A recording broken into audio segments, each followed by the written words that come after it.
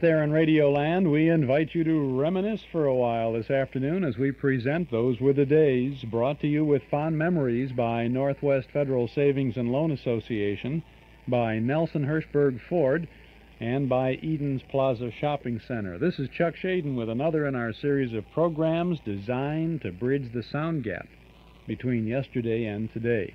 Today is Saturday, September 1st, 1979. It's the Labor Day weekend, and so today on Those Were the Days, we present a holiday weekend special with an afternoon of great radio sound from the golden age of yesterday. Between now and 5 o'clock, we're going to tune into Amos and Andy, Charlie McCarthy, Baby Snooks and Daddy, and Stars in the Afternoon, a gala look at the new 1946-47 season with an all-star cast. This is a real special afternoon, so stick around and don't touch that dial. It all begins right after this word for Northwest Federal Savings. It's Northwest Federal Savings time. We've got more time for you. At Northwest Federal, we've got more time to help you plan a sensible way to save. The Northwest Federal Regular Passbook Savings Account is a safe, convenient way to watch your money grow. At five and one half percent, your money earns interest from the day of deposit to the day of withdrawal, with interest compounded on a daily basis. Because there are no time limits and no penalties for withdrawals, a Northwest Federal regular savings account is the easy way to save, whether you're saving for a vacation cruise or everyday needs. And don't forget, Northwest Federal pays the highest passbook rate allowed by law, one quarter percent higher than any insured bank and your savings are insured up to $40,000 by an agency of the federal government. Stop by any Northwest Federal Savings Center for complete details and see how Northwest Federal does more for you. It's Northwest Federal Savings time. We've got more time for you. And there's a good time in store for you tonight at Northwest Federal Savings when we resume our memory movies. The fall season the brand new uh, fall 1979 1980 season begins tonight with a Laurel and Hardy double feature. Oh, we've got two funny Laurel and Hardy comedies. From 1938, we have Blockheads with uh, Patricia Ellis, James Finlayson, and Billy Gilbert. And from 1939, it's Flying Deuces with Jean Parker, Reginald Gardiner, Charles Middleton, and Jimmy Finlayson two great uh, Laurel and Hardy comedies. You'll see Stan and Ollie at their best in this uh, double feature.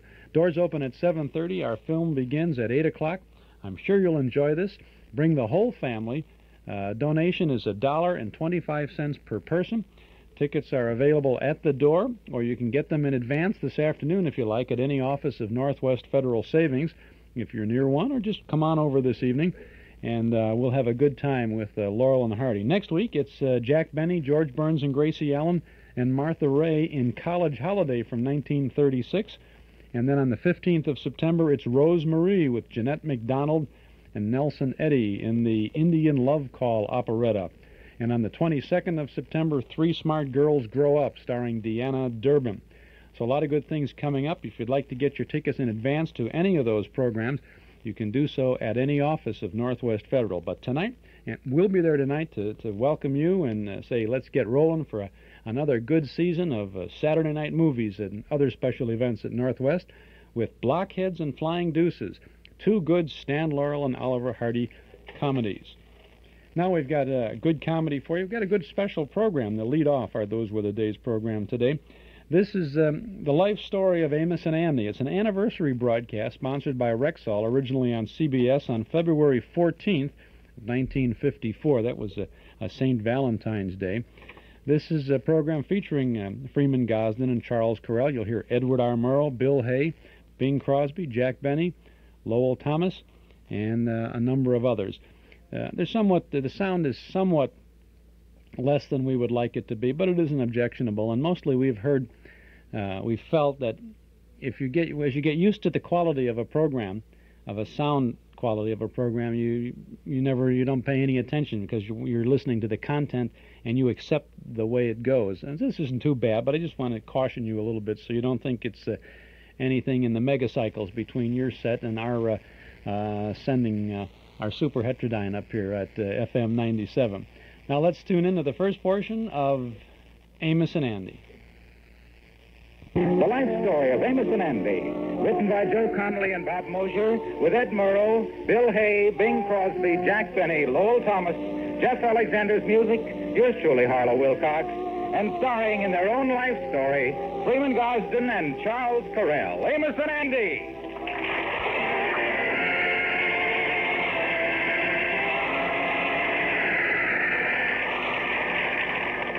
The 10,000 independent Rexall druggists salute Amos and Andy as they start their second quarter of a century on the air. Tonight, by bringing you their life story. Tomorrow, with the start of a special Amos and Andy sale. Yes, tomorrow dozens, literally dozens of Rexall products will be sold at exactly half price. Later in the program, we will list many of these half price items. So, friends, make up your minds right now to stock up because every time you buy, you save at the Amos and Andy sale. It starts tomorrow and goes on for two weeks at Rexall drugstores everywhere.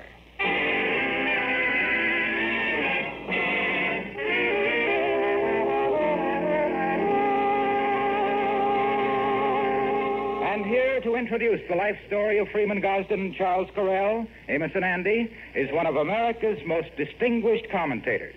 Good evening, ladies and gentlemen. This is Ed Murrow.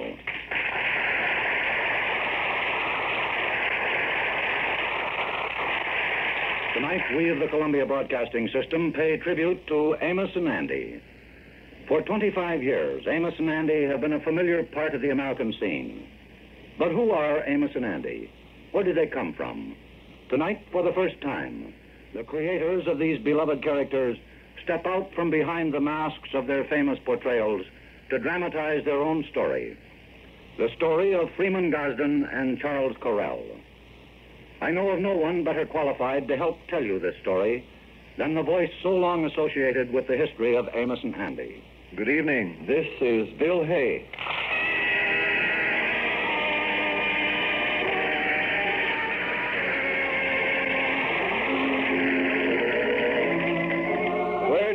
Gosden and Charles Correll first meet? One rainy night in Durham, North Carolina, right after World War One. Young Peoria-born Charlie Correll had been sent down from Chicago to stage a local amateur show. The cast was rehearsing on the second floor of the Elks Lodge, and Charlie, at the piano, was having his trouble with the chorus. All right, kids, here we go again. One, two, three. One, two, three. Hold it, hold it, hold it. You there, Dottie, on the end. You're cuter than a barrel of monkeys, but would you do your Uncle Charlie a favor and try to remember your left foot from your right? that's right, that's the one. Uh, excuse me. You want to see me? Uh, sorry to interrupt you, but you're Correll, aren't you? That's right, Charlie Correll. Can I do something for you? I'm Freeman Gosden. I just started with a company producing shows, and they sent me down to pick up some scripts and music. Oh, yes, so you're Gosden. Uh, be right with you, kids. How are you, Freeman? Well, I got all the stuff back at the hotel.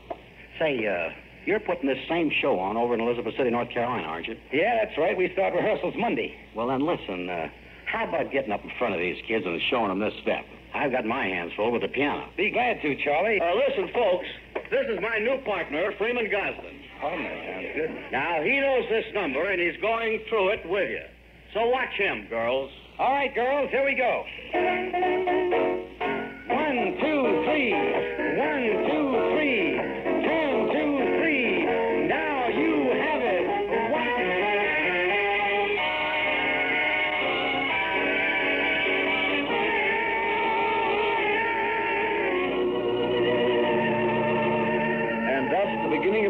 partnership was formed. For the next few years, they traveled all over the South producing amateur shows, learning, working together. Those were lean years, the hard years. The boys did everything produced, directed, wrote, and even performed in some of the shows. Then, one night in New Orleans, they were talked into appearing on a strange new device radio. Say, this is something, isn't it, guys? The fellow says we sing into this big megaphone here. You think anybody will actually hear us? Well, one of the fellows here was telling me this morning they got a phone call from a woman who lives a mile away from the station. No fooling. That fellow with the earphones is waving at us again. Stand by. You're on the air. Okay, Charlie, hit it. gorgeous, gorgeous. Everyone knows they say you're gorgeous, gorgeous from your head to your toes. As a kid of ten, you were a wow, wow, wow, wow. You were pretty then, but look at you, Charlie. What? Look, you're simply gorgeous.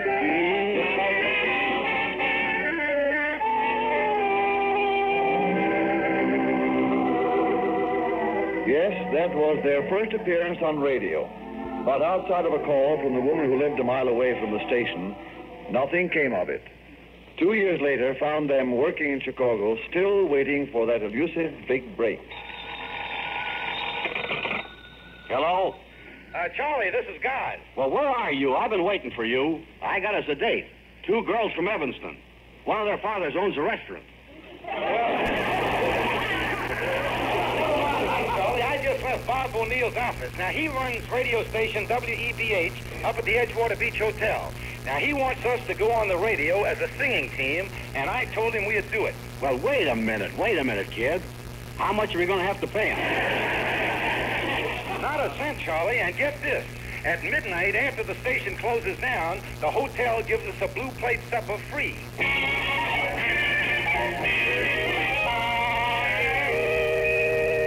Yes, the boys went on the air nightly for WEBH. They sang songs. When the red, red rabbit comes bob, bob, bobbing along, along. They told jokes. Say, guys, I'm going home tonight and give my father a bath. Give your father a bath? Of course, I've been sponging off the old man for years.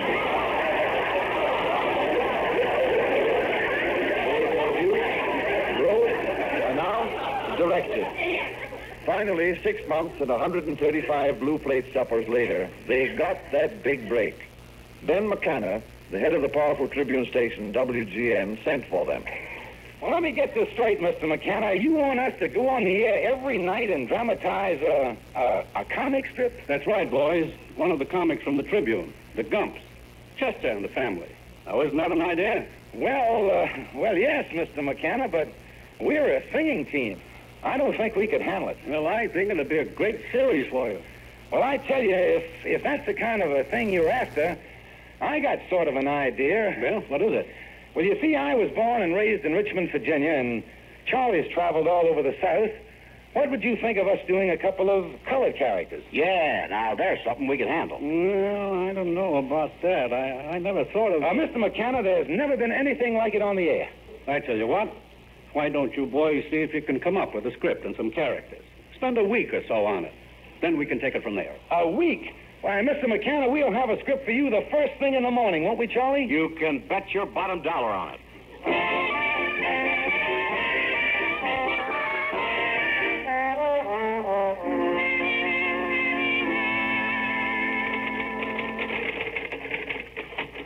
What time is it, kid?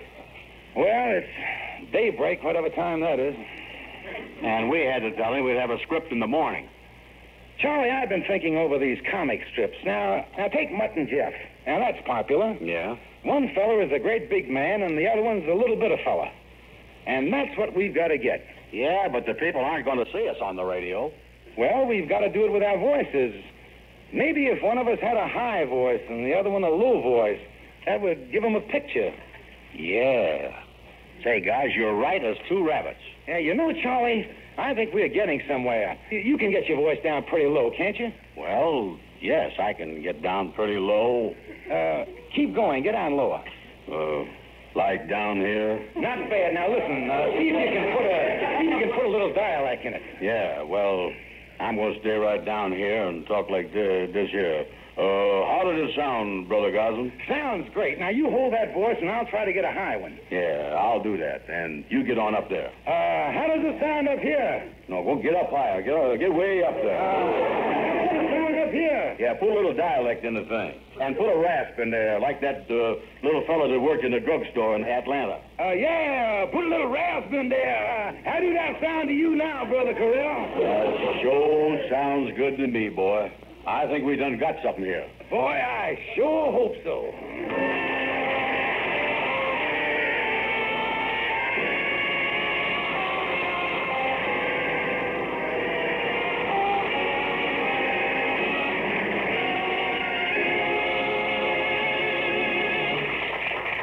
Good evening, ladies and gentlemen. This is your Rexall family druggist with a few of the half price specials at the Amos and Andy sale that begins tomorrow. These next two weeks are the first in the history of our Rexall drugstores when dozens, literally dozens, of guaranteed Rexall products will be sold at exactly half price. Best of all, this two week sale is store wide. You'll find almost a hundred super specials, plus this unprecedented free offer. You get an unbreakable plastic tumbler in your choice of beautiful colors, absolutely free when you buy any of a dozen special items. So, friends, be prepared for overwhelming savings at the Amos and Andy sale tomorrow through February 28th at Rexall Drug Stores everywhere.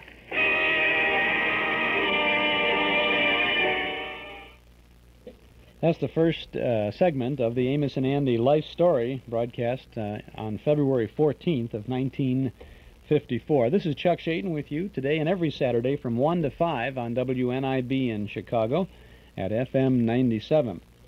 Well, I've got, um, I've got bad news and good news about Fred MacDonald's book, uh, Don't Touch That Dial. The bad news was that we sold out of it last weekend at the MGM shop. The good news is that we have many more copies in stock now and uh, better than that, uh, Fred MacDonald stopped at our Metro Golden Memory Shop during the week, and he uh, autographed all of those uh, copies that we have in stock. So it's about the only place in town. The book actually isn't uh, hasn't been officially published yet. It's published and it's out, but the publication date isn't coming out for a while. And uh, so we, and I think the bookstore at the Northeastern State University, are the only places in town you can get a copy of this book. It's a fine book. Don't touch that dial. It's radio programming in American life from 1920 to 1960. It's written by our friend Fred MacDonald, and Fred was with us for many, many weeks here on WNIB as we were going through that broadcast year, that I mean the, the complete broadcast day from the year 1938. You can pick up this book. It's in soft cover. It's available for only $8.95 in soft cover or $15.95 in hardcover. And you can get your autographed copy uh, at our Metro Golden Memory Shop, 5941 West Irving Park Road, just east of Austin. In fact, when you pop into the shop, you'll be amazed uh, at the supply of things that we have to uh, bring back the old times, and a lot of old things too there to provide some more good times. We have more books on radio and the good old days of radio than you will find in any single spot, any place in the city of Chicago, and I think I can say that irrevocably and truthfully, pop into the MGM shop and get a hold of Fred MacDonald's new book, Don't Touch That Dial, published by Nelson Hall. It's a goody. 5941 West Irving Park Road, just east of Austin. We're open seven days a week, Monday through Friday from 11 till 5. Saturday from 11 till 7.30. We're there right now, and you can stop in uh, on your way over to the memory movie tonight at Northwest Federal because we'll be open till 7.30 and on Sunday from noon to 5. Now, we will be closed Monday, Labor Day, but pop in today or tomorrow or next week one day and get your copy of Don't Touch That Dial, Fred MacDonald's book about radio programming in American life from 1920 to 1960. You can use your Master Charge or your Visa card at Metro Golden Memories, 5941 West Irving Park Road, just east of Austin. Now let's return to Amos and Andy.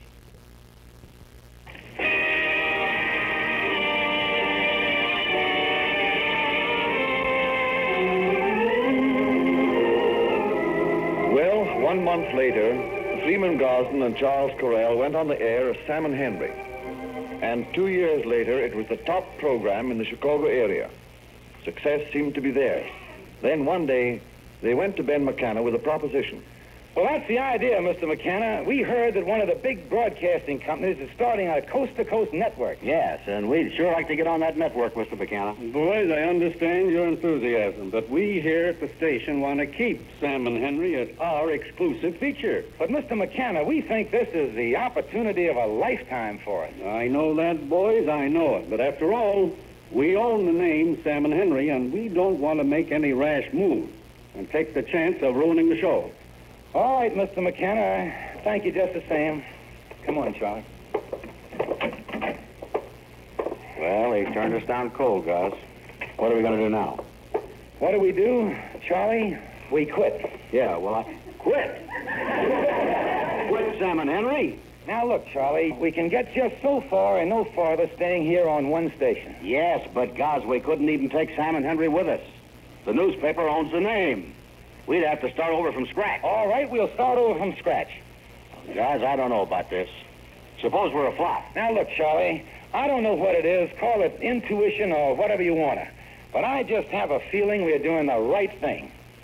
Well, if you feel that strong about it, guys, okay, let's take a crack at it. After all, we've come a long way from the days of the blue plate supper.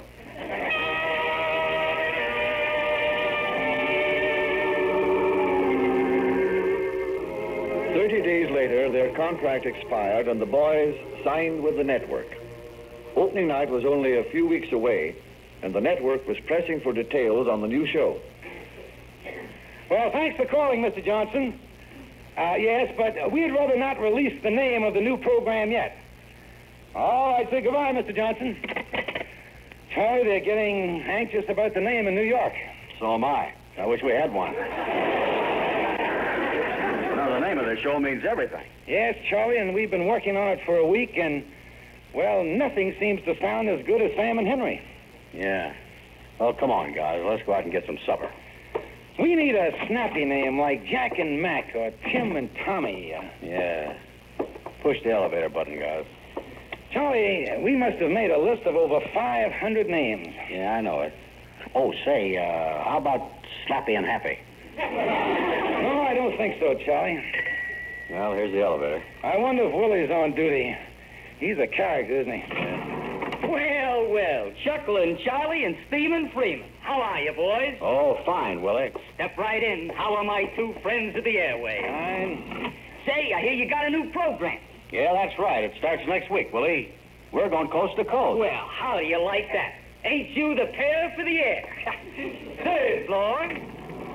Well, well, look who's here. My football playing friend. Step right in, famous Amos. How's everything going in the elevator, Willie? Having my ups and downs.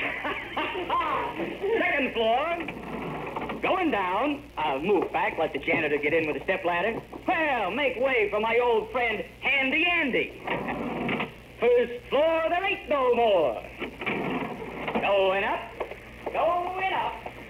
Say, Charlie, what we need in these names is something that'll catch on, something that'll be easy to, to, uh... Charlie, what's the matter? Did you hear what Willie called those two fellows? Yeah, uh... Famous Amos and, uh... Handy Andy. But, Charlie, what I mean, uh... Amos and Andy. Yeah. Amos and Andy. Well, they are both four-letter names. They're both sort of euphonious. And Amos is a biblical character. Yeah, and not only that. If we ever play a benefit, they list the names alphabetically. We always be right smack at the top.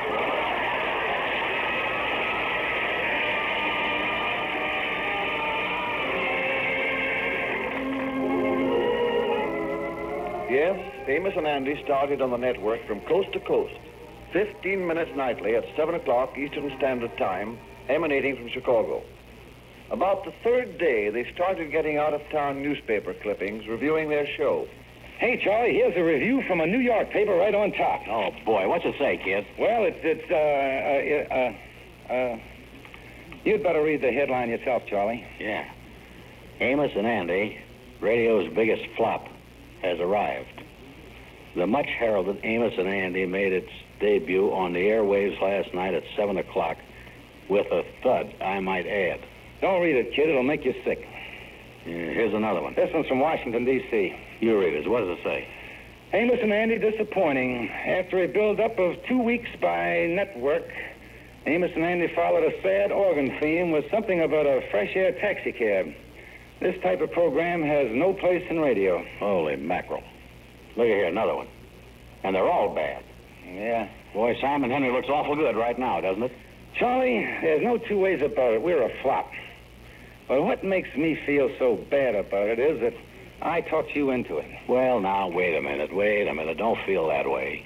We both went into the thing, and with our eyes open. Well, it's just that I got so enthusiastic at the time, Charlie. I wonder if you'd excuse me. I, I think I'll go out and walk around by myself. Well, I guess he wants to be alone. But even if the kid doesn't know it, I'm out there walking right with him.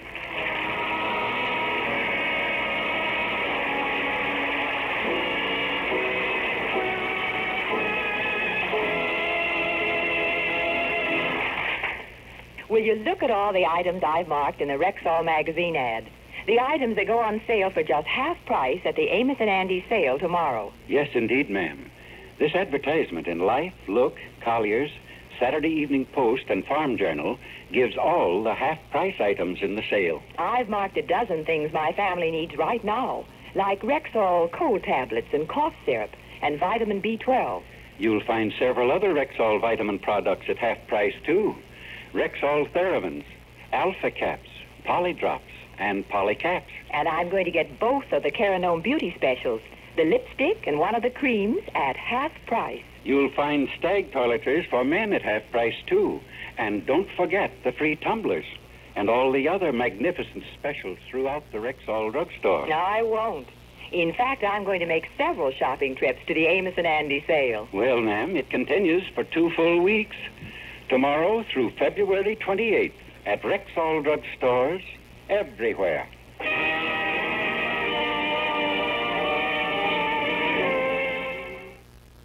You know, run run right over there and get some of that uh, Rexall merchandise at half price now. Would that we could. February 14th of 1954 is the date of this uh, Amos and Andy life story is being broadcast here, telling us how they got their new name and all that other business there. Good, good program. A lot of fun listening to this. I'm Chuck Schaden. We'll get back to Amos and Andy on WNIB in Chicago at FM 97 in just a moment or so. Frigidaire appliances, TV by Sony, Magnavox, and Quasar. Stereos by Sony and Magnavox. Corning electric ranges. Crown and Hardwick gas ranges. Shop no further. Townhouse TV and appliances has them all. Visit Townhouse and you'll be surprised at the selection and at the price. And that's not all. You'll get the Townhouse guarantee. Guaranteed delivery on the day promised. Guaranteed normal installation on all products delivered. Removal of your old appliance to the basement, to the garage, or off the premises. And Townhouse also guarantees to remove all cartons and packing material as well. Townhouse means service, and you'll get it at 7243 Touhy Avenue, just west of Harlem. Townhouse TV and appliances open Monday, Thursday, and Friday nights till 9, Saturday until 5. Now, are Those Were the Days program continues with the last segment now of the Amos and Andy life story.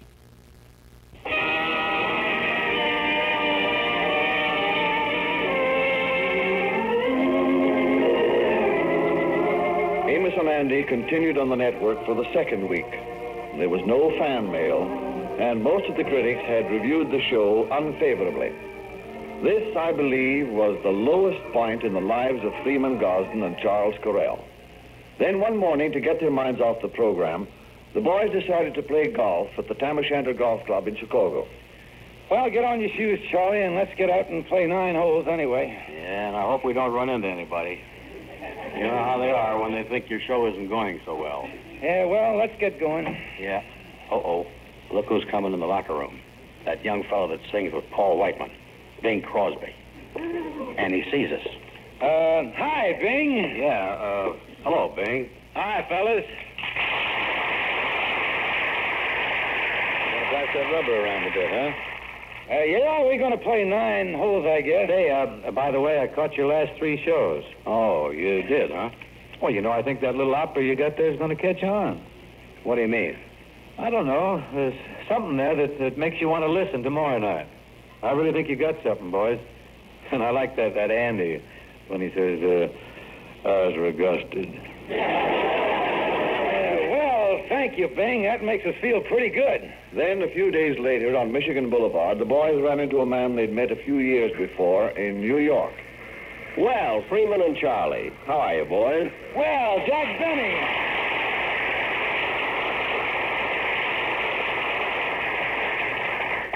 Nice to see you, Jack. I hear you open tomorrow night over at the Palace Theater. Yes, I got in from New York yesterday. Say, they're all talking about that radio show of yours back there. Uh, talking about it? Yeah. You know, to tell you the truth, at first, I don't know, I I didn't like it. But after a few times, it it, it kind of grows on you. You know what I mean? Even the kids backstage are listening to it.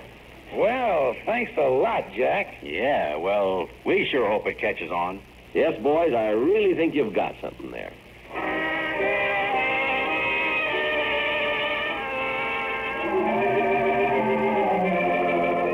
Well, a lot of other people began to feel the way Jack and Bing did. The fan mail began to trickle in. The boys' spirits lifted. They worked harder. They experimented with their voices and created new characters. First, they added a great favorite with the listeners, Lightning. Uh, yes, Miss Amos. I'll whiz right on over there. The social man about town, Henry Van Porter. Well, now, if you'll excuse me, gentlemen, I'm having a fitting with my tailor. He's put the new patch on the seat of my pants. The fussy, henpecked Brother Crawford. I want to tell you boys that my wife is very unhappy and she won't stand for it. Yes, and as time went on, all of those other warm human characters Ruby Taylor, Miss Blue, Sapphire, the old battle axe, Pat Pending, Fluky Harris, Fred Gwendell, and Madam Queen. And of course, the greatest character of all, that lovable old rascal, the Kingfish. Now, wait a minute, Joe. Don't forget we is all brothers in that great fraternity, the Mystic Knights of the Sea.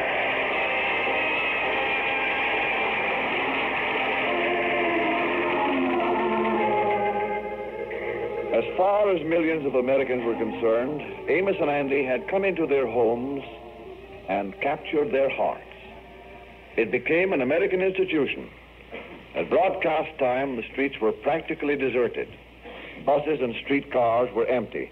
And for 15 minutes in over 150 theaters across the country, the film on the screen was stopped and the radio turned on so the moviegoers could hear Amos and Andy.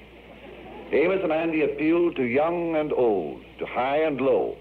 Ambassador Charles Dawes said to reporters on leaving for his post in England, I'm looking forward to my appointment, but my only regret is I shall miss my Amos and Andy. even the sardonic George Bernard Shaw, who so loved to poke fun at American ways and customs, was impressed.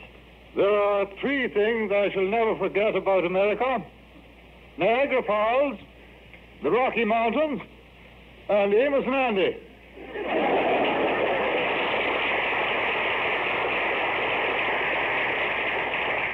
Perhaps the greatest tribute of all paid to Freeman Gosden and Charles Correll was one night at a huge benefit in New York's Madison Square Garden.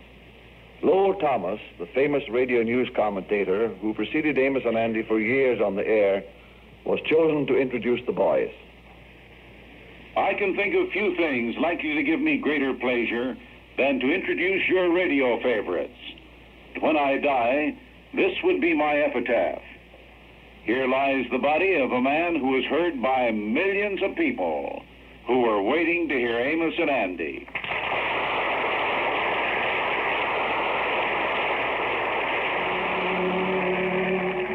Well, that was it. That was their success. The rest of the story is familiar to all of us. As the years went on, Amos and Andy made new changes in their program. The most significant being when they went from 15 minutes to a half hour. Changes come and go, but I'm sure you feel, as I do, that Amos and Andy have never left that wonderful place in our hearts. Now, before I turn you back to Ed Murrow, I'd like to say once more, as I did for so many years, this is Bill Hay bidding you all good night and to you all.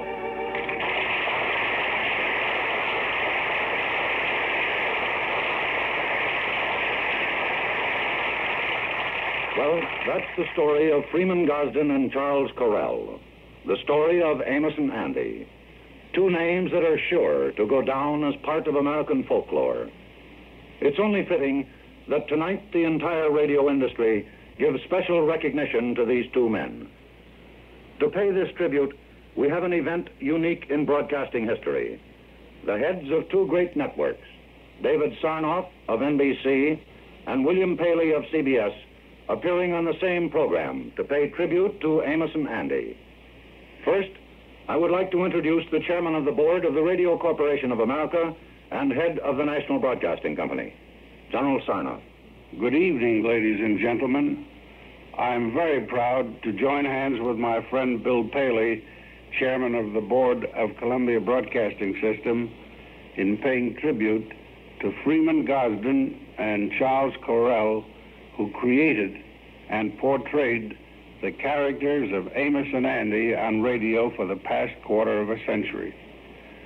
I extend to you boys my highest regard and esteem for your brilliant and important pioneer work in the progress of radio broadcasting and for your faithful adherence to the highest ideals of good entertainment. We in the National Broadcasting Company are proud to have introduced this program to the listeners of America and to have broadcasted over our coast to coast network for 15 years. Congratulations to you, Freeman, and to you, Charlie.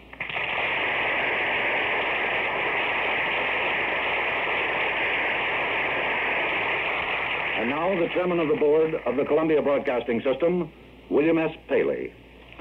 I'm very happy to join General Sarnoff, whose leadership and contributions have meant so much to broadcasting, in paying tribute to Freeman Gosden and Charlie Correll. By bringing pleasure to millions of listeners for more than a quarter of a century, they have firmly established themselves in the affections of their fellow citizens.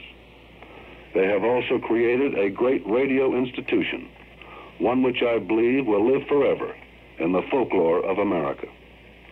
Freeman and Charlie, it gives me great pleasure to salute you, not only as an old friend, but also on behalf of the Columbia Broadcasting System and the countless millions of your devoted listeners throughout the country. Our warmest wishes go out to you both.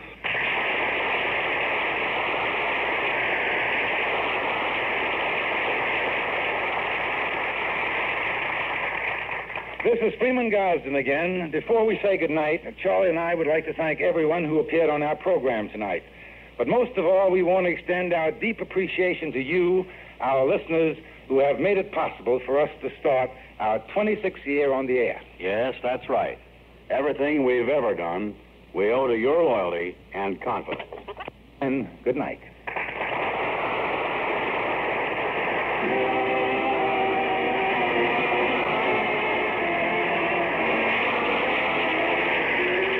Remember, beginning tomorrow through February 28th, it's the special Amos and Andy sale at Rexall everywhere. And be sure to be with us at the same time next Sunday when your Rexall druggist will again present the Amos and Andy Show, transcribed and directed by Cliff Powell. Stay tuned for the Bing Crosby program, which follows immediately over most of these same stations. This is the CBS Radio Network. Kind of bad there at the end, huh? That was from the master tape, so a little. Uh, so, you know how that happens? Uh, somebody is running out of tape. The person who got this some initially, that the reel of tape was ending, and they just got it on, and it was slipping on the other end that just went through there. Sorry about that. But this was a pretty fair show, wasn't it? Amos and Andy's life story. It's um, it's something that you should have in your collection if you are a complete radio collector, right? Someone wrote a letter to us this week and said, um, I'm, "I'm looking for um, uh, is there is there a club of people who uh, who get the radio shows, who collect the radio shows? I enjoy your program a lot," they said, and uh, but is there a play a club where people get together and they talk about the radio shows and uh, uh, where they can just uh, enjoy things and, and do all of that stuff? And I was thinking about the reply that I might make to this person and say, and, and I guess I, I'm going to say that this is it. This is the club right here, Saturday afternoons from 1 to 5. Uh, we sit down and uh, talk about the radio shows. We don't open the telephone lines uh, on the air because we want to spend as much time as we can to um, provide you with the radio broadcast. But our lines are always open if you want to call us and talk about the radio things. And of course, we do get together regularly at uh, Northwest Federal on Saturday evenings and other events, so we can always kick the old shows around. So um, I guess this is as close as you can come to having a, a radio club in the Chicago area. There were, there are some, there have been from time to time in the past groups of people who would meet um, every couple of months, maybe for dinner, and uh, and they'd have a speaker, or they'd show a movie, or they'd listen to radio tapes and talk about it. But you know, I've always felt that radio itself is a very personal uh, kind of a thing, and it. Uh, uh, when you listen, you listen kind of by yourself. Uh, you don't listen in an auditorium or a room with six people even uh, to a radio program. It, you get restless doing that. It's it's hard it's hard to listen to a radio show when there's five or six people sitting around the radio listening to it. Uh, even a large family in the old days, uh, six people might be listening to the radio. Six or eight people in a large family might be sitting around, might be around the radio listening, but they weren't listening as an audience would sit and listen uh, to a concert. They were listening as individuals to this. Uh, Dad might be in the chair with his newspaper uh, in his lap, maybe picking up on some of the news as he was listening to the show. And Mom might be mending some socks. She might be darning the socks. You know, remember that little that little wooden ball on a stick that she used to put in the in the toe and the heel of the sock to, to mend the sock. And uh, the kids uh, each maybe would be working on a on a jigsaw puzzle on the floor, or playing with Tinker toys, or an erector set, or um, maybe uh, if it were me, I might be just lying on the floor in front of that radio with my head buried into my arms, uh, just savoring all the pictures that the, the radio was providing uh, in my mind. So radio is kind of a personal thing, and uh, to get together in a group to listen to radio, uh, it's not as not the same as it is right now as we're listening uh, to these shows. These shows are brought to you every Saturday afternoon on WNIB in Chicago at FM 97. Our program is Those Were the Days. My name is Chuck Schaden. We're here to share with you the good sounds from uh, the good old days. Coming up now, in just a couple of minutes, we're going to have Stars in the Afternoon from 1946. This is a CBS program promoting the fall lineup of shows on the network for the 46-47 season. Even as uh, the networks today are getting ready to to uh, start their fall TV season, this is what the radio was doing back uh, 23 um, years ago. Oh, 23 years ago. Is that right? 46 to 79? 33 years ago. What happens to the time, huh? We're going to hear Frank Sinatra, Dinah Shore, Durante and Moore, Blondie, uh, the Crime Doctor, Screen Guild Players, The Thin Man, Casey, Crime Photographer, Sam Spade, Inner Sanctum, all little bits and pieces of so many of those shows. Then after that, that's about a, 90-minute program, by the way. After that, we have Charlie McCarthy's 10th anniversary program, and then some uh, some more promotional sketches uh, with Baby Snooks and Daddy promoting the 1943-44 season on uh, CBS Radio. So I think it's uh, worth sticking around this afternoon. And uh, it's worth staying with us on uh, Saturdays all year round because coming up in September, well, we're going to try again next week on the 8th of September and offer you some programs that were previously bumped because of one thing or another. And next week we're going to have Spike Jones and the Spotlight Review. We're going to have an interview with our special guest, Pat O'Brien, reminiscing about his career on the stage and the screen. Uh, we'll have a guest star performance with Pat O'Brien starring as a feisty Irish football coach. We'll have an Academy Award production of The Front Page with Pat O'Brien and Adolphe Menjou. And we'll have Jimmy Durante and Garry Moore on the Comedy Caravan. And, of course, uh, the Jergens Journal with Walter Winchell. On the 15th of September, we're going to have a salute to Harlow Wilcox. We're going to have an afternoon of programs featuring Harlow Wilcox as the announcer. We have a Truth or Consequences broadcast, a suspense drama, The King's Men, which was a summer replacement for Fibber McGee and Molly. We'll have an Adventures of Frank Merriwell episode, Amos and Andy, a complete show. And uh, finally, of course, uh, no uh, salute to Harlow Wilcox would be uh, complete without an Am a, a Fibber McGee and Molly program. We'll have one from 1943. And on that particular show, Harlow Wilcox will play himself and also his identical twin brother. It's going to be some fun. And on the 22nd and 29th of September, we're going to have some good old movies on radio. We're going to have radio versions of these movies. Magic Town with James Stewart, Shadow of a Doubt with Joseph Cotten, When My Baby Smiles at Me with Betty Grable, Lost Weekend with Ray Milland and Jane Wyman, Screen Directors Playhouse of The Sea Wolf starring Edward G. Robinson. We'll have Jezebel with Bette Davis, The Jazz Singer with Al Jolson, and The House on 92nd Street with Lloyd Nolan and William Lundigan. We'll also have the um, 1945 Academy Awards broadcast. So, and our guest is going to be Bob Kolososki, who will join us both Saturdays, the uh, 22nd and 29th of September, to talk about the good old movies on uh, radio and uh, on television too. So I hope you'll stay with us all through September to enjoy the good things that we've got lined up. Now, all those good things are outlined in our Nostalgia newsletter and radio guide, and you can subscribe right now if you'd like to uh, get in on this and uh, become a, subscriber to the newsletter. Frank Sinatra in 1942, a very young-looking Mr. Sinatra, is on the cover of our newsletter for September, and that's just the beginning of the good reading that you'll find in this issue of our publication. A one-year subscription, 10 issues, is just $7, and you can subscribe right now when you call us at 545-2260. Now, the September issue features an original article by Otto Stack about Kenny Delmar, who was Senator Claghorn on the Fred Allen Show.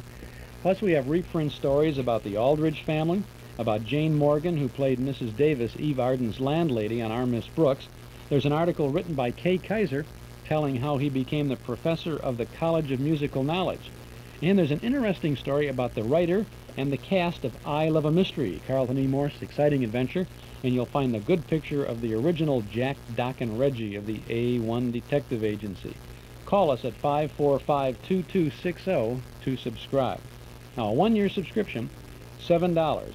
That's 545-2260. Our Nostalgia newsletter gives you lots of information about movies and other special events at Northwest Federal, plus the complete listing of our Saturday afternoon uh, broadcast schedule here on WNIB.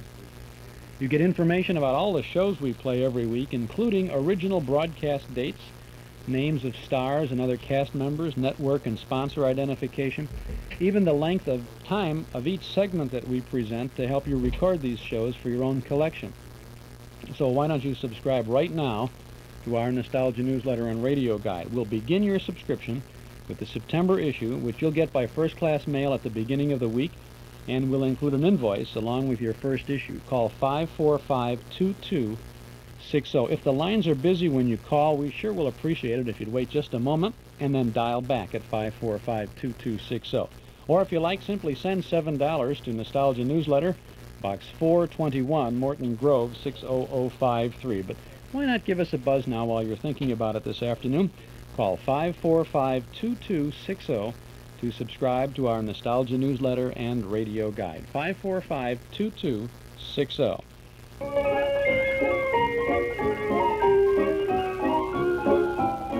Remember Henry Ford's Model T? Remember cranking up the motor to start the car? And remember the Model A with the self-starter? Great memories, huh? Well, Ralph Hirschberg of Nelson Hirschberg Ford has fond memories, too. Memories that roll back to 1931 when he and Norm Nelson first started selling Fords on Irving Park Road.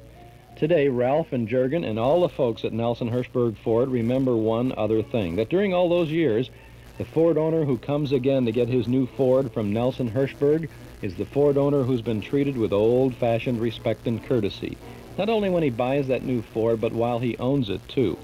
Thousands of Ford owners come back again and again to do business with Nelson Hirschberg, one of Chicagoland's oldest, most respected Ford dealers.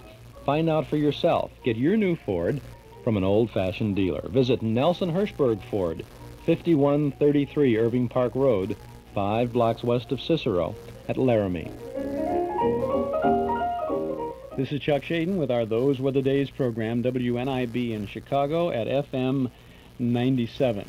Now we have an hour and a half, uh, yeah, an hour and a half program for you that was presented on the Columbia Broadcasting System Radio Network on uh, September 22nd of 1946, almost exactly 23, 33 years ago.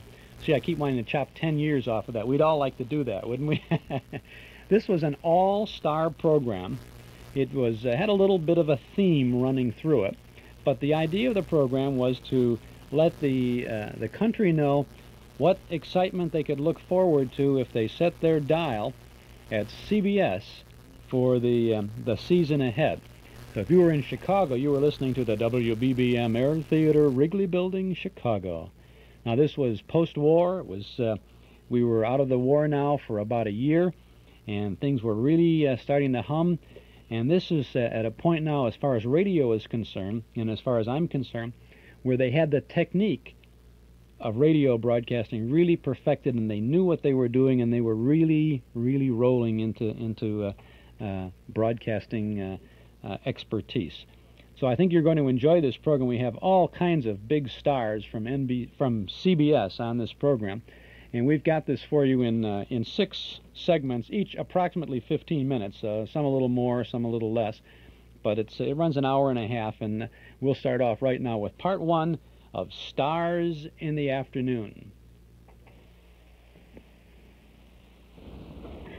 This is Columbia, CBS. From border to border, from east to west, you've learned your dials and how to twist them when you twist them with the Columbia system.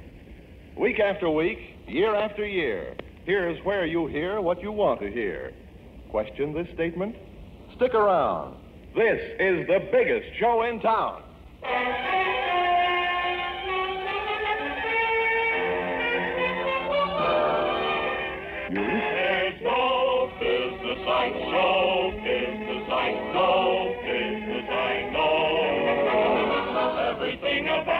Appealing. Everything the traffic will allow. Could you get that happy feeling when you are stealing pound. There's no people like so. The Columbia Broadcasting System and its affiliated stations present Stars in the Afternoon, a 90-minute preview of the biggest show in town, which again this year is yours for the dialing over the 159 CBS stations from coast to coast. In the next hour and a half, you'll hear Jimmy Durante and Garry Moore, The Family Hour with Patrice Munsel and Jack Smith, The Thin Man with Claudia Morgan and Les Damon, Bob Hawk, Blondie with Dagwood and Hanley Stafford, Hoagy Carmichael, Ralph Morgan for the Screen Guild Players, Vaughn Monroe and his music, House Jameson is the Crime Doctor, American Melody Hour with Bob Hannon and the Knightsbridge Choir, Staats Cotsworth as Casey, Crime Photographer, It Pays to Be Ignorant with Tom Howard, George Shelton, Harry McNaughton, and Lulu McConnell, Howard Duff as Sam Spade, Jean Hersholt as Dr. Christian, Ann Sothern as Maisie, Peter Lind Hayes, Paul McGrath as host of The Inner Sanctum, and William Keighley presents Virginia Bruce for Lux Radio Theater. Let's go on with the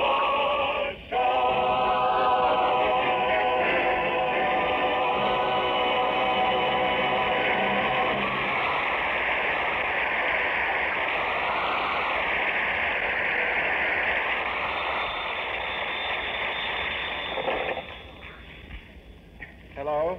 Hello, Hello, who's this? this is Dinah Shore.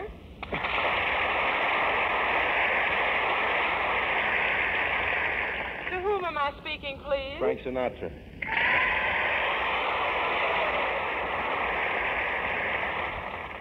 Who? Frank Sinatra. Would you spell it, please? S I N A What was the first letter? S. S is in sweetheart. As in what? Sweetheart. S W S what? I'm sorry. W. W as in wife. I didn't get that last word. I'm so sorry.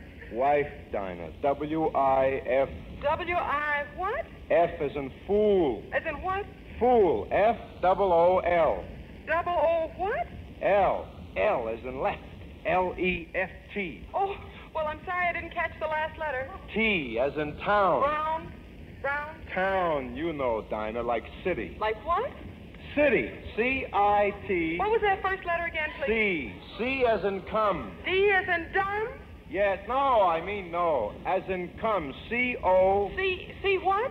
O, as in over. Oh, over. Now you've got it. Shall I read it back? Read what back? Sweetheart, fool, wife, left town, come over.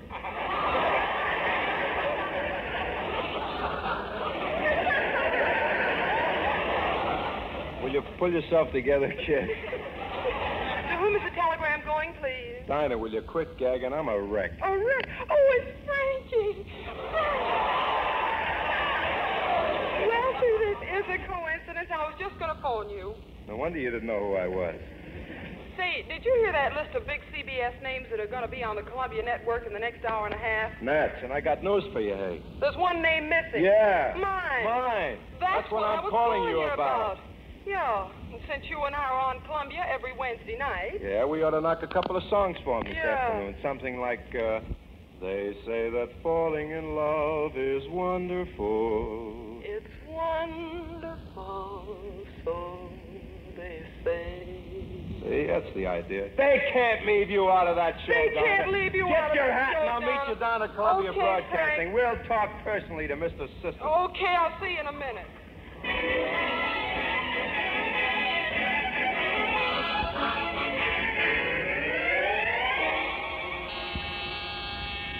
Good afternoon, Columbia Broadcasting, Mr. System's office. This is Greta, his secretary, speaking. No, Mr. System is very busy. Uh, pardon me, miss. Uh, well, what can I do for you two? We'd like to see Mr. CB System. Oh, well, he's too busy to see anyone. Come back next week. But we're a couple of singers, and we. Come back next year. Hey, look, sister. Would you believe me if I told you this girl is Dinah Shore and I'm Frank Sinatra? Look, brother, would you believe me if I told you I'm Greta Garbo? Would it get us in to see Mr. System if we did? Uh, what do you think? Pleased to meet, you, Miss Miss Garbo. Go right in. Gee, I wonder if I do look like Garbo. Mr. System? Yeah, my friends call me CB. Hello. How do you do? My name is. Let's uh, weave long introductions out of this. I'm a very busy man with very little time. But with having to stop every half hour to tell people what station they're whistling to, if they didn't know. What's your problem? Well, briefly, uh, briefly, Mr. S, we sing. And we thought maybe you could use a little romantic warbling on that show. Romantic warbling? Yeah, listen. I want you to know this little girl here. She's Dinah, and there's nobody finer from the coast to Catalina. A uh, Frank Sinatra, open your golden throat. Gee, thanks, Dinah. Together we'd knock out a rather fair romantic ballad. Sure. Sorry, but right now I'm in the mood for laughs. You haven't heard me sing. I haven't time to experiment. Right now I want to listen to Jimmy Durante and Garry Moore. That's a boy and a girl. Silence, just listen.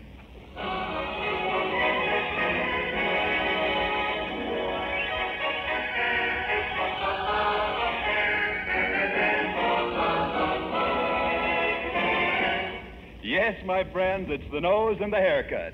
And to start the ball rolling, we bring you, with no strings attached, a young man who has a voice like a violin, with no strings attached. And here he is, Garry Moore.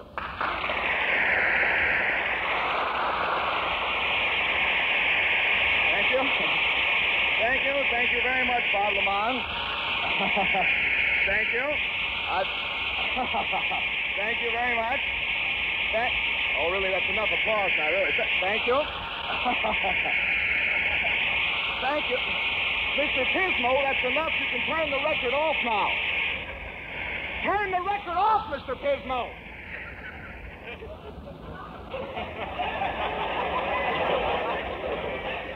Really, Mr. Pismo, it's a shame your parents weren't the type to devour their young. But, but in any event, good afternoon, ladies and gentlemen, and a very happy September the 22nd to you all. I, I want you to know it's a real kick to be celebrating another great season of CBS programs. Of course, I haven't been on the air since CBS started, but I have been in radio since 1935, fixing battery sets and things like that. And it's, it's always a thrill to see how radio has grown up in that time. Gee whiz, you take this, this magnificent studio here, for instance. Do you realize that at this very moment, ladies and gentlemen, you are sitting in washed air? I really mean that. If you look up there, you'll see some little grates on the front of the studio. You see up there? Well, Mr. William Paley, the president of the Columbia Broadcasting Company, sits up in there during the whole program and washes each piece of air that comes in the, comes into the studio. And it's not only it's not only cool in here, it's clean too. Well, they tell me that nowadays, particularly this studio, is completely antiseptic. We have germ-proof microphones, hermetically sealed control rooms, sterilized musicians, and and and before every program, we boil the announcers. You've got to admit that's a lot better than having the announcers go out and get boiled on their own. Is it? oh, come now, Garry. You haven't really been in radio as long as you like to make out. I haven't, Bob. Why, bless your little station identification. I, I started out, Bob, I started out at the age of 19 as a singer with a very famous quartet. You've, uh, you've heard of High-Low Jack and the Dame? Yes? I sang with Mo, Joe, Schnook, and the boy. Uh, Gary, you were the boy? I was the Schnook. There was, it was a great, a great outfit, as I recall it. We appeared for eight straight weeks in the Rose Room of our local livery stable. We were, we were right in there pitching. well, well, Gary, tell me one thing more. Gary, you may have been in radio for 11 years, but uh, did you have any sponsors? Sponsors? Why, Bob, don't be ridiculous. My first. my, my first sponsor, as I recall was a really delightful little little product called Mother Marie's No Wheeze, but Plenty of Breeze Cheese. It's a great little thing. Was the only cheese I've ever seen that was so strong the mice had to back into the trap. As, as I recall it, Bob, Mother Marie's No Wheeze but Plenty of Breeze cheese came to you in six delicious flavors super delicious, very delicious, plain delicious, fairly delicious, not so delicious, and. Mm.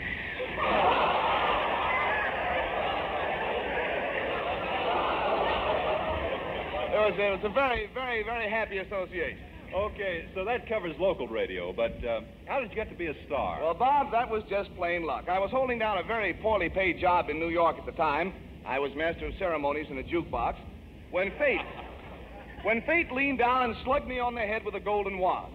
At least I thought it was a wand until I looked up, and surely enough, it was the nose himself, the one and only Jimmy Durante, in person.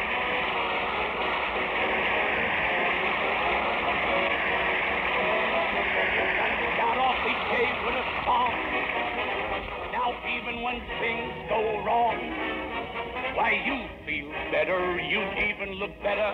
Stop the music, stop the music, stop the music. I refuse to work on the same stage with an orchestra that looks so untidy.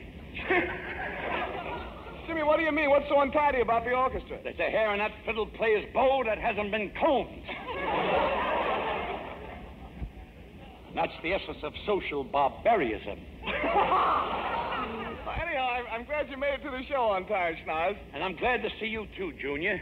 You're so tried and true, so brave and blue, so lum and abner. But Garrison, what a hectic time I had getting ready for this appearance. Yeah? I was sitting at home the other night wearing my diving suit. You see, I have a sunken living room.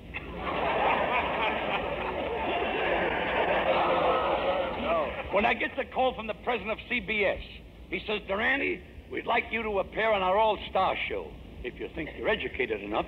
Oh, he didn't, Jim. What did you say to that? What could I say? To impress him with my intelligence, I nonchalantly spelled out cat. K-A-T-E. K-A-T-E, but Schnoz, that spells Kate. Kate is a girl's name. I happen to know this cat better than you do, Mr. Moore. But anyway, no sooner do I accept the invitation to appear than I'm surrounded by a quandary. I haven't got a suit that's fit to wear to the broadcast. Uh-oh. So early this morning, Junior, I runs around to my tailor, Rimsky Rappaport. Rimsky Rappaport's a nice name. And I says, Rappaport, you got to make me a suit within three hours. So he went to work with a vengeance. Well, the suit looks wonderful on you, Jim, but what's, uh, what's that lump in the back? That's Rappaport. He's still working.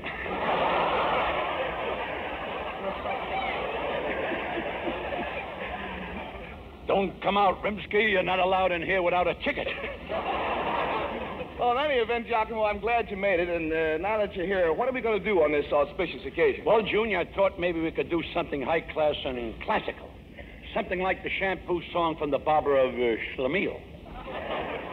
That's all very fancy schmancy, but really, old boy, do you think uh, do you think you're equipped? Are you joshing, Junior? I'll admit I didn't always know about music.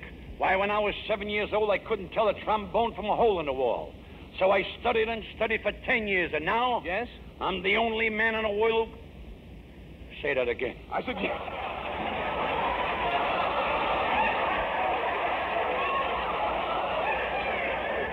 Will you bring, bring Mr. Durante the script with the neon typing on it, please? Just a minute. You, You know- You said when you were seven years old. You know, they can make mistakes in the script department. Are you Josh and Junior? I'll admit I didn't always know about music. You did. Why, when I was seven years old, I couldn't tell a trombone from a hole in the wall. So I studied and studied for ten years, and now Yes? I'm the only man in the world who can play a hole in the wall. Uh,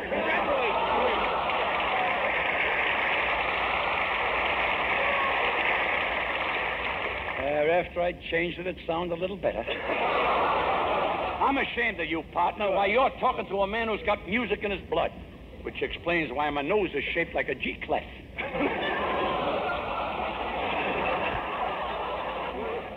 That's, that's all very well, Jim, but offhand, I can't recall any classics that are arranged for a hole in the wall. That means that we'd have to sing today, and that, you know, is out. Well, not of a necessary necessary. I, told you I got music in my blood, and I have. My uncle was a famous basso, and my aunt was a soprano. Meso? She certainly was, but she had a fine voice. Well, I'll tell you what, Jim, if you insist on music, you sing by yourself. Meanwhile, I shall retire to the outskirts of Finland and listen for the finish. That's what I like about. That's what I like about my boy. He's got so much faith in me. But I never let an audience down. Maestro, music for that radio concert the debut of that Enement barrel tone, James Durante. My song for tonight, Chloe. Ladies and gentlemen, la- ladies and gentlemen, I should like to announce, as long as I'm here anyway, I should like to announce that Mr. Durante has sung this song many times before, but tonight he has had his nose lifted so that those of you in the balcony may hear him too. Carry on, James. Mr. Moore, you can let the audience draw its own concussions. we, begin, we begin again, Maestro Gluskin. Uh, ladies and gentlemen, I, I, I forgot to tell you, but after tonight's performance, Mr. Durante will also be available for fish fries, weenie roasts, and the unveiling of better class manhole covers. Excuse me, Jim. I wouldn't interrupt again if I was you, partner. That's liable to lead to a feud. we begin again, Maestro Gluskin. Just one other thing, friends. I, I forgot to tell you that Mr. Durante's selection to, uh, today is entitled Chloe. Okay, Jim. My boy is tinkering with immediate oblivion. We'll begin again, Maestro Gluskin.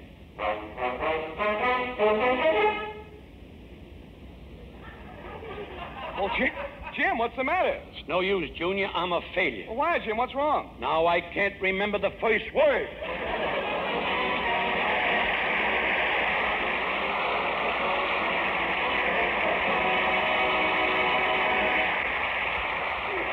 Now, Willie, wasn't that terrific? That's what radio listeners really want. Uh, Dinah and I agree with that, Mr. System. Sure we do, but, but what about romantic music? No, laugh. But everybody doesn't want to laugh. Sometimes people would like to hear a boy and a girl sing.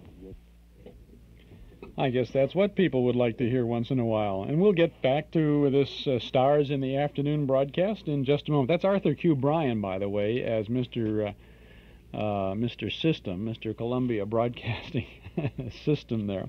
This is Chuck Schaden with our Those Were the Days program on WNIB in Chicago at FM 97. Well, I told you that our memory movies resume tonight, Saturday night at Northwest Federal Savings with the Laurel and Hardy double feature at 8 o'clock tonight.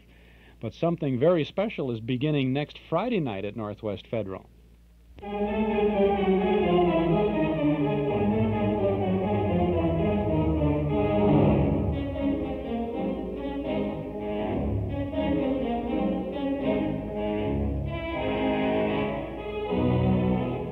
Ten exciting Alfred Hitchcock films will be shown this fall during Northwest Federal Savings Friday Night Film Festival, which begins next Friday, September 7th at 8 o'clock p.m. in the Northwest Federal Community Center Auditorium at 4901 West Irving Park Road in Chicago. Bob Kolososki, our uh, Those Were the Days resident film buff, will be on hand to introduce each movie and to offer background information on the making of the films and the career of Alfred Hitchcock. Donation is $2 per person, and proceeds go to recognized charities. Now, we do not have advance tickets for this series. You can purchase your admission right at the door, and the doors open every Friday at 7:30. Now here's the lineup of Hitchcock films to be shown. This Friday we begin with The Lodger, a 1925 silent film. It's Hitchcock's third picture, a Jack the Ripper thriller, and it's a good one too. In uh, following weeks, we'll have Blackmail from 1929, his first talking picture. On the 21st of September, The Man Who Knew Too Much from 1934. This is the original version of the film which stars Peter Lorre. Then Sabotage, Secret Agent, Young and Innocent, The Lady Vanishes, Foreign Correspondent, Saboteur, and Shadow of a Doubt. Ten great Alfred Hitchcock films shown on Friday evenings beginning this Friday, September 7th at 8 o'clock at Northwest Federal's Irving Park Community Center Auditorium. Tickets are $2 per person per film. Purchase them at the door. No need to buy tickets in advance for this particular series. We'll be there Friday night, and we hope that you will join us for the first program in the Alfred Hitchcock Film Festival. And we'll be there to say to you, Good evening, ladies and gentlemen.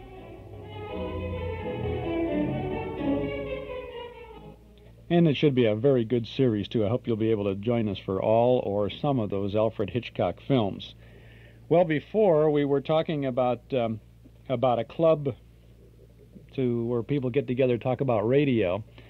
And uh, while there really, to our knowledge, isn't any real formalized uh, club, we did get a call from Jim Beadle who says that, uh, hey, Chuck, there is a, uh, a get together once a week for, for people who have amateur radios.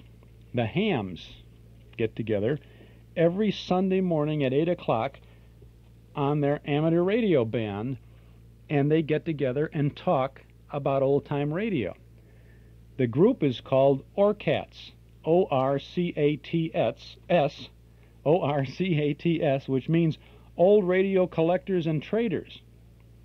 Now, these are people who collect the radio programs and they uh, they talk about them. And he says they people call in on the short wave or on their amateur radio uh, from all over the country, from New York and from Michigan and from Tennessee and every place, and they get together at the stroke of eight o'clock on Sunday mornings. Now, if so, if you have an amateur radio or possibly a shortwave radio, you might be able to pick up on this, and I'll tell you where to find it. If you got a pencil, you want to take this down. So if you if you have a shortwave radio or a ham radio or an amateur radio, you might like to you can join the club. You can join. You are absolutely you can join the club. I guess there are no dues, except that you got to be there Sunday mornings at eight o'clock when they get together on the shortwave band and talk about old time radio. And they say, "Well, I've got a copy of Jack Benny from such and such a date. I'll send it to you over here." And they go through this whole number. And I think it's really kind of nice because it's all done on radio. Now they don't play any radio things. It's illegal to play radio broadcasts on the amateur band radio It's illegal, I guess, to have any kind of uh, commercial programming on that. But they do this every Sunday morning at eight o'clock, and you uh, you'll jump in, and uh, and uh, all you got to do is be there, I guess.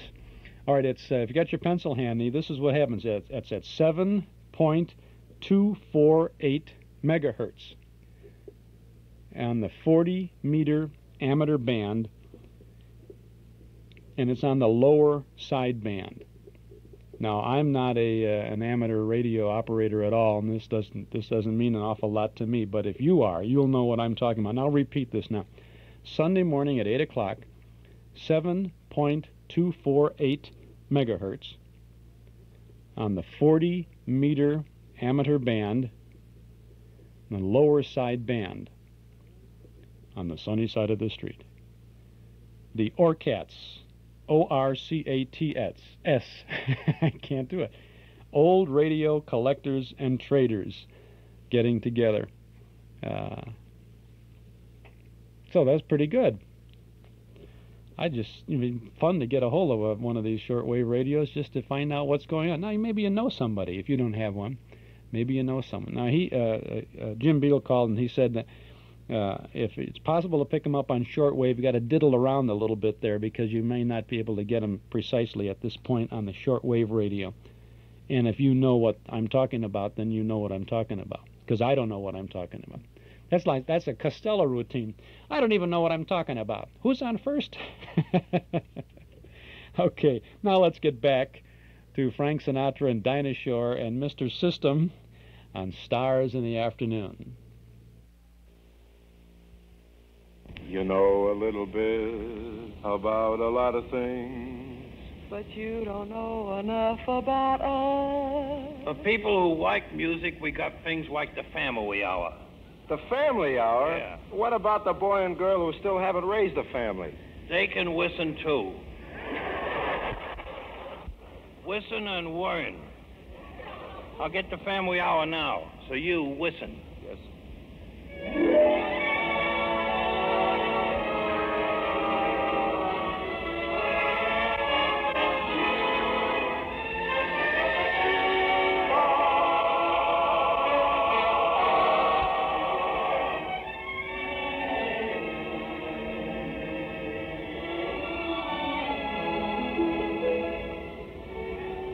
Afternoon.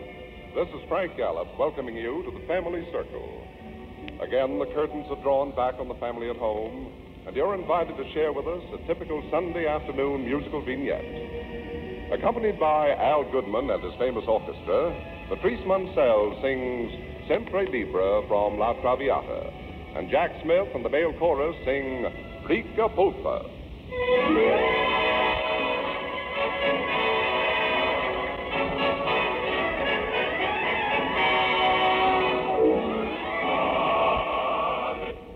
Pulpa. Ricapulpa de tamarindo. La treo es seco, pero en su tablero para vender.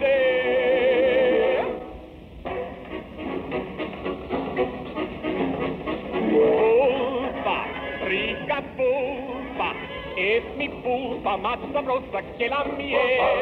Pulpa, la pulpa de unos labios que curaron mis agravios.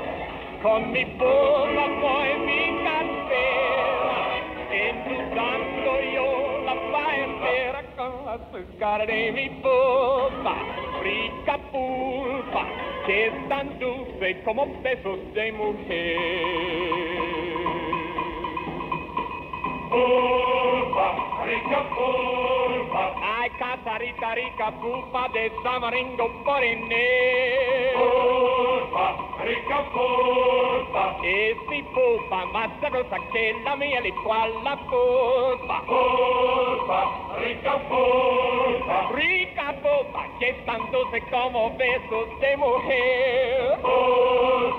Rica.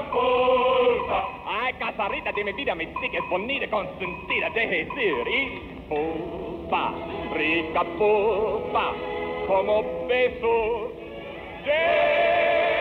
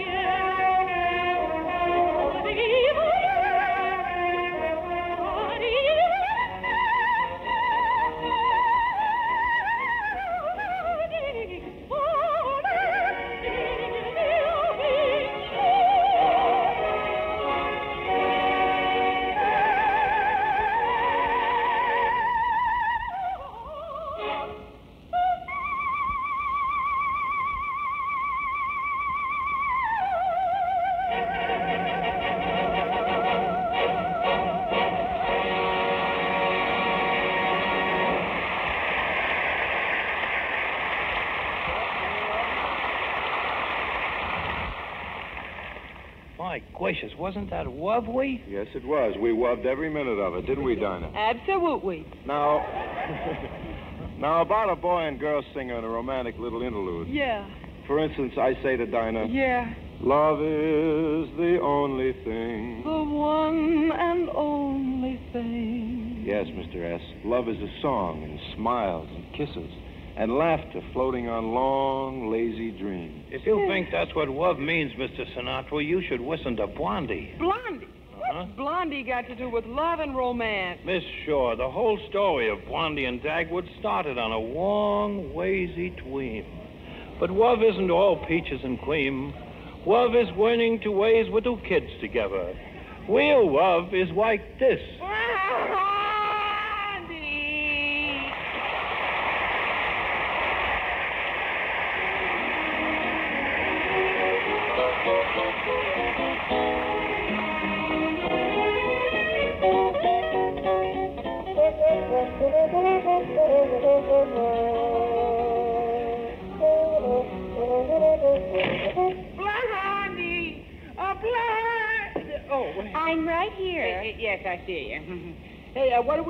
Dinner tonight, honey?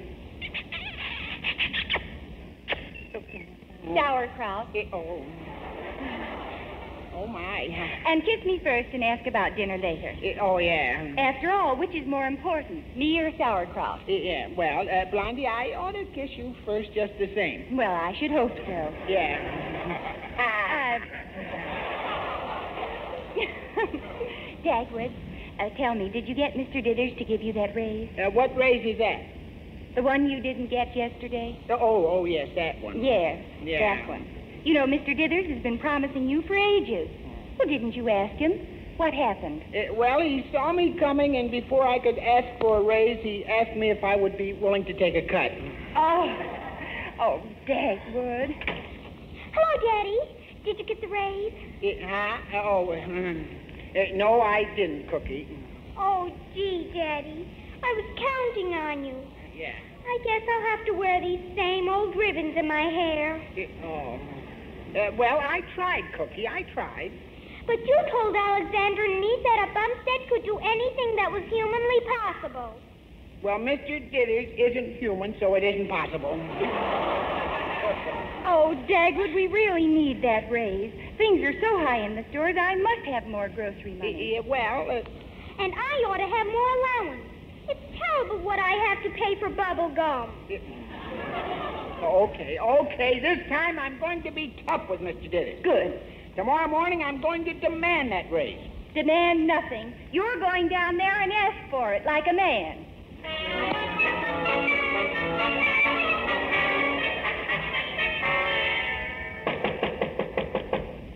Oh, I said, it's Dagwood Bumstead, your valuable and brilliant assistant. Come in, BB Brain. Uh, good morning, Mr. Dithers. No comments. Uh, Well, Bumstead, what's on that tiny, tiny thing we loosely refer to as your mind? Mr. Dithers, I want you to give me. My answer is no. Uh, Uh, but, Mr. Dithers, you didn't even know what I was going to say. I heard you say give, and that was enough for me. Yeah. Ha, well, how do you know I wasn't going to ask you to give me permission to introduce you to a gorgeous girl who's dying to be your secretary, huh? Oh, well. ah, go ahead and ask me then. Okay. Mr. Dithers, I want you to give me permission to ask you Huh? to give me a raise. Bumstead. Ah, Oh, that awful cackle. ah, You sound like the mating call of a Rhode Island wren. Now get back to your desk. Mr. Dithers, I want to discuss that raise. Bumstead, you're going back to your desk. Oh, no, I'm not. Oh, yes, you are. Oh, no, I'm not. Oh, yes, you are. Oh, yes, I am. Oh, no, you're not. Bumstead. Cut that out. You get back to your desk or I'll run your little finger through the pencil sharpener.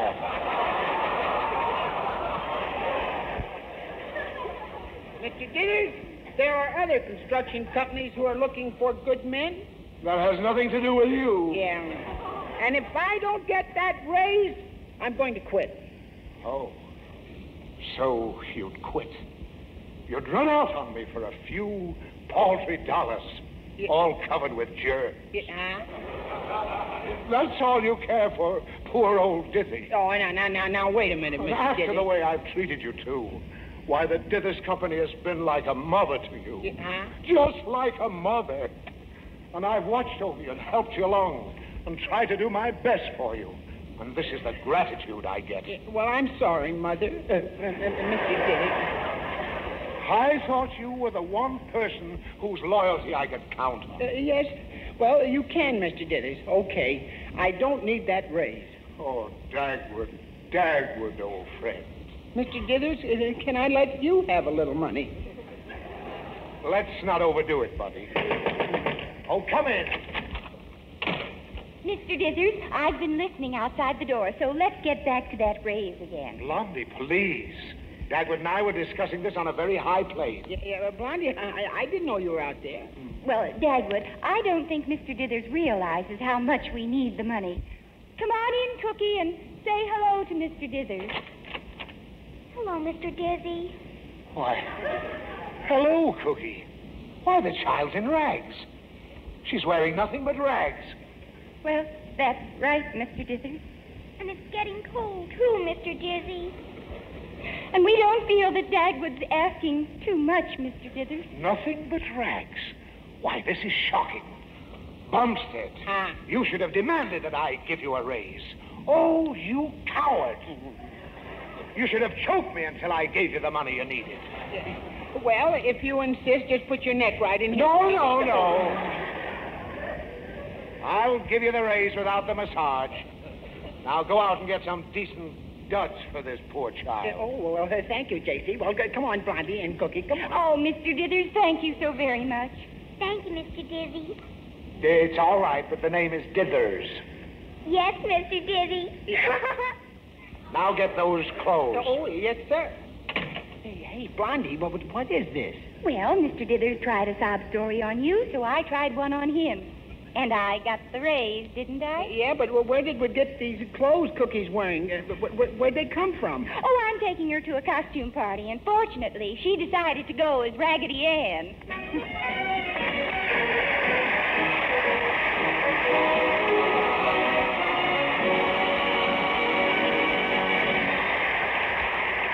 Great, great, Mr. System, great. Just peachy dandy. Yeah, Frank and I agree with you that that's love, but we stand for romance. We stand for dreams. We stand for stardust. Would you stand for Hoagy Carmichael? Hoagy's one, of my, better friends. Because here's Hoagy Carmichael at the piano. Well, what do you know? Hi, everybody. Frank and Dinah, and a deep bow to that old CB system. You know, this is sort of a personal preview for me because, well, just four weeks from this Sunday afternoon, I'll be right here on this network, sitting where I like to sit most, at the piano, with Georgia on my mind.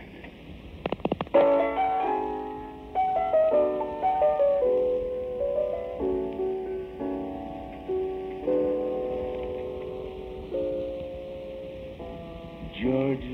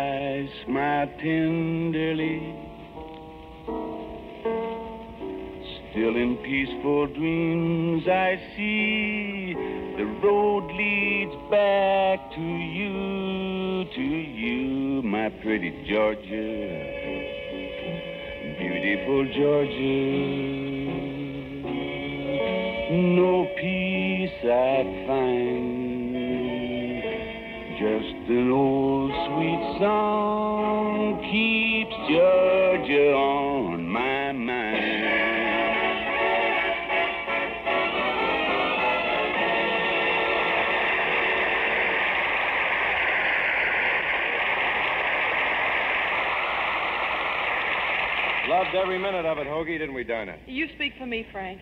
Please, silence. Silence, why? I'm listening for my cue. What cue? Every half hour, I tell the listeners what network they're listening to. Why? Why? I don't know. It's a rule in radio. You mean you're the man who No, no, said... no, no. Don't to- say it. Don't. You'll wouse up the network. You'll ruin me. I gotta wait for my cue. Now listen. Stars in the Afternoon.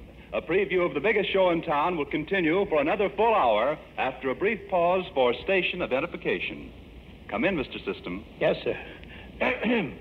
this is CBS, the Columbia Broadcasting System.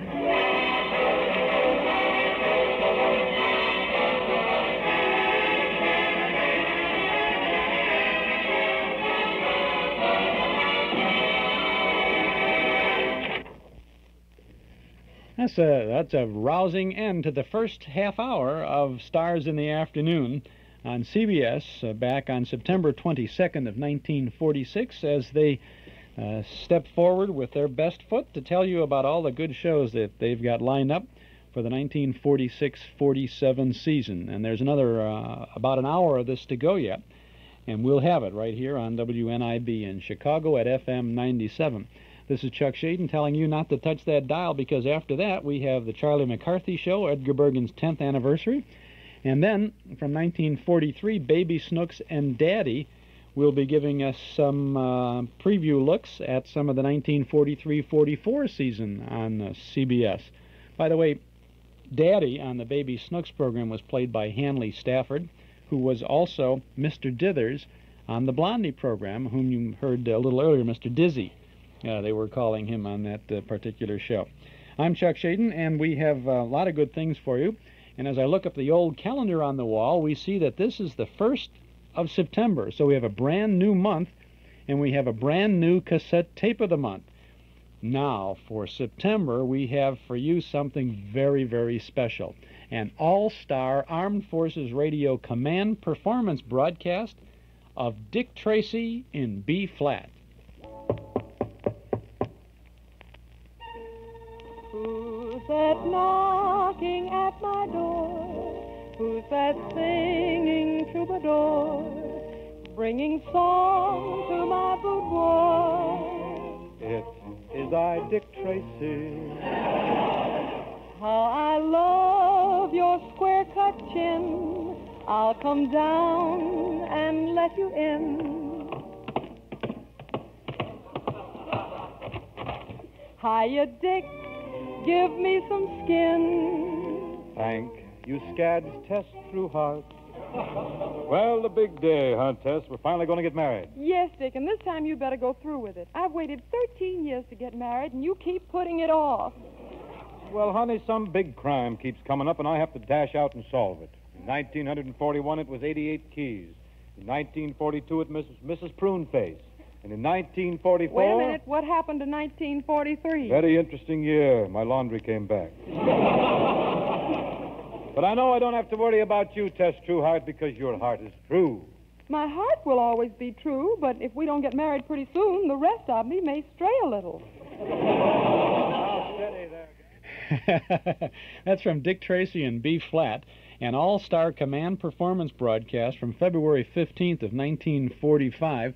It has never been heard on commercial radio. It was only for Armed Forces radio. Of course, we've played it uh, a number of times over the past several years, and we've always gotten such tremendous response that when we discovered it was available in a cassette form, we thought we just had to have it for you. And it is yours for just $5 from the Hall Closet, Box 421, Morton Grove, 60053, our September cassette special. Listen to this cast. Bing Crosby stars as Dick Tracy. Dinah Shore is Tess Trueheart. Jerry Colonna is the police chief. Bob Hope is Flat Top. Frank Morgan is Vitamin Flintheart. Jimmy Durante is the Mole. Judy Garland is Snowflake. The Andrews sisters appear as the Summer sisters. Cass Daley is Gravel Gertie. And Frank Sinatra is Shaky.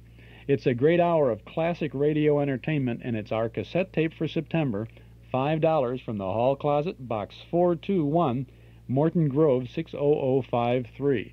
Or you can get this tape at any office of Northwest Federal Savings, or when you visit our Metro Golden Memory Shop at 5941 West Irving Park Road, just east of Austin. Dick Tracy in B flat, a command performance from Armed Forces Radio, 1945. Now, also this month, we offer you the most famous radio broadcast of all time. It's Orson Welles and the Mercury Theater on the Air production of the H.G. Wells classic, The War of the Worlds, an hour long program exactly as it was broadcast 41 years ago in 1938. It's yours this month for $5 from the Hall Closet, and you can also pick it up at any Northwest Federal or at the MGM shop.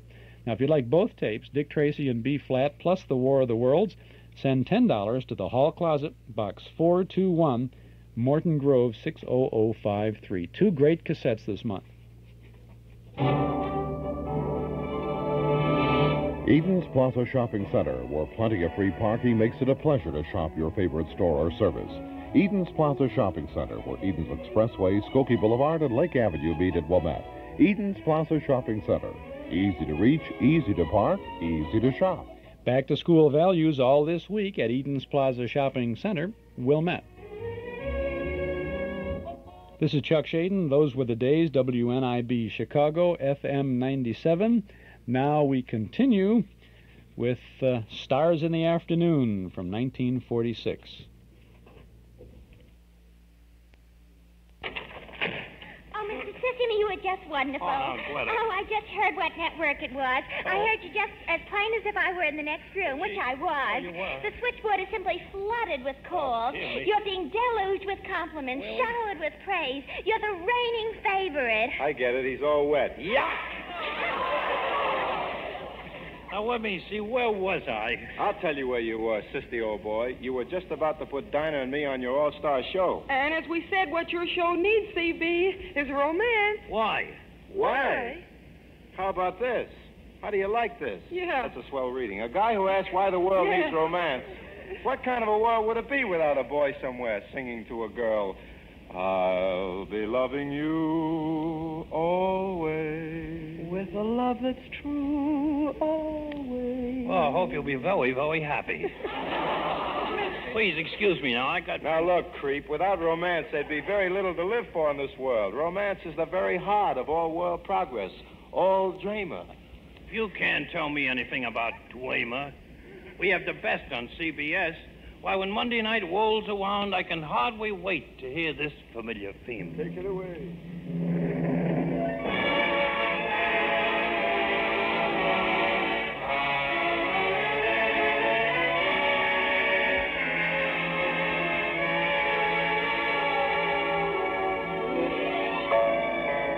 How do you do, ladies and gentlemen, boys and girls?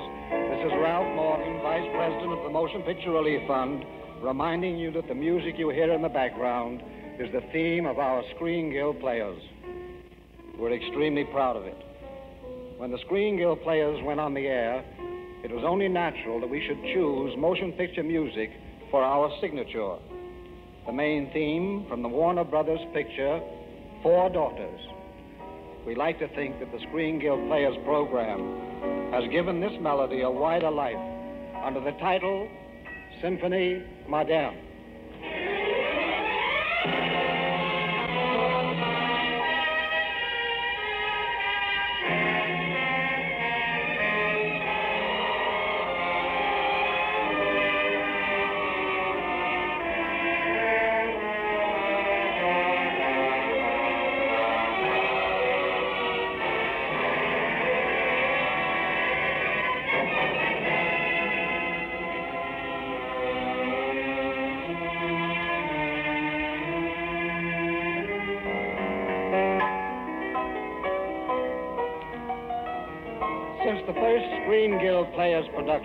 Introduced to the radio audience seven years ago, more than 350 famous stars and featured players have given their services and contributed their talents to this program. By doing this, they have helped to build and maintain the Motion Picture Relief Fund Country House and Clinic, 17 miles from Hollywood in the famous San Fernando Valley. It is also your faithful and encouraging response to the plays of the Screen Guild players that has helped to make the Country House and Clinic possible. It is the earnest hope of the Motion Picture Relief Fund and its players that we may continue to entertain you for the benefit of those of the picture industry who may now or in the future need the comfort and service of the country house. On behalf of these, I thank you all very much.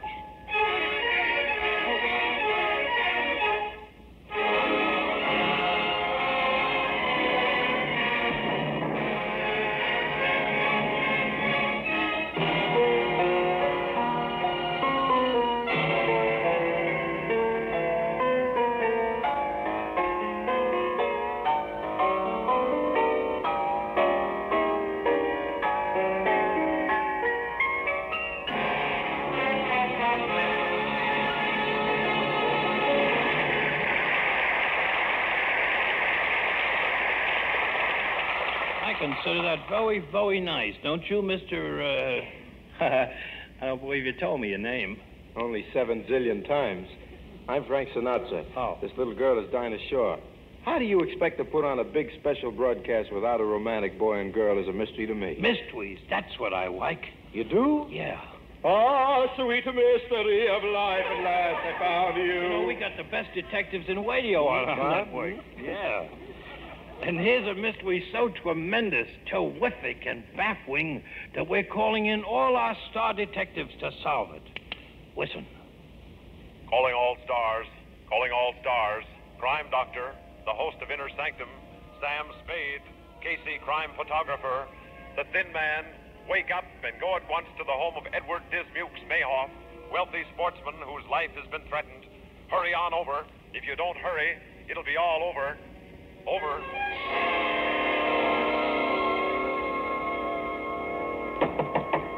Yes, yes, who is it?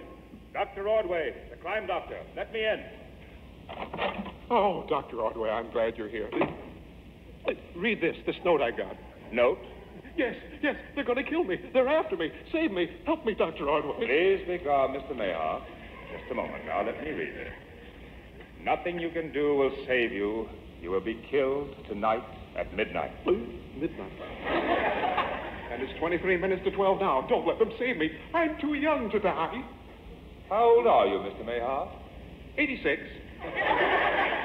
86 going on 87, I hope. Well, I hope so, too. Now, this should be very easy to solve. First, you must answer a few questions. Oh, anything, anything, but we must hurry. It's 19 minutes to 12. Ask me anything. Well, uh, first, who sent this note? Who sent it? Yes, it's not signed. Very untidy way of doing business. Just a note that someone's going to kill you and nothing more. No signature, no date, no corpse. Come, come, Mr. Mayhoff. I must say you're not being very cooperative. Well, I'm sorry, Dr. Ordway. I, I know there should have been more clues, but uh, I only got the note a half an hour ago. I didn't know what I was doing. My life was at stake. A flimsy excuse. Well, I, I didn't know which way to turn. I, I called every detective I could think of. Why aren't they here? Oh, there's somebody now. 17 minutes left. Yes, yes, who is it? How do you do, Mr. Mayhoff? I'm Nick Charles, the Thin Man. This is my wife, Nora. Nora, darling, this is Mr. Mayhoff. Uh, uh, how do you do, Mr. Mayor? Excuse me, I'm so sleepy. I beg your pardon, madam. This is Mr. Mayhoff. I'm Dr. Ordway. Not the crime doctor. The same. Nora, darling, is Dr. Ordway, the crime doctor we listen to every Sunday night. Uh, do we? Yes, of course, baby. Dr. Ordway is the man who helps the police solve all those difficult crimes by brilliant deductions. Oh, yes. But isn't it strange, Nick? He's never been able to catch Johnny breaking into those thousands of store windows he's always coming out of. oh, oh. mm.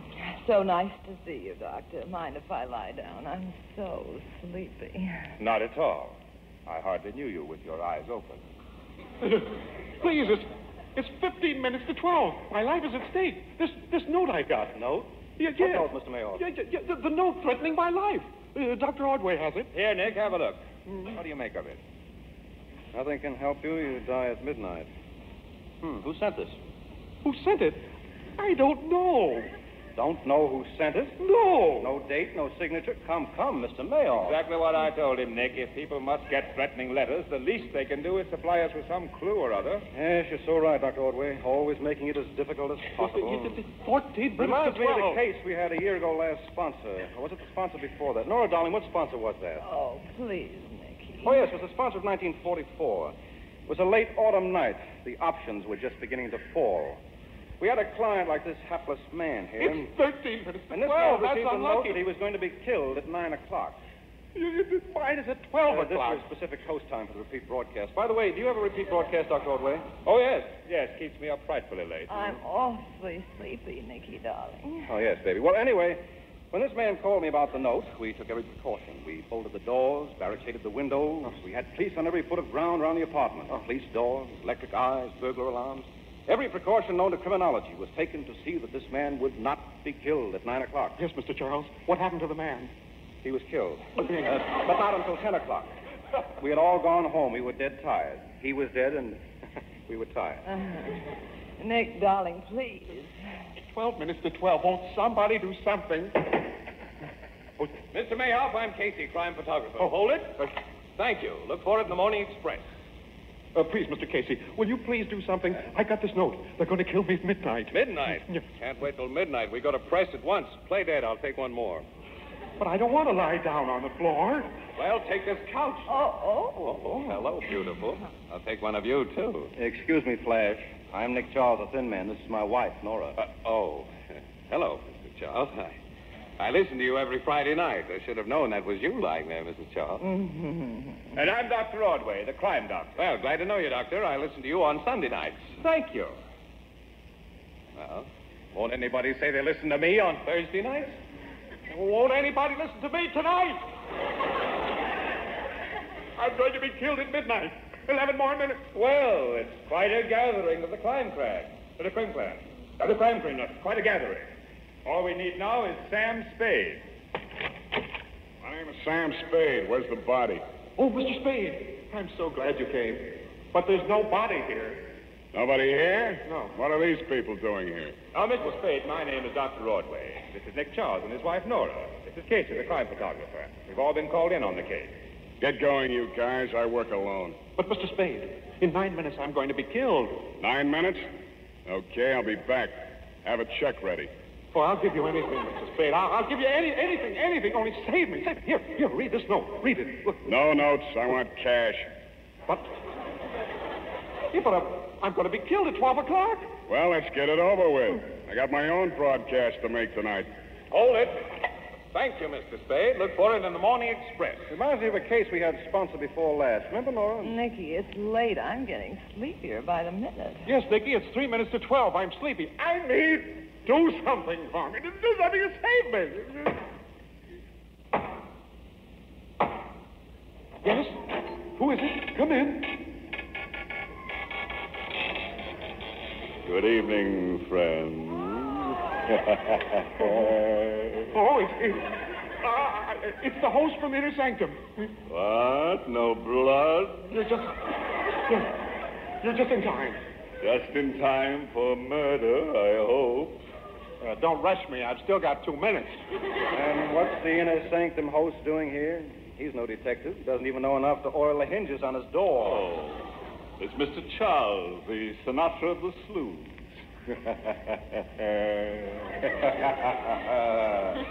How do you do, Mr. Host?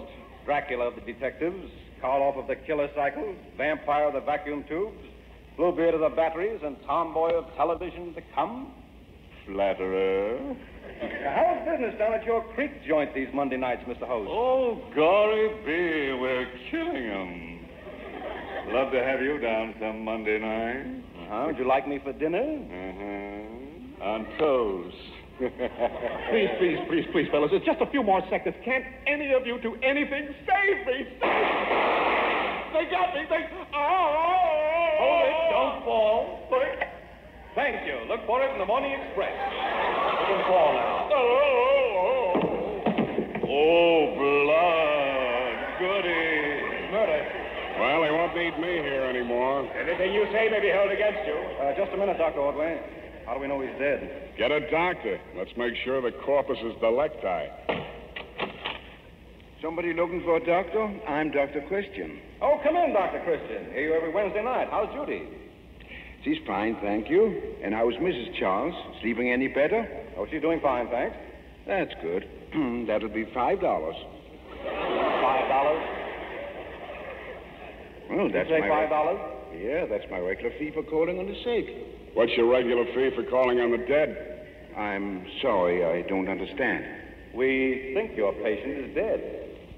So fast? Uh, I just got here. We think he was dead before we called you. My fee is still five dollars.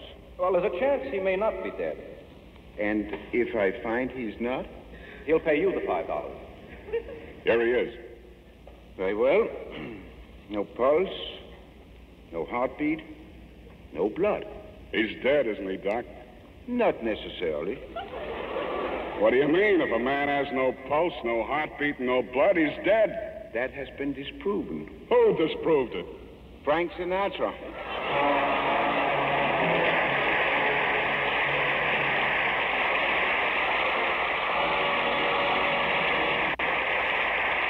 That's what I like. Give me a good chewer doer every time. And that's the uh, another segment of Stars in the Afternoon from September 22nd of 1946, with all those mystery stars together there, and Dr. Christian analyzing uh, Frank Sinatra, a dead man, huh? No blood, no pulse. the skinny jokes were in full force for Frank Sinatra back in those days. Those were the days, huh? This is Chuck Schaden with you every Saturday from 1 to 5 on WNIB in Chicago at FM 97. More of the stars in the afternoon coming up in just a moment. Well, you remember last Saturday afternoon we were talking about a special sale we had cooking at the Metro Golden Memory Shop. We have um, a sale on eight track tapes of the good old radio shows. Our regular $6 hour long eight tracks are on sale for just $3.98. And our regular $2.98 30 minute eight tracks are on sale for only $1.98.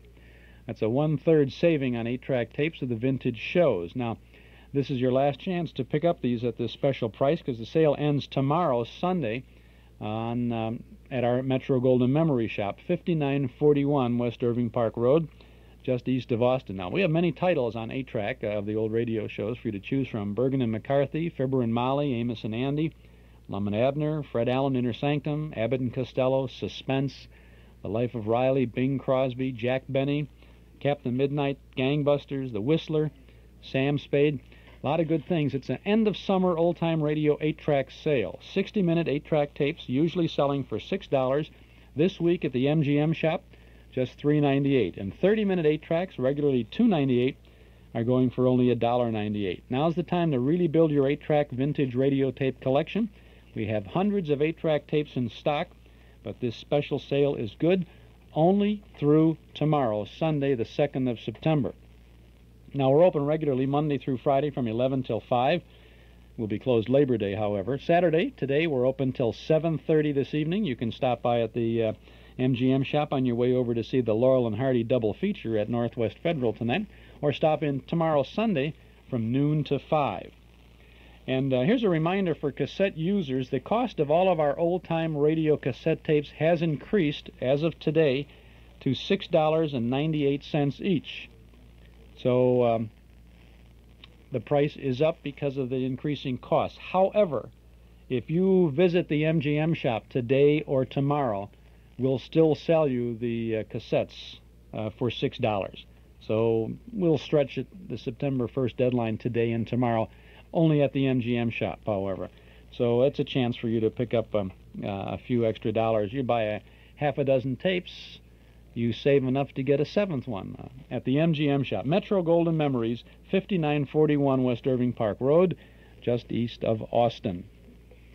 Speaking of the uh, movie at Northwest Federal, tonight we're beginning our new season of memory movies with a good Laurel and Hardy double feature. Stan and Ollie star in Blockheads from 1938, plus on the same screen from 1939, Flying Deuces.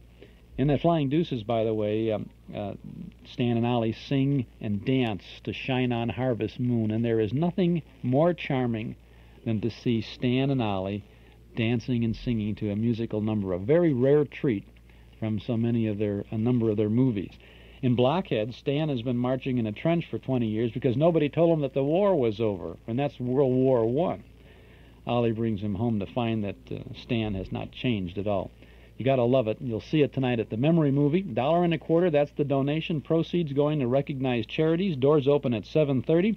Our program begins at 8 o'clock. We'll be there tonight, and I hope that you will join us for this Laurel and Hardy double feature, Flying Deuces and Blockheads. Now let's continue on WNIB in Chicago with another segment of Stars in the Afternoon from 1946. Dinah, baby, why do we bother with this creep? The only music he likes is Stone Cold Dead in the Market. Listen, my thin friend, on CBS we got some of the best music in the world. Well, now we're getting somewhere, and that's what Frank and I are here for. We. Well, if you came here for good music, how about listening to Vaughn Monroe? Vaughn Monroe? You mean the man with the muscles on his vocal cords? That's the guy. He's on Columbia every Saturday evening, but I can get him for you right now. Oh, goody. Racing with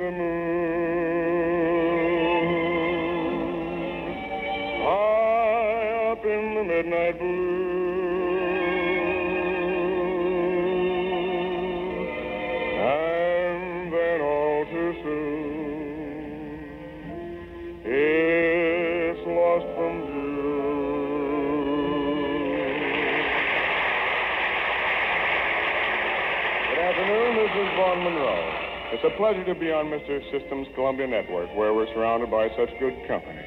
We're looking forward to being around these parts every Saturday night, and we've been polishing up some favorites for the occasion. Here's a little little medley the Moon Maids and I would like to sing to you and to Dinah Shore. That thin man Frankie can relax and eavesdrop. It's only a paper moon sailing over a cardboard sea. But it wouldn't be make believe if you believed in me. Yes, it's only a canvas sky hanging over a muslin tree. But it wouldn't be make believe if you believed in me. Without your love, it's a honky tonk parade. Without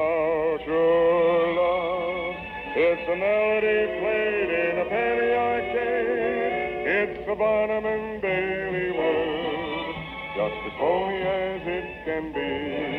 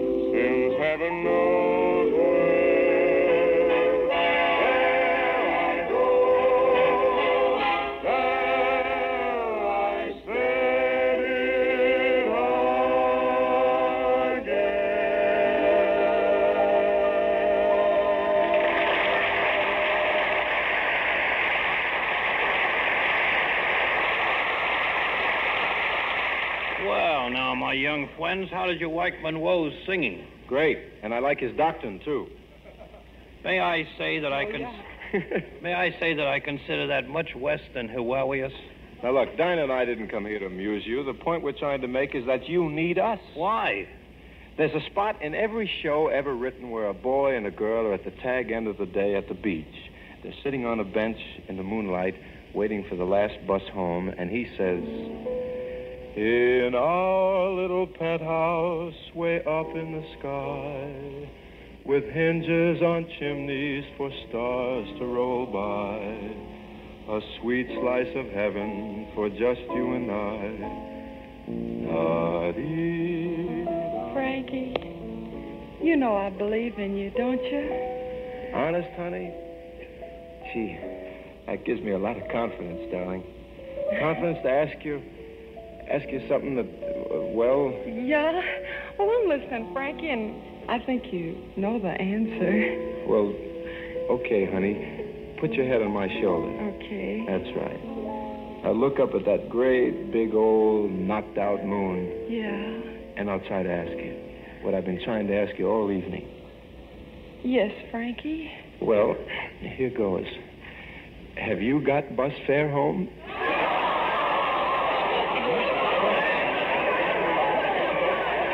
Just one minute, please. What exactly are you two doing? We're giving you sort of a digest version of what we mean by boy and girl romance. The only digest versions I'm interested in right now is the digest version of Ann Sothern's Maisie.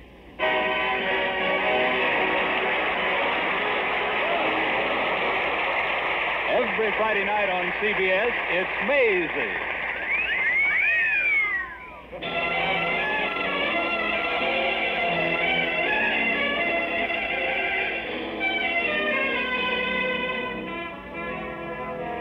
Far as Maisie is concerned, there's nothing like a weekend vacation.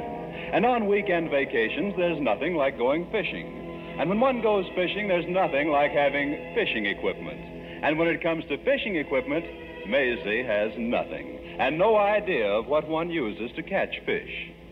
So, with her bus leaving in a half an hour for her vacation, our Maisie hurries down to the Potts department store to purchase the wherewithal to snare a few of our unsuspecting Finney friends. Good afternoon, miss. Can I help you? Uh, good afternoon. Uh, yes, sir. I-, I would like something to catch fish with. hmm Well, how about a rod? A rod? I want to catch fish, not shoot them. Oh, that's a good way, too. Isn't it? Well, I, I also uh, need a reel Uh-huh. and one of those cork things that float Uh-huh. and a hook. And how about a line? Certainly, and you must write to me, too. I'll do that. now, miss, here's a nice rod that's all rigged up. well, it's it's the right shade, but it doesn't seem very strong. Oh, but it is, miss. Just try casting with this rod. Well, I, I don't mind if I do. Just a short, gentle cast. Uh-huh. We're in a store, remember. Okay. Here goes. One, two, three. I,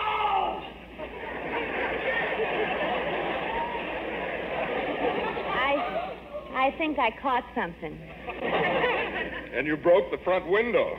Who in thunderation did that? Oh, you caught something, all right. Mr. Potts, the owner of the store. And is he sore? That's probably because I caught him out of season. Who did that? Who cast that fishing rod and caught me right in the. Uh, miss, what have you got to say about this? I cannot tell a lie, Mr. Potts, but I'm sure going to try. Look, Mr. Potts. Shut up. I- I'm going to get to the bottom of this. Looks like I did already. Oh, so you did it, huh? There I was, calmly checking over the window display, and you hooked me right in the middle of my inventory. And that's such a painful place, too. I know. And my beautiful window, a $50 window, smashed. Yeah, but I was just trying out this fishing rod. Young lady, what are you going to do about it? Mm-hmm. I think I'll take the fishing rod, wrap it up. Yes, miss, and will there be anything? No, no. I mean, who's going to pay for that broken window? Not me. What would I do with a broken window? Miss, you're going to pay for that window. Well, okay, as soon as I get back from my weekend vacation. You're going to pay for it right now, or else. Or else what? I haven't heard a nasty laugh like that since I asked the hotel clerk for a room. Miss, you're going to stay right here at the store and work out that $50. Yeah, but, but that'll take weeks, and my bus leaves in 20 minutes. Yes, but without you. Now get to work right at this counter, miss, and sell. But, but I'm not a good sales lady, Mr. Potts. The only sales job I ever had was in a used car lot, and I was fired from that because I always asked the customer to pay the ceiling price. Well, then you're lucky that you're lucky that times are such that people are buying anything, especially in the sporting goods line. Oh, yes. Especially these $5 bow and arrow sets. They're guaranteed to hit the spot. Well, why would people want to pay Pop five dollars to hit the spot when Pepsi Cola does it for a nickel? I don't get it. Stop with the jokes, miss. Now, if a customer wants a demonstration, just pick up the bow and arrow. Okay, I'll try. Here goes. Oh, no, miss, you're doing it wrong. You're holding it backwards. Don't don't release that arrow. My other show window. You smashed it. I now owe you a hundred dollars, Mr. Potts. Shall we stop now, or do you want to try for a hundred and fifty?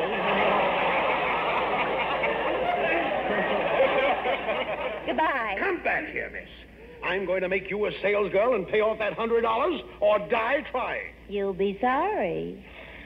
Now let's pretend that I'm the customer. Now here I come into the store. Okay. And what can I do for you, sir? Uh, uh, I'd like to buy a mouse trap to catch a mouse. Yes, sir. A large mouse trap or a small mouse trap? Uh, well, I, I don't really know. Well, how large is your mouse? Never mind. Look, I, I want to buy a trap. I'm in a hurry. A hurry? Yes, I've got to catch a train.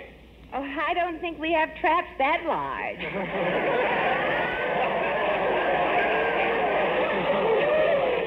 right, forget it. Now I'll come in again. Now here I come. Good afternoon, clerk. I'd like to buy. I know, a mouse trap. No. I want a bathing cap. You want to catch the mouse or give him a shower? Look, I want a bathing cap to swim in. Well, you'll be much more comfortable in a pool. Okay, okay. Now you've just sold me a bathing cap. I did?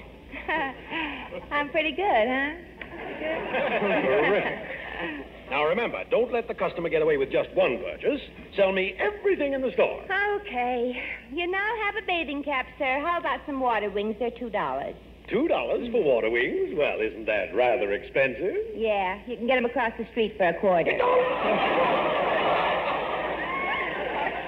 Now we'll try it for the last time. Now here I come. Good afternoon, clerk. Well, back again. No, no, no. You've never seen me before. Ah, yes, I have. I never forget a face. Miss, I would like a bathing cap. See, I told you you were in here before. I want a bathing cap. Yes, sir. And how about some water wings? No, I don't want any water wings. I'm beginning to hate you. The feeling is mutual. Now, look, we'll forget the bathing cap and the water wings and have you sell, uh, uh, uh, say, golf clubs. Okay, golf clubs. I said it. Oh, don't be silly. now, anybody can demonstrate and sell golf clubs. Anybody. You want to bet? Not without odds. Look, I'll give you a set of clubs in a bag. Uh, here they are, right here. Okay. Which end of the bag do you hit the ball with? Take the club. Mm-hmm. Now, make believe you're going to swing at that ball and then yell, four. Like this? Four. I said make believe. Miss Ravier. I know. I shouldn't have said four, because so far I've only broken three.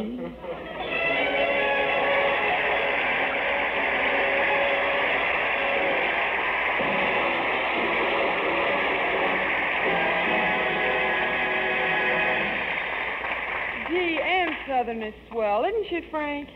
Cert, but the point I'm trying to make to this character is that we do pretty, uh... Oh, Mr. System, it's time for you to get ready to go on the air. Here's your script. Does he have to have a fresh script every time he does that same old tired station identification? You don't understand show business. Every station break is like an opening night. Please give me my cue. Millions are waiting to hear me. Good luck, Mr. System. Thank you. Quiet now, everybody. Mr. System is waiting for his cue. Looks like he's waiting to be kissed. I must ask for absolute silence. Your microphone's ready, Mr. System. Now? Not yet. How about you promise? In a moment. You are listening to Stars in the Afternoon, the CBS preview of the best in radio. The biggest show in town will go into its third half hour after a brief pause for station identification. Now, Mr. System. Huh? Oh, oh, yes, now. This is CBS, the Columbia Broadcasting System.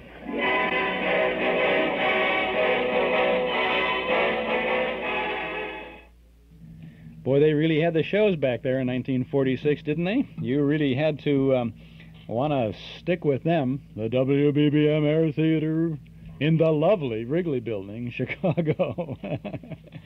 we have more of uh, Stars in the Afternoon promoting the uh, CBS Fall lineup in just a moment. It would be nice. What I really should have done now, I shouldn't, I shouldn't say this, but what I should have done is to play this promo uh, now, this 90-minute show, and then go ahead and uh, play all of these shows. Every, you know, an example of all of these shows. Well, maybe some other time we'll do that. That's a good radio month feature type of a thing like that. This is Chuck Schaden with our Those Were the Days program, WNIB Chicago, at FM 97. Oop, pardon me. Hear a little buzz there? That was the microphone was kind of coming out of the uh, the slot here. That's funny how that was doing that, wasn't it? See? I'm sending, I'm touching the mic, I'm sending signals. Tokyo Rose, can you hear me? Someone must have bumped the microphone. Heads will roll.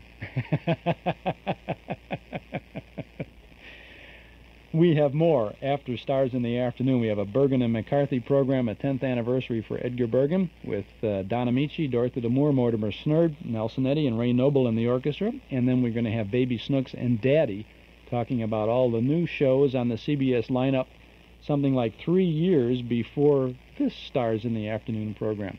You'll like that too. Next week we've got the Spotlight Review with Spike Jones. We have an Academy Award production of The Front Page.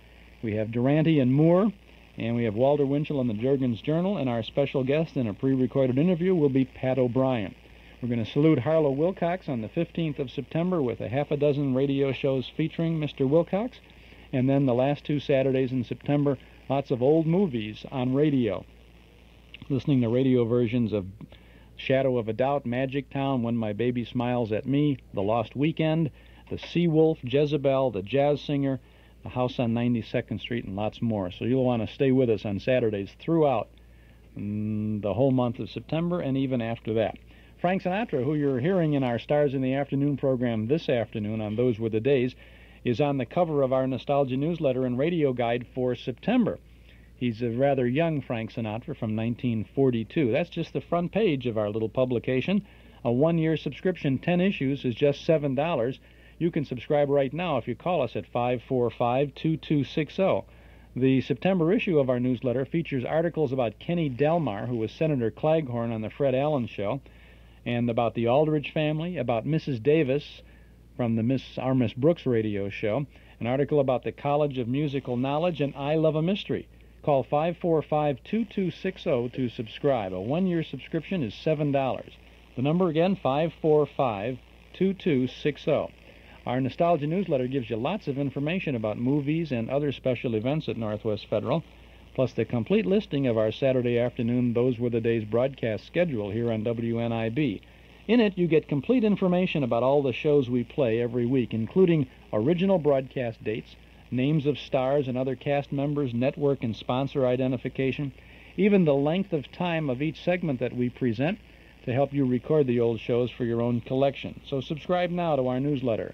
We'll begin your subscription with the September issue, which you'll get by first class mail at the beginning of the week, and we'll include an invoice along with your first issue. Call 545 2260. If the lines are busy when you call, won't you do us a favor? Wait just a moment, then dial back at 545 2260. If you like, you can send $7 to Nostalgia Newsletter, Box 421, Morton Grove 60053. But as long as you're near a telephone and it's a good time to do so, why don't you dial us now? 545 2260. Our Nostalgia Newsletter and Radio Guide. 545 2260. Did you know that Magikist is the largest carpet, rug, and furniture cleaner in Chicagoland? That's why Magikist, the professionals in carpet, rug, and furniture cleaning, have the largest selection of unclaimed rugs for sale, $20 and up. Magikist rug sales rooms are conveniently located at 800 South Cicero Avenue, just one block south of the Eisenhower Expressway, and at 121st and Western in Blue Island. All unclaimed rugs from Magikist offer an excellent buy and make a great addition to your summer camper, RV, or that extra room in the house. And of course, all unclaimed rugs have been Magikist cleaned. Magikist welcomes Visa and MasterCharge too. Visit the Magikist Rug Sales Room at 800 South Cicero Avenue and 121st and Western, Monday through Friday, 8 until 6, Saturday till 4. And don't forget to bring your room measurements with you. Remember, Magikist cleans carpets, rugs, and furniture too. For pickup and delivery service or for in home or office cleaning, call 378 8600. 378 8600.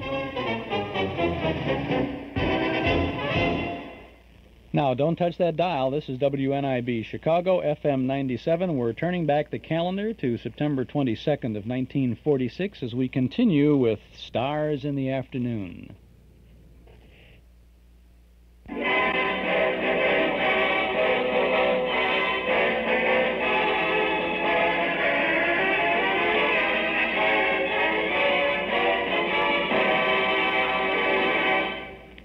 Mr. System, you know, I think you're taking your work much too seriously. Why don't you do it lightly, you know, tongue in cheek? Tongue in cheek?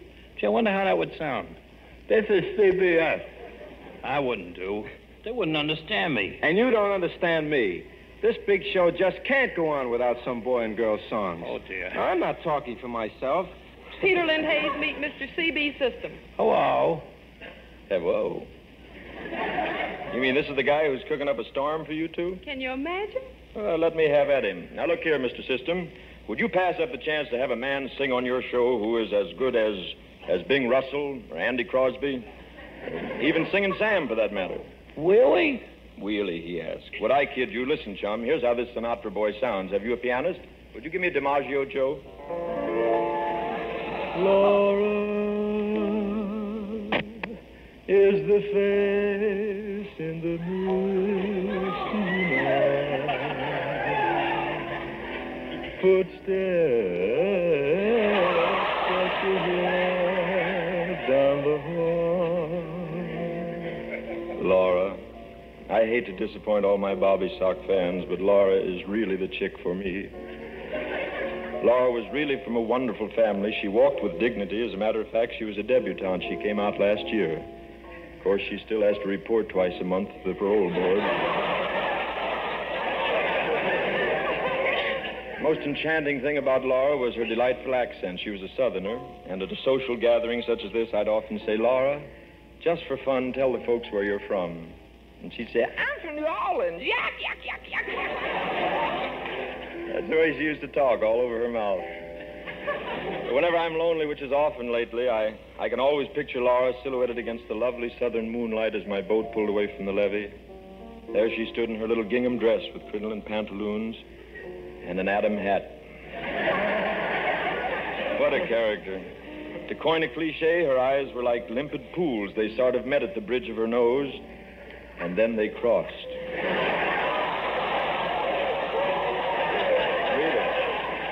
Her teeth were just like pearls. They looked like a picket fence in front of a haunted house. Topping all of this in loveliness was her complexion. What a complexion. She must have used gunpowder. She was always shooting off her mouth. That was Laura, but she's only a dream. She's only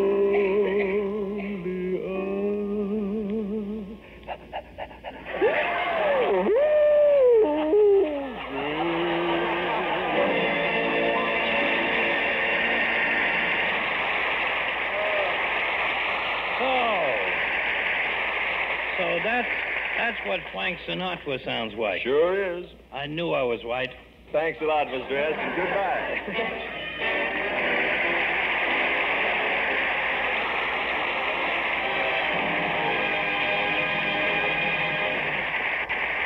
That was very amusing, but now I'm in the mood for some romantic music. Hey, Dinah, did you hear that? We sold him. What would you like to hear, Mr. System? What would you like to hear? The American Melody Hour. American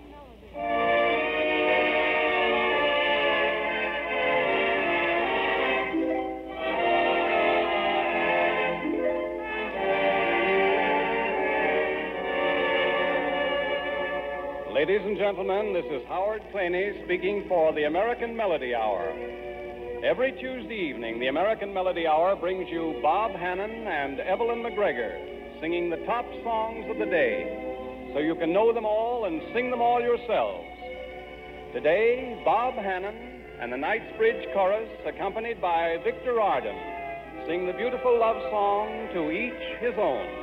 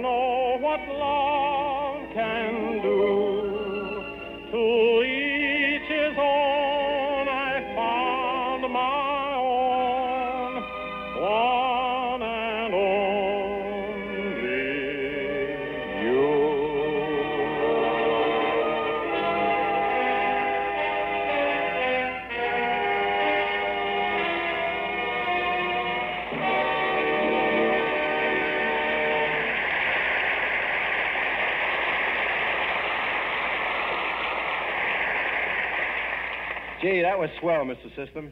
Now, how's for Dinah me singing an intimate little ditty? Yeah. Will you please stop talking about singing? What is singing to me? Me, a man who trod the boards with Booth, Mansfield, John Dwu, and the elder Barrymore. So what? I trod the boards with the elder Dorsey. I must ask you to stop bickering and either listen or weave. Listen to what? Mr. William Kiwi of the Wux Radio Theater. Well, look, uh, what if I don't want to listen to Mr. Keighley? Mr. Kiwi has Virginia Bruce with him. Step aside, Dinah. I'd love to listen to Mr. Keighley. Lux presents Hollywood.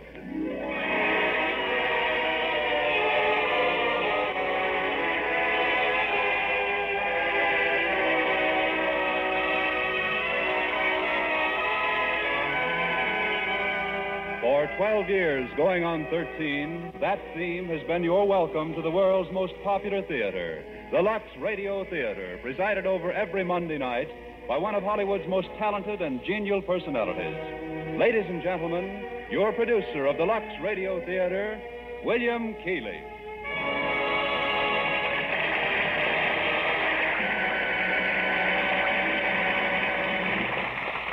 Greetings from Hollywood, ladies and gentlemen, and welcome briefly to the Lux Radio Theater.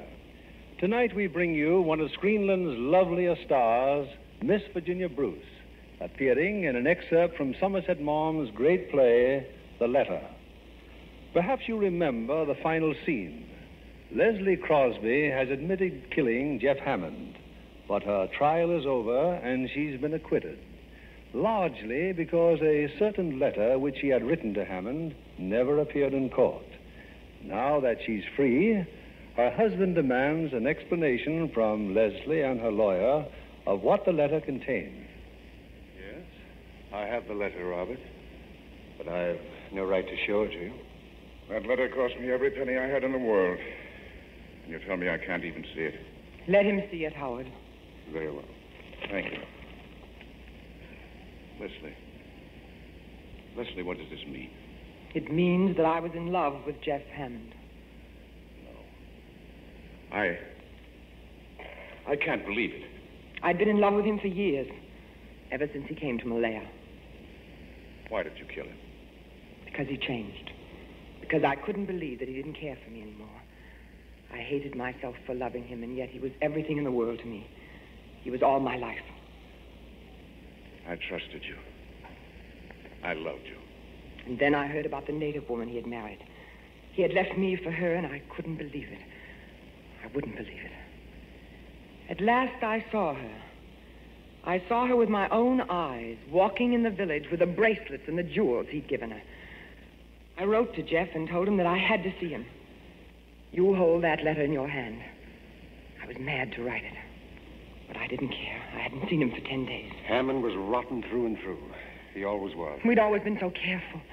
He always tore up any word I wrote to him. How was I to know he'd leave that one? That doesn't matter now. He came, and I told him I knew about the other woman. He admitted it was true. He said he was glad I knew, that now at last I'd leave him alone. He said things to me that I thought it impossible a man could ever say to a woman. Cruel and vile. And then I don't know what happened. I seized the revolver and fired. He staggered and rushed for the veranda. I ran after him and fired again. He fell, and then I stood over him, and I fired and fired and fired till there were no more cartridges. Have I deserved this of you, Leslie? No, no. I have no excuses to offer. I betrayed you. What shall I do now? What shall I do? Oh, if I could only blame anybody but myself. But I can't. I deserve everything I have to. Robert, where, where are you going? I don't know. There's no need for me to make an exhibition of myself here. I'm sorry. He's going to forgive you, Leslie. He can't do without you. It's a pity you don't love him. But I still can make him happy. I swear I'll do everything in the world to make him happy. It's not easy to live with a man you don't love. You'll have the strength and courage to do evil, Leslie. Maybe you'll have the strength and courage to do good. That will be your retribution. No, that won't be my retribution. I can do that and do it gladly. He's so kind, he's so tender. My retribution is greater. With all my heart, I still love the man I killed.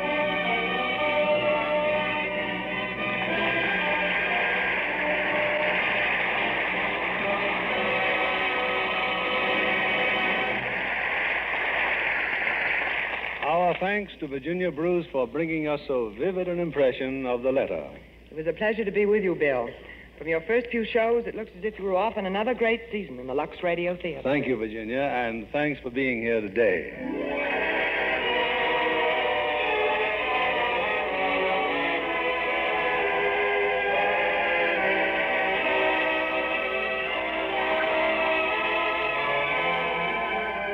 This is William Keighley, inviting all of you to be with us every Monday night when Lux presents Hollywood, its greatest plays, its greatest stars. We hope you'll join us.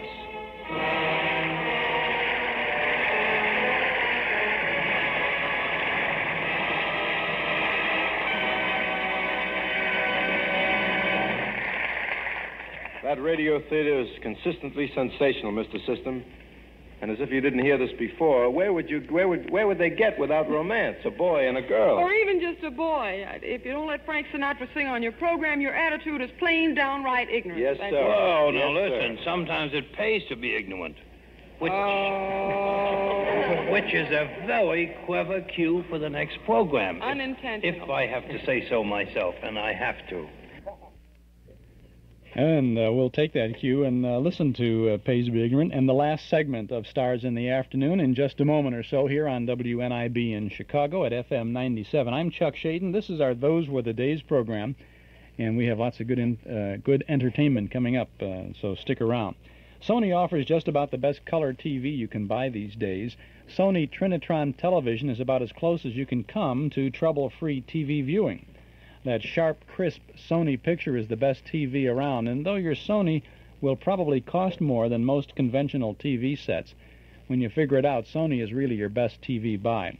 Sony Television at Townhouse TV and Appliances, 7243 Touhy Avenue, just west of Harlem. Open Monday, Thursday, and Friday nights till 9, Saturday until 5. Earlier this afternoon, we were talking about um, kind of a if there would be a club or something uh, where people could get together and talk about old time radio and and that sort of thing. And then we mentioned that there's a a group of ham radio operators who uh, tune in uh, to each other on Sunday mornings at eight o'clock and talk about uh, the radio things and set up trades and things of that nature. But I, I, it occurred to me that I should mention to you that uh, there this is not a club situation, but if you would like to take a course in old time radio, there's going to be a five week specialty course uh, being conducted at Elmhurst College in Elmhurst, Illinois on the five Tuesdays in October. And uh, you can reminisce according to the uh, to the to the program notes here, to the not the program notes, but the catalog that lists this says you can reminisce with the foremost collector of vintage radio and TV shows in a nostalgic look at those early days of yesteryear when out of the past came Fibber and Molly, Jack Armstrong, Amos and Andy, Ma Perkins, Lights Out, and your favorite programs. It's going to be held the five Tuesdays in October from the 2nd to the 30th from 7.30 to 9.30 p.m. And I'm going to teach the course. so we're going to do a little thing like that. I'm quoting with them as they say I'm a foremost collector. I'm a collector and I'm happy to share my things. And we're going to be talking about the, the origins of radio programming. We're going to talk about the transition of radio shows to television shows. I've got some interesting films and things like that to show. And we're going to uh, listen to some interesting film clips uh, or, or, sound clips, not real long. We won't listen to a whole show, but uh, we're going to be doing all kinds of things like that. So if you would like to have a, a kind of a formal informal look at the radio history of radio programming, uh, maybe you would like to enroll in this course. It costs $35 for the five Tuesdays, for the five week course. It's two hours a week for five weeks. Uh, the five Tuesdays in October at Elmhurst College. So, any, any folks out in that neck of the woods, uh, it's at the Elmhurst Center for Special Programs. I can give you a phone number that you can call to get information or to register uh, for the course. And the phone number, and you'll have to call on Tuesday. I don't think you can call on a Saturday. Uh, and Monday's the holiday. 279 4100. 279 4100, extension 476. I'll tell you more about this as we get a little closer to that, but uh, in case you're planning some uh, evening um, activities and you might like to get in on this little uh, gem, I'd be happy to have you there uh, in the course. Uh, I'm not a tough teacher. I'm not a hard grader or anything like that. You know, I wouldn't. Uh, I grade on a curve, and uh, if you've got one, ladies, you're welcome to join. No, no, no. it's no credit. It's a non-credit course, and it's just a. It's a adult education, and it's fun. And I think you might have a, a good time with it. I know I'm going to have a good time with it. It'll be a variation on the course that I taught at Columbia College a few years ago, with um, and everyone will uh, have the have access to cassettes of the old shows, and then some of the homework will be to listen to a radio show in between. How, how tough can that be, huh? Of course, your prerequisite is that you have to listen to our uh, Saturday afternoon program, so maybe you qualify. It's going to be at Elmhurst College, five Tuesdays in October, and you can register by or get information on it by calling Elmhurst College at 279 4100 extension 476. And if you want some more info on that, give us a buzz here at uh, at our studio. Now it's time for us to continue with the last portion of Stars in the Afternoon.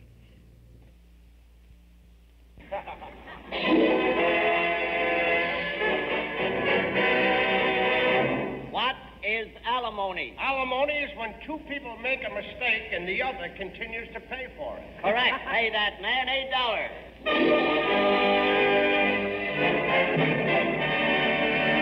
What does a bee get in flowers? It's head and shoulders. Correct. Pay the man nine dollars because It pays to be ignorant. This is Ken Roberts. Johnny presents that quick, happy quiz program you hear regularly over CBS on Friday nights. The program that has set education back 2,000 years. It pays to be ignorant. Our board of experts consists of George Shelton, Harry McNaughton, Lulu McConnell, who are so dumb they think astronomy is something you put in a sandwich. And now I give you the star of our show, Mr. Tom Howard.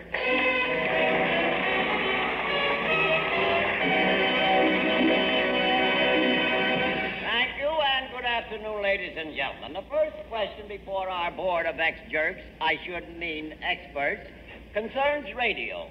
Here is the question. Yes. What major network is recognized by the letters CBS? Mr. Howard, would you mind repeating the question? I'd be glad to. what major radio network is recognized by the letters CBS? Mr. Howard, what do the letters stand for? That's what I'm trying to find out. Well, why don't you call up the radio station that used those letters and ask them? Oh, Mr. Shelton, you took the words right out of my mouth. Uh, if you'd been a little quicker, you'd taken my teeth, too. Mr. Shelton, do you know anything about radio? What do you mean? I was on the radio last night. I was on the program with a beautiful blonde, but I got Mike fright. You got Mike fright? Mike was her husband. Oh, yes. You know, Mr. Howard, I was on the radio. Yeah. Uh huh. The show was at an army camp. I sang, Darling, I am growing older. Fine. hmm And you know, after the first few bars of the song, they tried to stop me. Try to stop you from singing? No, try to stop me from growing older. I see. Speaking about songs, I wrote a new song yesterday. Yeah, what's the name of it? Don't put pretzels in the refrigerator. That's don't put bananas in the refrigerator. I know. I gave it a new twist. All right. And can please get back to the question? It's about radio. I like to get in television. Oh, television may be all right, but it'll never replace the old-fashioned keyhole. Do you think I look good in television? What part of you? All of me. They don't make television sets big enough to show all of you, Miss McConnell. Is that so? Well, I've been told that my legs match Betty Grable's. Don't be silly. They don't even match each other. Oh, my word. Well, what's Betty, Betty Grable got that I haven't got? Not nothing at all. Only you've had yours too long. Well, you can say what you want about television. It'll be a great thing, you know. Just think. You'll be able to see Jimmy Durante in your living room, Fanny Brice in your dining room, Tom Howard in your. It'll be a great thing. Marvelous. Mr. McNaughton, what makes you so dumb? I have friends in Washington. I see. The question is, what ma- major radio network is known by the letter CBS? I don't believe any of you know anything at all about What are you radio. talking about? I told you I did. I make a living on the air. You make a living on the air? Yeah. What station? Regan service station down at Seabright. I see. I check tires. I see. That's fine. My old man and I are going on the radio. One of those husband and wife programs. Oh, really? Really? Have you got a sponsor? Yeah, Bixley's Corn Plaster. Fine. That'll be fine. You're always corny, and your old man's always plastered. Hey, Mr. McNaughton, do you think radio is here to stay? Well, Mr. Shelton, ours isn't. No? Goes back to Macy's tomorrow. All right, please, let's get away from the silly fun. Are you going to answer the question, or must you admit that you've met your Waterloo?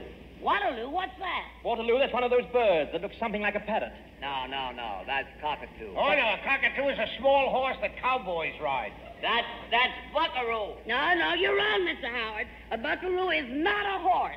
It's an animal that comes from Australia. Uh-huh. Sometimes they buck. Wait a minute, that's kangaroo, a funny-shaped creature with a long nose, short arms, big feet, and a pouch in the front. Now we're back to Miss McConnell again. Ah.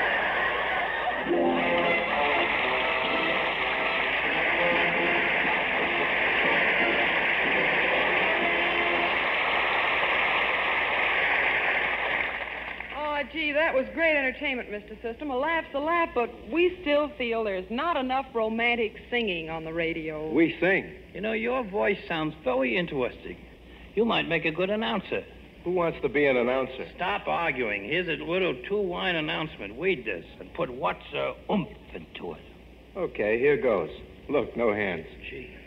Every Monday night, CBS brings you the Bob Hawk Show, featuring that fast equipped master, Bob Hawk. This afternoon, the biggest show in town brings you Bob Hawk in a more serious vein. Thank you, Frank Sinatra, and good afternoon, ladies and gentlemen. I'd like to light up the letters CBS and tell you what they really stand for. C stands for Columbia, and Columbia is people. People from every state in America. Main Street, Broadway, Hollywood and Vine, Brown and Elm. Yes, people from many of the nations around the great globe itself. The conductor of the famous Hour of Charm Orchestra, Phil Spitalny, was born in Russia. So was Al Goodman, maestro of the Family Hour. Artur Rodzinski, musical director of the New York Philharmonic, grew to love music in Poland and Vienna. Jean Hersholt, Columbia's Dr. Christian, came from Denmark, and Tom Howard claims County Tyrone, Ireland as his birthplace. I could name many more stars, writers, producers, and technicians at Columbia who brought gifts to America from lands across the borders and seas.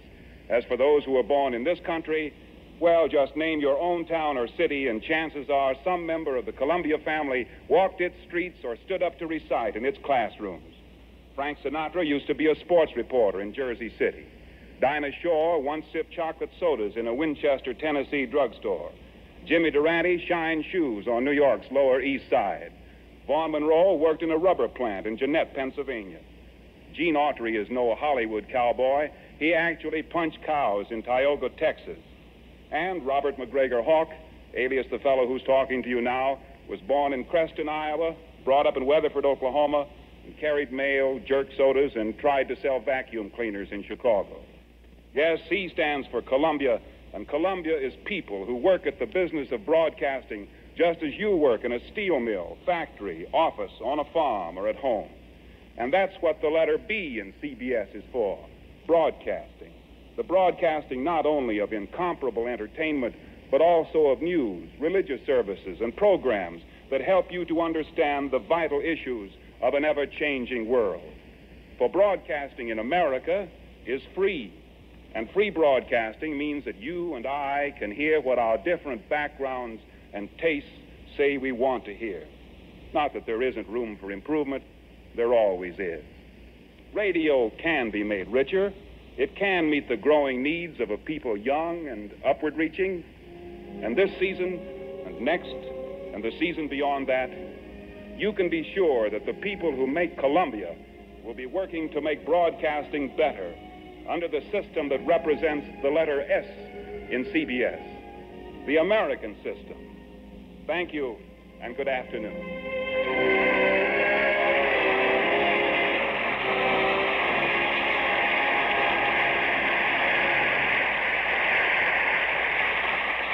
Well, sir, I guess that just about winds up your little program, Mr. System, and don't think it's been a pleasure meeting you. Me too, Mr. System, and I hope someday if we see each other again, I see you first. Yeah. Oh, Yeah. wait, wait a minute, friends. You're not angry. Oh, no, we feel great. Oh, yuck, yuck. For an hour and a half, we've been trying to get you to let us sing, that's all. And you want to know something? I still think you need a romantic, Huh? romantic duet.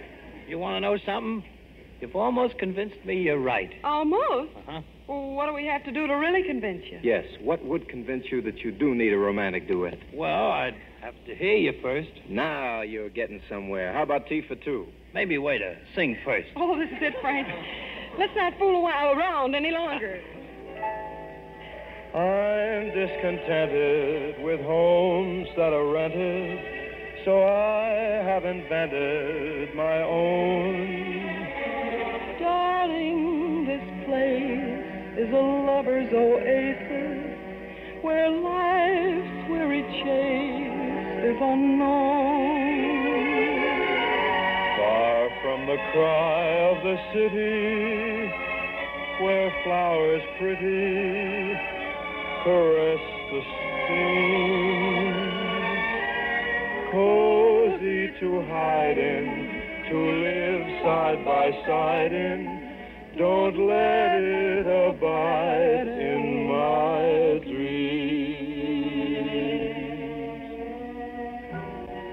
picture you upon my knee, just tea for two and two for tea, just me for you and you for me.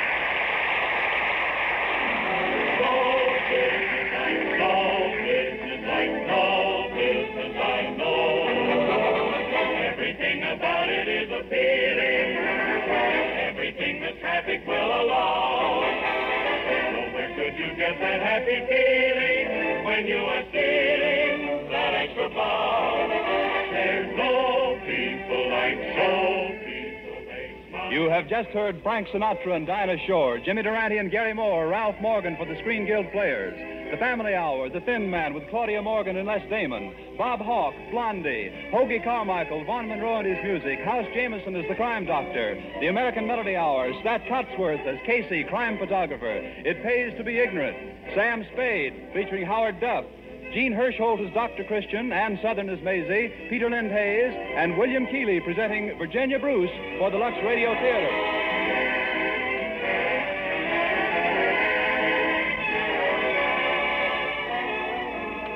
Sunday, you're invited to tune in your favorite CBS station for another 90 minute preview of Columbia nighttime shows for the season of 1946 and 47. With Ozzie and Harriet, Big Town, Ginny Simms, Jack Carson, Meredith Willson, Joan Davis, Dick Haymes, Gordon Jenkins, Baby Snooks and Daddy, Gene Autry, Hollywood Star Time, Academy Award, Mel Blanc, Vox Pop, Eddie Bracken, Robert Trout and Ned Calmer, Hildegarde, Bill Baker, Arthur Rodzinski, and Mayor of the Town.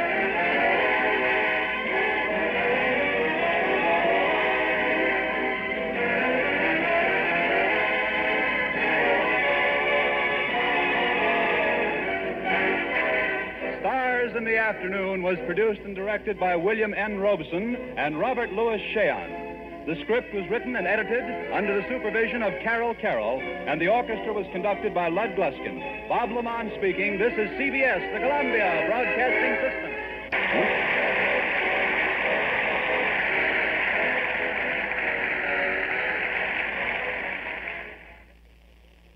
Well, it's a pretty good show there, wasn't it? Stars in the Afternoon from September 22nd of 1946, and holy smoke, they had a whole nother one next Saturday, next Sunday afternoon.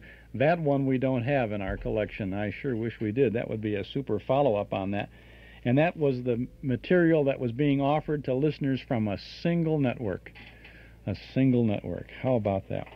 Those were the days, right? This is Chuck Schaden, WNIB Chicago, FM 97. Charlie McCarthy's 10th anniversary show coming up, plus uh, Baby Snooks and Daddy, and uh, lots of fun, a lot of stars, too. Well, I have a sound for you now from the most famous radio broadcast of all time. It's from our cassette tape special for September, The War of the Worlds. Streets are all jammed. Noise and crowds like New Year's Eve in city. Wait a minute. The the enemy's now in sight above the palisades. Five five great machines. First one is crossing the river. I can see it from here, wading wading the Hudson like a man wading through a brook. A bulletin is handed me. Martian cylinders are falling all over the country. One outside of Buffalo, one in Chicago, St. Louis. Seem to be timed and spaced. Now the first machine reaches the shore. He stands watching, looking over the city. That's a scene from the Mercury Theater on the Air production of The War of the Worlds. It's a cassette tape special this month, and it's yours for only $5 from the Hall Closet, Box 421, Morton Grove, 60053. This is the original broadcast, a program that frightened half the nation on October 30th of 1938. An Orson Welles Halloween joke that ended up on the front pages of newspapers from coast to coast. It's an absolute must for your tape collection and we have it this month for only $5 from the Hall Closet, Box 421, Morton Grove, 60053. Or you can get the War of the Worlds at any office of Northwest Federal or when you visit our Metro Golden Memory Shop, 5941 West Irving Park Road, just east of Austin. Now, don't forget about our regular cassette tape for September, an All Star Armed Forces Radio Command performance from 1945. It's Dick Tracy in B flat with Bing Crosby, Dinah Shore, Harry Von Zell, Jerry Colonna, Bob Hope, Frank Morgan, Jimmy Durante, Judy Garland, the Andrews Sisters, Cass Daley, and Frank Sinatra. It's a fun-filled hour of the biggest stars in Armed Forces Radio's biggest show. Dick Tracy in B flat. Our cassette tape for September, just $5 from the Hall Closet, or at Northwest Federal, or at the MGM shop. Now, if you'd like both tapes, Dick Tracy plus The War of the Worlds, then send $10 to the Hall Closet, Box 421, Morton Grove, 60053. Eden's Plaza Shopping Center, where Eden's Expressway, Skokie Boulevard, and Lake Avenue meet at Wilmette. Eden's Plaza Shopping Center, where you'll find quality merchandise for the entire family. Eden's Plaza Shopping Center, easy to reach, easy to park, easy to shop. Back to school values all this week at Eden's Plaza Shopping Center in Wilmette. I'm Chuck Schaden. Those were the days, WNIB Chicago at FM 97. Well, there's some sadness in our hall closet this week as we learn of the deaths of uh, a number of um, uh, people who uh, are in the world of entertainment. Stan Kenton, famous band leader, died last Saturday evening at the age of 67. A major figure in jazz and popular music for close to 50 years. During the 1940s, he became uh, one of the prime forces in the development of progressive jazz, and he was uh, active right to the end. Stan Kenton died at the age of 67 last Saturday evening. And uh, we learned this week of the death of Ray Eberle, big band singer of the 1930s and the 40s, who was the vocalist with the Glenn Miller Orchestra, singing such hits as Serenade in Blue, At Last, Elmer's Tune, and Moonlight Cocktail. Ray Eberle was 60 years of age. He died of a heart attack in Douglasville, Georgia. His brother Bob is uh, was a singer with Jimmy Dorsey's band, and his brother Bob is still uh, working very regularly, uh, doing a lot of things with uh, uh, Tex Beneke in the orchestra and Helen O'Connell and uh, things like that. But Ray Eberle passed away last Saturday, also the 25th of August, at the age of 60, of a heart attack. And early Friday, Sally Rand died. Sally Rand, who fan danced her way to fame and fortune at the Century of Progress, the uh, Chicago World's Fair of 1933 and 1934. She had had a heart attack uh, a couple of days before, and uh, and then passed away uh, early uh, early Friday morning. And she was 75 years of age. We had a, a chance to meet Sally Rand last year, last November the 11th, I believe it was when she came to town for our salute to the Century of Progress at Northwest Federal Savings. We spent some time with Miss Rand, and she was a delightful person. And she came, uh, she's just a tiny little thing, uh, 105 pounds or something like that. and those fans were pretty heavy. And she came into town. We met her at the airport. My wife and I met Sally Rand at O'Hare Field. She was supposed to come in at about 6:30 Friday evening, and she was going to be here for performances Saturday and Sunday. Well, if you've ever gone to O'Hare Friday evening at 6:30, it's the most incredible traffic jam in your life. Anyway, my wife and I met Sally at the uh, the ramp. Come, she came in from the plane and then they went to collect the luggage, and then I went to get the car to come around. Well, that was a, a horrendous mistake that took forever. And uh, I figured, well, she's just here for the weekend. She'll have one or two suitcases at the most. So I'm driving, inching by inching my way up to uh, United, I guess is where sh- she was. My wife was. I saw my wife standing over there, and Sally Rand is coming. She she leaves the ramp, or the where they where the luggage was, and she starts coming towards the car when she the car was pointed out to her. She says, "Come for the, the luggage." And I said, "What luggage?" I just I'm waving to my wife, "Bring the suitcase. Bring it over to the trunk." And the cars were all around, and my wife is frantically giving me the sign. She's I don't know what she's saying. It, like there was no luggage, or how could she get a. Finally, I inched my way over there, and I went, and Sally Ramos had eight pieces of luggage there. Incredible, great, big. You would have thought she was going to be here for a month and a half at least, you know. And uh, holy smoke! Well, we we couldn't get it all into the trunk of the car. We put them in the back seat, and uh, it was just all over. And then we went out to dinner. Uh, we were meeting some other folks, and the, the, the my wife and Sally Rand and myself and some other folks went we went met for dinner.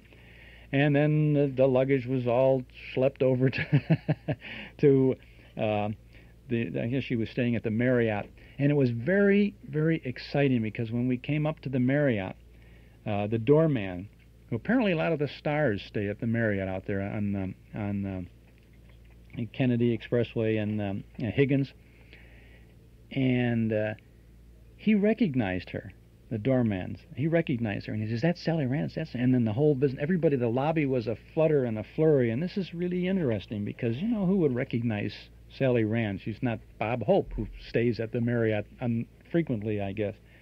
We had a delightful time with her, and uh, she enchanted the audiences who came to Northwest Federal on those two programs. And I think she must have signed an autograph for everybody.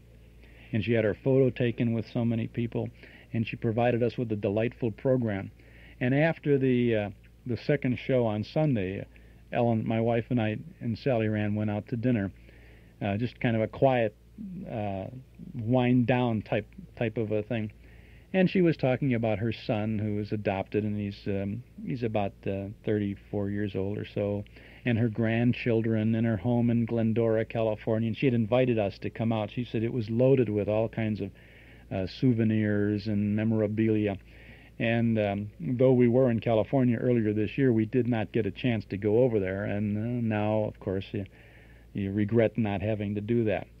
But I don't regret having the, had the opportunity to meet Sally Rand. She was quite a person. Uh, she was a feisty babe who uh, said what she wanted to say, and people would ask her, um, uh, Did you ever wear anything while you were dancing with the fans? And her stock answer was, uh, The Rand is uh, quicker than the eye, you know. and she was uh, she was okay. And she said that uh, you know, well, why do you? We asked why, and everybody always asked her, why do you still do this? You know, you're in your 70s, and she was 74 years old last year. She said, well, it beats sitting on the front porch rocking and doing needlepoint. You know, I mean, how many people will uh, can still get up there and dance with those fans and uh, and make a whole business? And she was traveling all over the country, and she she said that. Um, her goal was to uh, to be at the uh, um, at the 50th anniversary reunion for the World's Fair in 1983. She figured there would be one in 83 and there she would be at it, you know. Well, she didn't make it, but she's a was a very nice person and uh, we feel a sense of personal loss when you meet someone and spend some time with them like that. And I think that uh, anybody who went to Northwest uh, Federal for the the uh, the Century of Progress program last year uh, has a very special uh, little bit of sadness uh, this weekend as they learned of the death of Sally Rand because she became um, a very warm person to everybody who came there. shaking hands with any of them, anyone who wanted to talk with her, have her picture taken.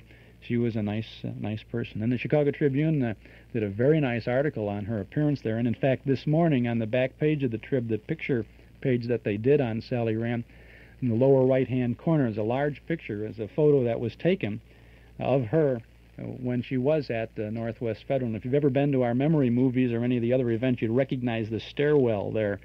And she was there, and they mentioned it was at the Northwest Community Center. So Sally Rand passed away at the age of 75.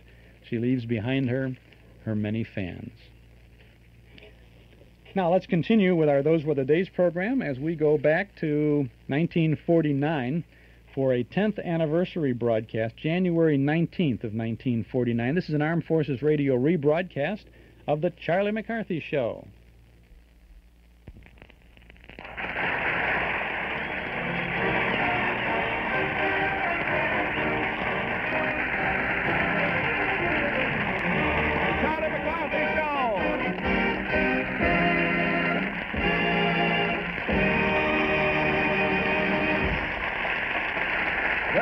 Ladies and gentlemen, greeting you on behalf of Edgar Bergen, Charlie McCarthy, Ray Noble and his orchestra, Mortimer Snerd, and Pat Patrick. Today marks Edgar Bergen's 10th anniversary on the air, and on this special occasion, many of his old friends have promised to drop in. It was just about 10 years ago that Edgar and Charlie were making the rounds of the different agencies, hoping to get an interview. And finally, the big day came. They were sitting in Rudy Vallée's office.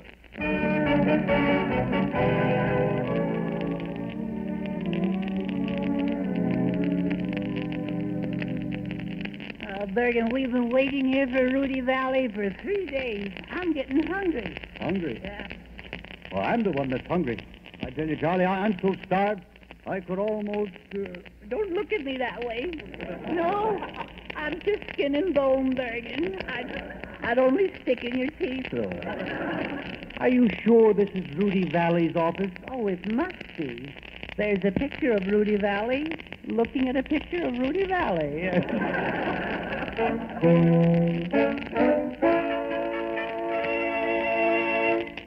Excellency, Rudy Vallée.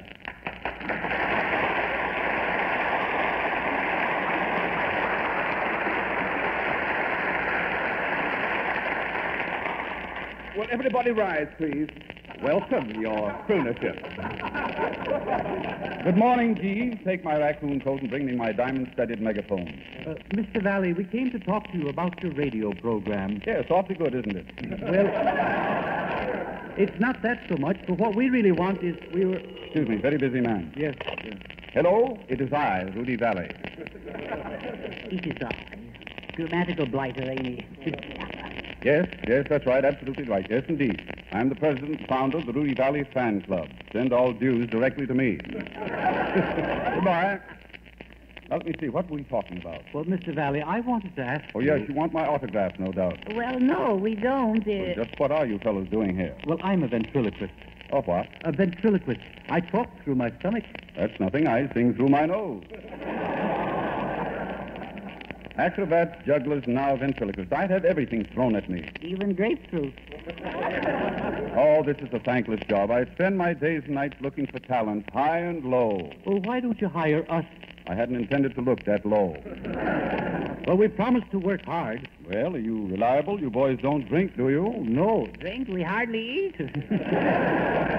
Well, I'm going to take a chance on you anyway, against my better judgment. Oh, thank you, Mr. Vallée, thank you. I deeply appreciate your generosity. oh, stop licking his hand, all right.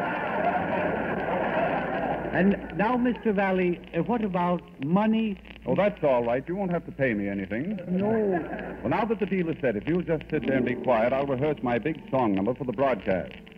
For I'm just a vagabond lover in search of a sweetheart, it seems.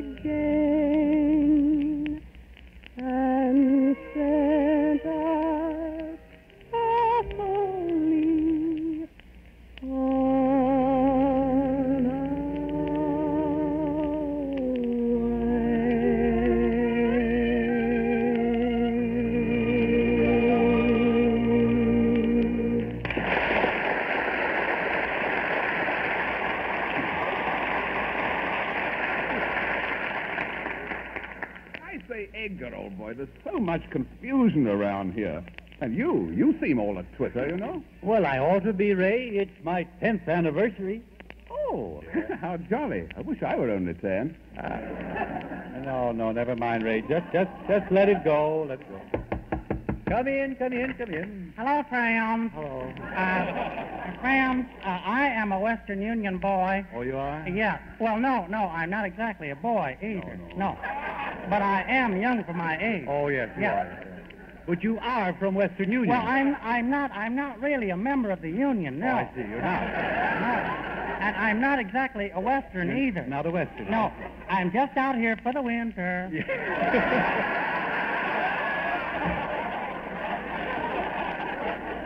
well, that's very interesting. But do you have a wire for me? Well, I'm not supposed to give it to you. I'm supposed to sing it to you. Oh. Yes, but I'm not in good voice today No. because I have an insty touch of quinsy. Yeah, I Well, then read it. All righty. Uh, it says, uh, Yeah. and I quote, Oh, sure. uh, greetings and felicitations. Uh, may you always continue. Hi, Edgar. Well done to meet you. Uh,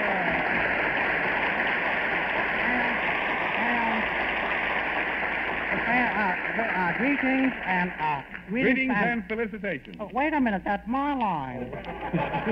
Just a moment. And now I'll continue with my wife. Yes. Uh, greetings and felic. Oh, for goodness sake, my God. What's the matter? Friends, this is a night letter. And I cannot read this until after dark, so goodbye.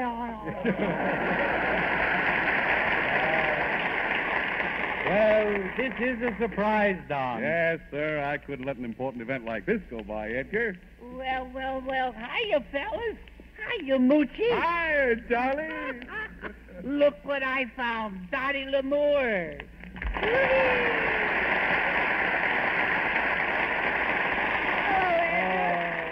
and how are you, Don? Oh, Dorothy, I see you're more beautiful than ever. Yes, Dottie, you're as slim and as graceful as a fawn at daybreak. What's your secret? Well, Don, I always watch my figure. Well, who doesn't? Oh, Charlie. Oh, Dottie. Oh, brother. I guess you lovebirds want to be alone, huh? Yeah, do you mind, Moochie? We want a smoochie. Oh, come on, Edgar. I want to talk to you. Okay, Don. Oh, Dottie. What have you been doing since last date we had? Oh, nothing. Just giving my diary a chance to cool off. Oh, those were the days, weren't they, Dottie? Yes. Mm-hmm. You were so cute when you used to come and call on me. Uh-huh. we used to sit on my porch swing holding hands and eating peppermints. Well, don't tell everything. Oh, wasn't it wonderful? Yeah, yeah. Oh, I could sure go for some of those peppermints. Oh, you little rascal. Remember that little song you used to sing to me, Dottie? Oh, you mean this one when I oh. go, Da dee dee dee dee da da da da da da da. That's the one. That's the same one, yeah.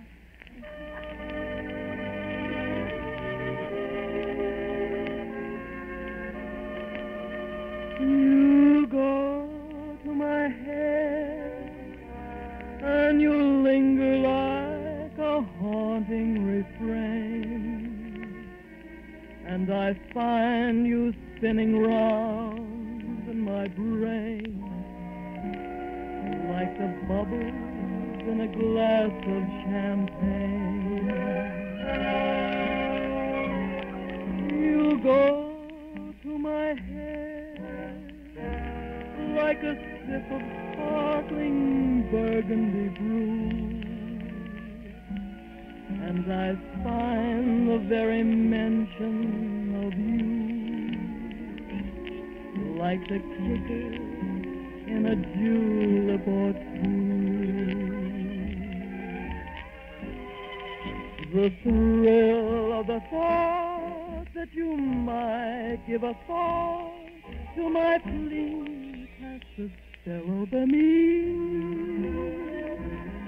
Still I say to myself, get a hold of yourself.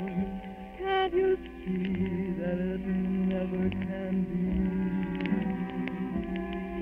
You go to my head with a smile that makes my temperature rise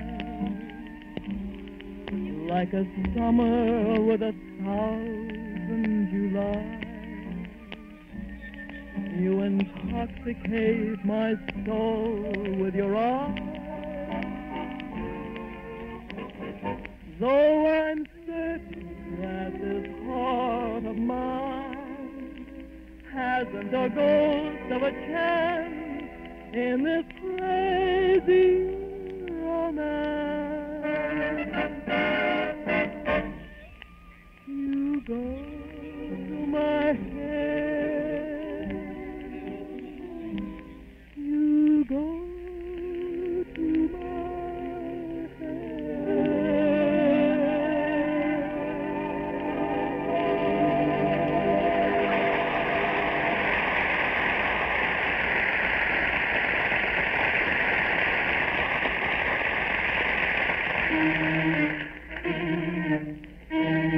The current Broadway hit Annie Get Your Gun, Ray Noble and his orchestra play Ray's special arrangement of I've Got the Sun in the Morning.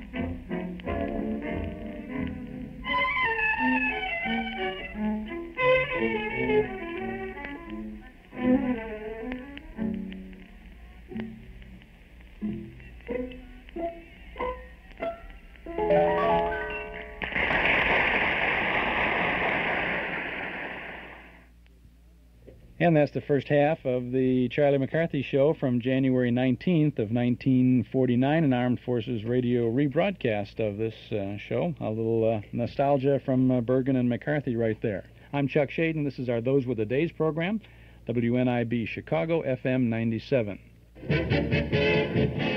You'll find a generous helping of memories from and about the good old days at our Metro Golden Memory Shop, 5941 West Irving Park Road, just east of Austin. Come in and browse for a while. You'll find a complete selection of big band, personality, and soundtrack recordings, as well as hundreds of the great old time radio shows on cassette, 8 track tape, and LP records. You'll find books and magazines about the golden age of radio, the early days of television, the fabulous movies, and the stars of yesteryear. There's an amazing selection of memorabilia giant one sheet movie posters, theater lobby cards, Riverview memories, movie stills, magazines, and lots more. Visit Metro Golden Memories, 5941 West Irving Park Road, just east of Austin. Open seven days a week, Monday through Friday from 11 till 5, Saturday from 11 to 7.30, and Sunday from noon to 5. Come in and see all the goodies at the good old Metro Golden Memories Shop, 5941 West Irving Park Road in Chicago. And you can stop by tonight if you like on the way over to see the movie at Northwest Federal because we were opening our Memory Club season for the new year with uh, a Laurel and Hardy double feature tonight Blockheads from 1938 and Flying Deuces from 1939. Dues, uh, rather, uh, donation is a dollar and a quarter, payable at the door, and uh, proceeds go to recognized charities. So doors open at 7:30. We'll be there tonight to uh, kick off the season with Stan and Ollie, and with you too. So you can pop over and see a good movie, and at the head of it, stop over to the MGM shop. Shop will be closed, by the way, on uh, Monday, Labor Day. Now let's continue with Bergen and McCarthy.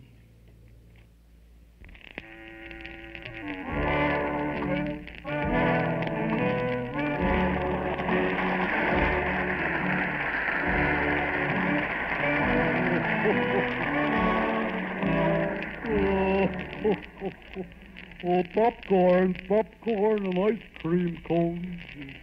Get 'em while they're hot. Oh. Hello, Mr. Berger. Marty McSnerd. Oh, yeah, that's right. What are you doing selling ice cream cones and popcorn? Well, I, I hear there's a, there's some kind of a celebration here for, for Annie. Uh, You mean anniversary? uh, yeah, yeah. yeah. That's the girl. Yeah, yeah. Why, Mortimer, most of these bags of popcorn, they're only half full. Uh, yep, that's right. Yeah. Why is that? I like popcorn. Oh, I see. well, how much do you make on a bag when you sell it? Well, I buy them for ten cents a bag, and then I turn right around and sell them for a nickel. I see. What kind of business is that? Well, I think they call it um, oh, they call it um, overhead. Overhead. What do you mean overhead? Well, it's over my head. It don't... Was good. With five oh, hush up out there. Bunch of city slickers, you know. Feller can't say nothing around here without them rowdies snickering at all. Now, be polite, Mortimer. That's our audience. Mhm. They let anybody in, don't they? Yeah. Well, they let me in. Hello, Mortimer. Yeah. Remember who this is, Mortimer? Uh, oh, give me a hint. Oh, never mind. It's Dorothy Lamour. Can't you give me a better hint than that? Oh, Why, you must know her. Why, we're old friends. no. Yes. Well, any friend of yours uh, is, uh, is a friend of... any friend of yours is, uh, let's see, what was the discussion? Oh, Mortimer, Yeah. after all the years we were together and you don't even remember my name. That's a fine how do you do. How do you do? Well, I'm sure you know me. Look at me. Oh, gosh, no, I ain't old enough for that yet. you, you're too pretty for your own good. Oh, looks don't count. No. Well, mine do. Oh, you're so cute, Mortimer. You have such pretty blue eyes. Oh, pretty blonde hair. The cutest little dimple. Yeah. I got a mole on my stomach, too. You know, you're really irresistible. no, I'm really Mortimer. Yeah. I'm awfully fond of you. Yeah. Wouldn't you like to kiss me? Oh, gosh sakes, no. What would you think of me afterwards? You turned down the chance to kiss Dorothy Lamour. Mortimer, you must be the most stupid person in the world. well, thanks. But this is your big day. Let's give you some of the credit. Oh, I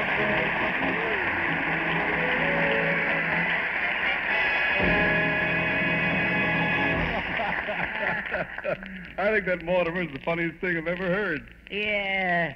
Uh, oh, is that so, huh? Well, next to the funniest thing, anyway. Yeah, well, that's better. Thank you, Don. The funniest person was that character I used to play, Gazzola.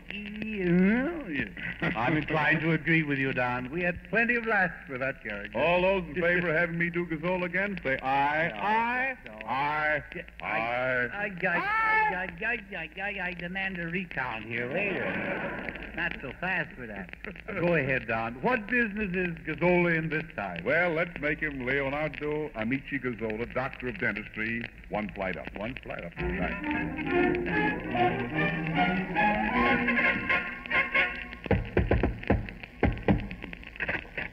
Oh, Bergen, this tooth is killing me. Well, that's all right, Charlie. The dentist will see you now in just a moment. Yeah, yeah. You won't have to suffer much longer. Well, I, I don't mind the suffering so much. It, it's just the pain I can't stand. I know. Yes. Hello, hello, hello, and how do you do? Well, hello, Dr. Hoyt. I'm Edgar Bergen. You were highly recommended to me, Dr. Hoyt. Well, that's fine. That's fine. But uh, Dr. Hoyt, he just to step out to have his teeth fixed. Oh, he did, I see. Well, who are you? I'm his substitute. substitute. Filling in for a friend, huh? I'm Amici Gazzola, post-class dentist at DDS, RFD, and SOS. Yeah. Pull of the teeth while you wait. Yeah. Gazzola, if you're a dentist, I'm Dorothy Lamour. Pleased to meet you, Mr. Lamour. I think Charlie has a cavity, Doctor. Oh, now, yeah? see, do you do fillings and inlays? Oh, sure, sure. We got inlays, outlays, decays, stowaways. Yeah. Sundays, Mondays, always. All right, all right, all right. This is awful. This is all, all. All right, come on, kid. Jump in the side of the chair here. Now, now, just a moment. I don't know. Oh, what's the matter? What's the matter? You know, act very smart. If we were smart, we wouldn't be here. Come on, kid. Climb up one of my chairs, sonny boy. Oh, no, no. You're not going to sting me into that. Now, tell me about your prices, Doctor. Can you give me rock bottom price? I'm just the fella. I got it the rockiest bottom end of the city. Well, that's...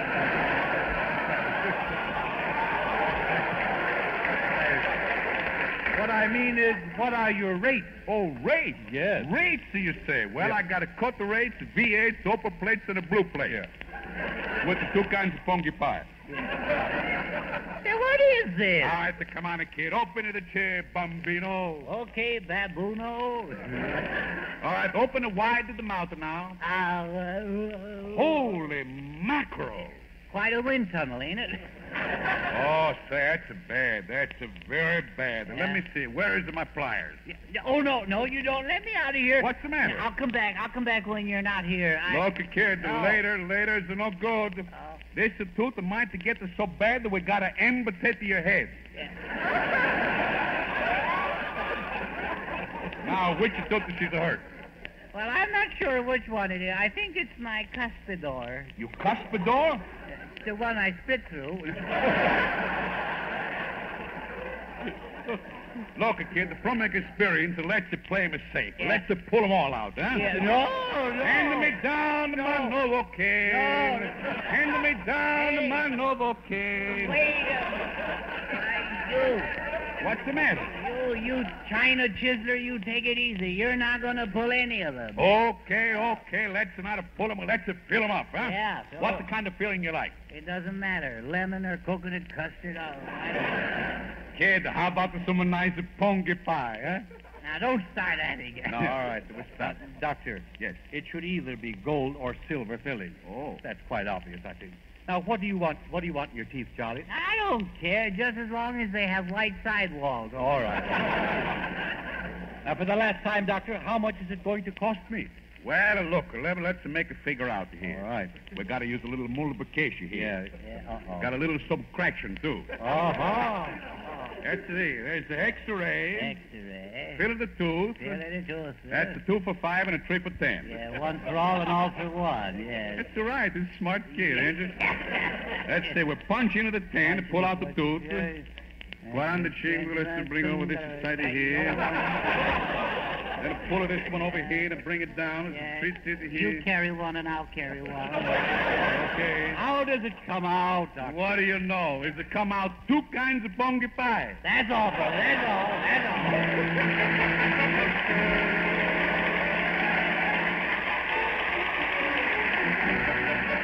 all.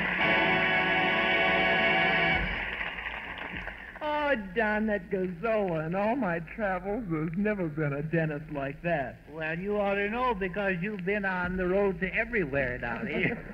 Oh, you think Gazzola is funny, huh? Wait till you hear my French character, Pierre Soubon. Ah, Boon's no, no, not that, not that, not that. I just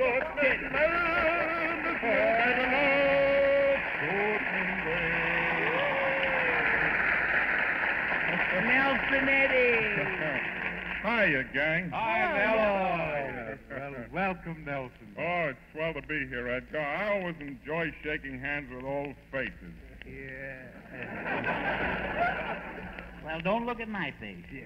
By the way, Nelson, you were excellent in that Disney picture, Make Mine Music. Oh, thank you, Edgar. You know, Charlie, Nelson did all the voices and the singing for all the whales, too. Yeah? Did you share equal billing with a whale?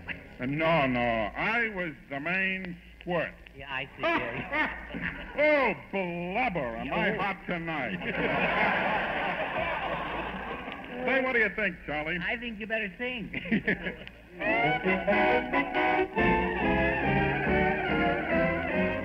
When were dark came Noah's Ark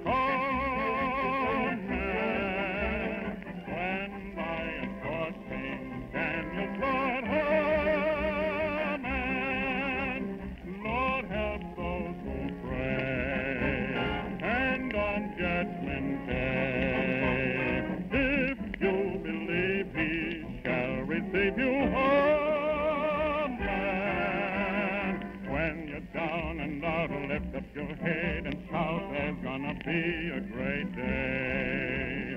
Angels in the sky promise that by and by there's gonna be a great day. Gabriel will warn you some early morn, you will hear his horn. Rosy token, it's not far away. Hold up your hands and say, there's gonna be a great day.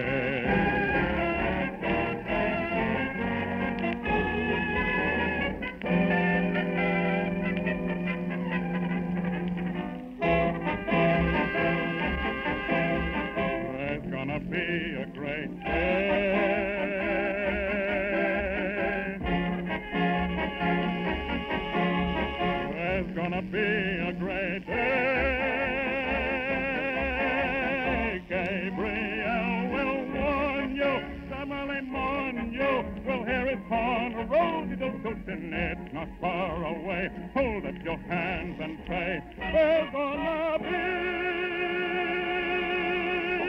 a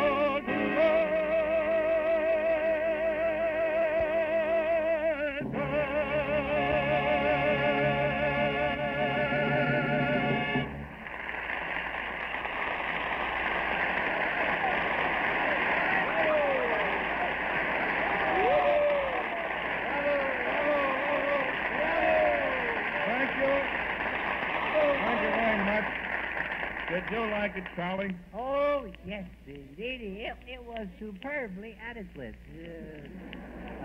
Remember, Charlie, we heard Nelson sing the same song at his concert. It was two weeks ago, I believe. Oh, were you there? Yes. Yeah, yeah, we certainly were.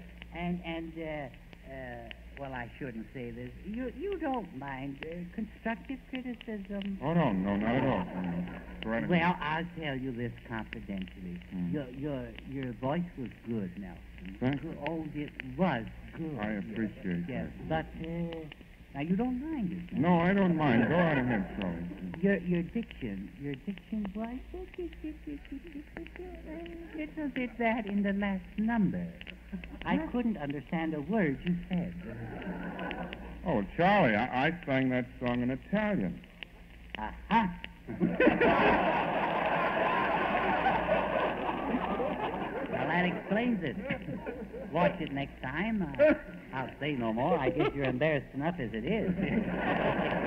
No, Charlie, Charlie, you don't get it. The song was written in Italian. Well, so what? You see a sign that says this way to Pismo Beach. Doesn't mean you have to go there, does it?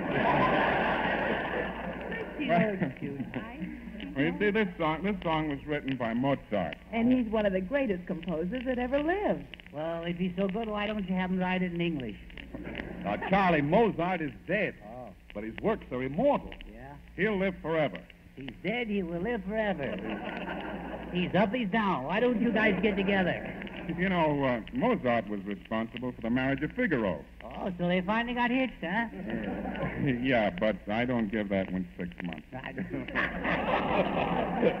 Edgar, I don't like to spoil the fun, but it's close to goodbye time. Well, you're right, Rudy. By the way, we sincerely appreciate you giving us our first start in radio. Wouldn't you like to say something? Yeah, Rudy, say something. Ladies and gentlemen, I apologize.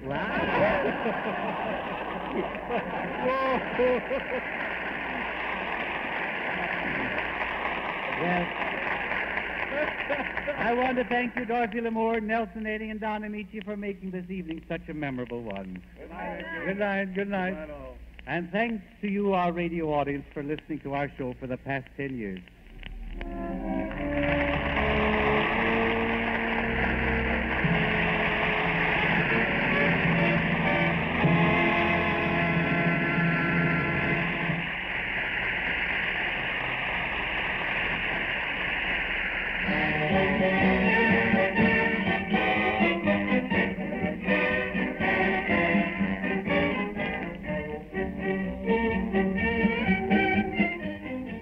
That's the Charlie McCarthy Show, their 10th anniversary broadcast, and the date we have is January 19th of 1949. However, they did start in radio for Chase and Sanborn 1936, I believe. So it's possible that uh, there could be a, an error in the dating on this thing, but uh, we'll uh, have to check into all of that. I'm Chuck Schaden. This is our Those Were the Days program, WNIB Chicago, FM 97. If you're not a subscriber to our Nostalgia newsletter and radio guide, now's a good time for you to subscribe. Find out all the good things coming up in the months ahead of us. Frank Sinatra from 1942 is on the cover of the September issue, and I think you'll find lots of good reading uh, from and about the past in our newsletter. A one year subscription, 10 issues, is just $7. You can subscribe right now when you call us at 545 2260. We have articles this month about Senator Claghorn, the Aldrich family, our Miss Brooks, the College of Musical Knowledge, and I Love a Mystery. A one year subscription, $7. Call 545 2260. We also give you all kinds of information about the programs that we broadcast, and if you're taping, why, you get a lot of good help uh, because we give you the times of each segment, and a lot of people say they, they Xerox the page or they cut it out and they take the information that we have in our listing and tape it on the cassette package or on their tape box. So you get a lot of good information about the shows. 545 2260, a one year subscription, $7. If you like, you can send $7 to Nostalgia Newsletter Box 421, Morton Grove 60053. But why not uh, call right now this afternoon at 545 2260? It's Northwest Federal Savings Time. We've got more. Northwest Federal has the time to help you plan sensibly for your financial future, whether you're just starting your career or already well on your way to retirement. If you're employed but not a participant in a retirement fund, Northwest Federal can help you set up an IRA plan. You will not have to pay income tax on the money you deposit into the plan until retirement. Earned interest on IRA funds is also tax deferred until retirement when you're likely to be in a lower tax bracket. If you're self employed, you and your employees are eligible for tax sheltered savings through the Keogh plan. A Northwest Federal Keogh account also saves you tax dollars on funds invested and interest earned. Stop by any Northwest Federal Savings Center for full details on either plan. Northwest Federal IRA and Keogh plans. It's just another example of how Northwest Federal does more for you. It's Northwest Federal Savings Time. We've got more time for. And Northwest Federal Savings has an interesting program about Bing Crosby, his life and his music, uh, being planned for Saturday evening, the 6th of October, and Sunday afternoon, the 7th, at the Northwest Federal Community Center Auditorium on Irving Park Road.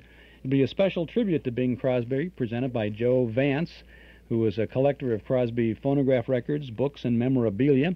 There'll be some 700 slides accompanied by appropriate music and commentary.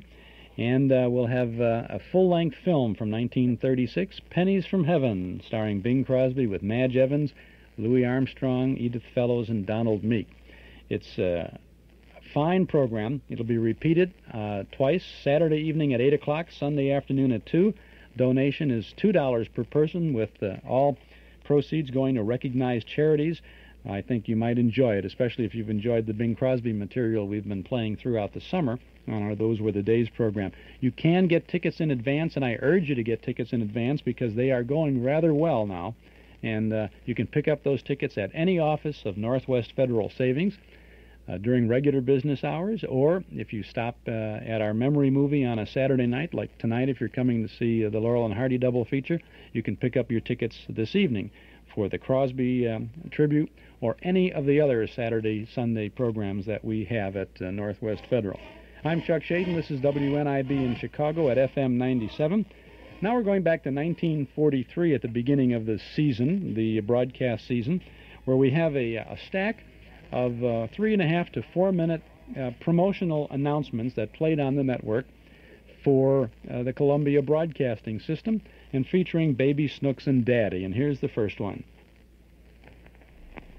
Ladies and gentlemen of the radio audience, unaccustomed as I.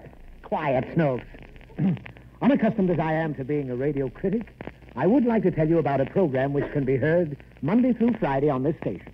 It's called I Love a Mystery. Mm, I like that program, Daddy. All right, you like it. Don't bother me. Why? Because certain influential people I know are going to sponsor me in a series of broadcasts in which I intend to talk about radio shows that appeal to my discriminating taste. Understand? Yeah. You do? Uh-huh. Well, what did I say? I don't know. I thought so. We'll skip it if you don't mind. Now go away. All right, Daddy.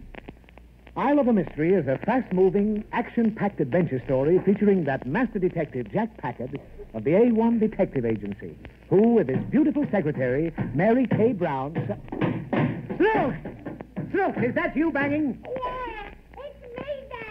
Well, what are you doing? I'm trying to fix the clock. Well, stop it. I did. That's why I'm trying to fix it. Oh, good heavens. You weren't banging on the grandfather clock, were you? Well, were you? Wasn't I? That clock is a hundred years old. Is that why it's called a grandfather's clock? No, it happens to be an antique and very valuable. Why? Because it's so old and broken. Well, now it's more broken. Now, don't be fresh. And if you annoy me any more, I'll spank you. Now, that's a promise. What are you doing, Dad? I told you. I'm going to talk about I Love a Mystery, a thrill-packed program which I enjoy every evening. Tell me about it. You know about it. You listen to it every weekday. Tell me one of the stories. If I tell you, will you stop pestering me? Mm-hmm. All right. Well, this I Love a Mystery story is called Bride of the Werewolf. It's about a girl who marries a man, but the man is half wolf.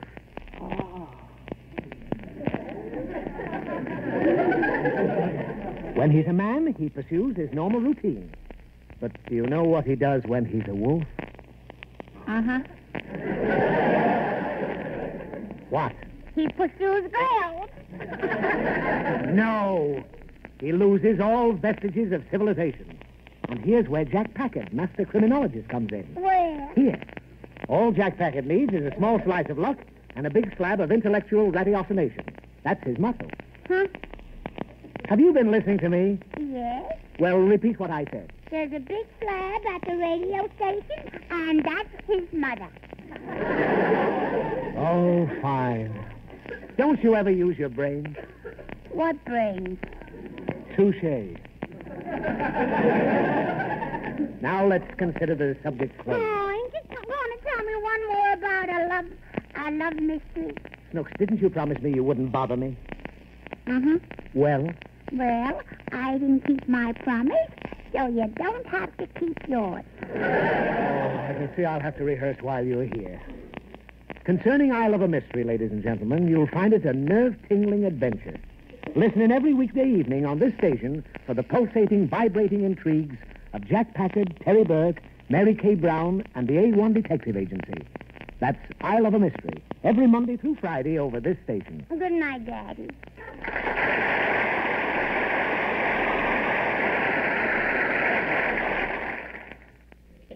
Okay, that's the first of these little CBS promos for the network in 1943. We'll be uh, joining Baby Snooks and Daddy in just a moment for another one of those little gems from uh, from that year. They were either run on the network or they were sent to affiliated stations uh, for broadcast to here and there within their broadcast schedule. Chuck Schaden, WNIB Chicago, FM 97. Paterno Foremost Liquors at 5303 Milwaukee Avenue at Central, just north of Foster. That's where fine wines have been a part of family tradition for three generations. Put a visit to Paterno on your agenda. You'll be amazed at the fabulous wine cellar. Paterno Foremost Liquors, Chicagoland's one-stop beverage mart for imported and domestic wines, beers, cordials, soft drinks, whatever. Visit the wonderful world of Paterno, Monday through Saturday from 9 in the morning till 10 at night, Sunday from noon to 6, and on uh, Monday, Labor Day, be open till 4 o'clock in the afternoon. Paterno Foremost Liquors, 5303 Milwaukee Avenue at Central, just north of Foster. Let's rejoin now Baby Snooks and Daddy. Daddy, Get under the cover, Snooks. The doctor will be here any minute. did you call Dr. Christian? Oh, of course. He's the best family physician I know of. Why? Well, you've listened to his radio program, haven't you? Mm-hmm. Dr. Christian, the small town physician, the famous country doctor. He has an absorbing, heartwarming story to tell every Wednesday evening. And why is it heartwarming? I don't know. Why? Because Dr. Christian is a gentle country practitioner whose medicine is the milk of human kindness. Mm-hmm. Oh, there he is now. I'll go down and open the door. Mm-hmm. Come right in, Dr. Christian.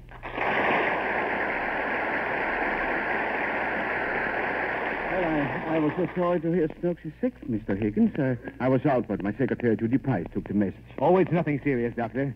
Just a typical childhood complaint. Uh, I know what you mean, Mr. Higgins. With children, anything they shouldn't eat is a delicacy. Uh, it's her stomach, I take it. Yes, I think so. Now, here we are. Hello, Snooks. Hello, Dr. Christian. Uh, she won't tell me what's wrong, so I'll leave you alone with her. Yes, uh, leave her to me. Well, Snooks, uh, been starting to use your manner. Uh, let me see your tongue. There you are. Ah. Hmm. Yes, it uh, does have a coat on it. Uh, keep it open. Are you looking for the pan? no, of course not, child. What have you got in that little black bag? Uh, I'm afraid there's nothing in it that would interest you, Snooks. I want to see the baby. I have no baby today. It's just a little emergency kit. Well, I want to see him. See who? The little kid. Kid, not kid. Here, look at the bag if you want to. All right. What's this wood for, Dr. Christian? Those larger ones are splints for broken bones. Hmm? Do you have any idea how many bones there are inside you? I didn't swallow any bones. No, no, no, no, your own bones. Take your spine, for instance. That's the bony thing that runs down your back. Is it running? No. Can't you feel it? Right there? Uh, that's your spinal column. Your head sits on one end. Can I sit on the other? Yes. That's old-fashioned. but uh, I was explaining the human skeleton. Skeleton? Yes, uh, you know what that is, don't you? Mm-hmm. It's a man with his outside on and his inside sticking out. Well, uh, uh, maybe we'd better get on with the diagnosis. My feet are cold. Well, didn't your father give you a hot water bottle? Yeah, but I couldn't get my foot in the neck. We'll take care of that later. now, tell me, child, what did you eat this afternoon? Nothing. You know, Snooks, if you tell the truth, uh, you'll get your reward in the end. Mm, that's where I always get it. Listen, dear. I know you ate something that disagreed with you. Perhaps it was ice cream or candy. Now, if you tell me what it was, I'll cure you and you'll be able to eat some more. Dr. Christian, are you going to let me eat some more worms? Is that what you ate? Worms? Mm-hmm. We was playing imitations, and I had to do an imitation of a chicken. Is that the only way you could imitate a chicken? Well, I couldn't lay an egg. I see. I see. Well, don't worry, Snooks. We'll give you something to take care of that worm. Ain't you're going to take care of me? I think a tablespoonful of this delicious medicine. Well, Doctor, is she all right? Oh, there's nothing to worry about, Mr. Higgins. I've got everything under control. That's what I like about you, Dr. Christian. And I bet that's why everybody listens to your swell program every Wednesday night. The human, heartwarming stories that you and your nurse, Judy Price, bring to our firesides every Wednesday. A truly grand entertainment. Well, thank you very much, Mr. Higgins. Now, about this medicine, Snooks. Well, Snooks, say something. Open your mouth.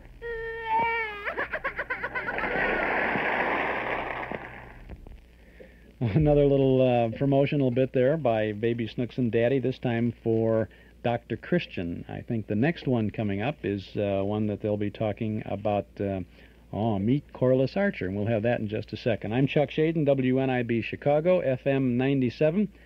Want to remind you about our custom cassette service. If you've ever heard anything on our broadcast uh, that you'd like to have as a copy for your in a cassette copy for yourself, we'll be happy to make that copy for you. We have a service now where we can provide you with a copy of any broadcast that we've ever uh, presented on our Those Were the Days uh, program, or our Hall Closet program for that matter, when we were doing that in the mornings.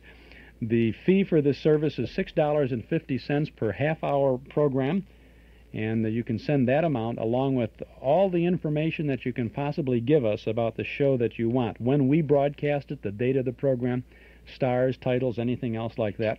Send that to the Hall Closet, Box 421, Morton Grove 60053. Now, if you didn't get it off the air when uh, we broadcasted, if you blew it when you were taping it, or if you just decided after the fact that, gee, maybe I should have had a copy of this show, well, we can help you out with that service now. Uh, if you need some information about it, give us a call here at 545 2260. Okay, we're ready now with the next uh, little CBS promo with Baby Snooks and Daddy. Ladies and gentlemen, today I intend to discuss the outstanding radio program Meet Corliss Archer. Oh, that voice. It haunts me. Corliss Archer is a young lady who will quickly win your heart. She's. she's. Snooks! Snooks, where are you? I thought I told you to take care of Robespierre. Why is he crying? He fell down the stairs. Fell down the stairs. It's all right, Daddy. He was coming down anyway. Now, uh, how can Robespierre come downstairs? He He can't even walk. Well, he tried to slide down the banister. What banister? You know there's no banister on our stairway. Robespierre knows it now, too. Snooks, if one hair of your little brother's head is... Oh, he didn't hurt himself. Then why is he crying? He wants to fall down the stairs again. Oh, fine. Well, what are you standing there for? I told you we're going to a broadcast. What broadcast? Meet Corliss Archer. Go wash your face. There's only clean towels in the bathroom. Well, what of it? Shall I start a new one? Certainly. And change that filthy dress you have on. Well, How did you get it so dirty? Oh, I fell in the mud. What mud? Oh, you know that puddle in the front of the house. Oh, yes. I meant to tell you about that. Don't bother. I found out all about it. Well, who made the puddle in the first place? I did with the water sprinkler. Then why did you leave it out there? Of course, I couldn't bring it in the house. Now, don't be smart. And go change your dress. Why? Because I'm taking you to a broadcast. What broadcast? Me calling Archer! I already met her. No, you didn't, but it wouldn't hurt you. Then you'll understand why a father's hair turns to silver. Is your hair turning to silver? Yes. No, it ain't. It's turning to skin.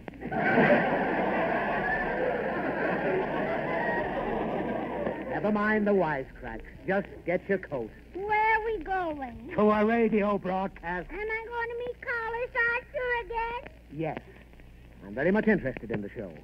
Besides, it's one of my favorite radio programs. Mm-hmm. And besides, again, I want to get a preview of what you're going to be like when you're a teenage lassie. What am I going to be like? You're going to be in trouble half your life and drive your father mad. Just like Corliss Archer does. Does she drive you mad? No. She drives her own father mad. Then what are you so mad about? I'm just wondering what you're going to be when you grow up. Oh, I can tell you that, Daddy. Oh, you can, huh? Yeah, I'm going to be a fat man with a big mustache. Oh, ridiculous. Little girls grow up to be big women. Like Aunt Sophie? Not that big. Am I going to marry Uncle Louis when I grow up? No. You'll marry some unfortunate young man. Then I ain't going to get married. Why not? Well, Uncle Louis married Aunt Sophie, and you married Mummy. What of it? Why should I marry a stranger?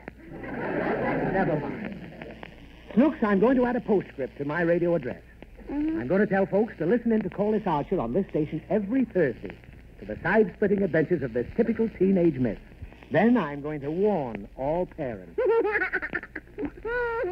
Snooks, are you listening? yeah. Then what are you laughing about? I always laugh when I listen. When you listen to what? Meet Corliss Archer every Thursday night. Good night, Snooks. Good night, Daddy.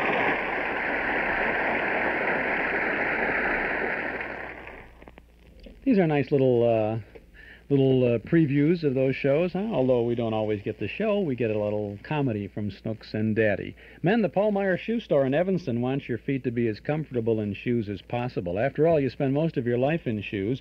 That's why you'll find Freeman shoes at the Paul Meyer Shoe Store. The shoes with Goodyear welt construction and the finest leathers that breathe and mold to every bend of your foot.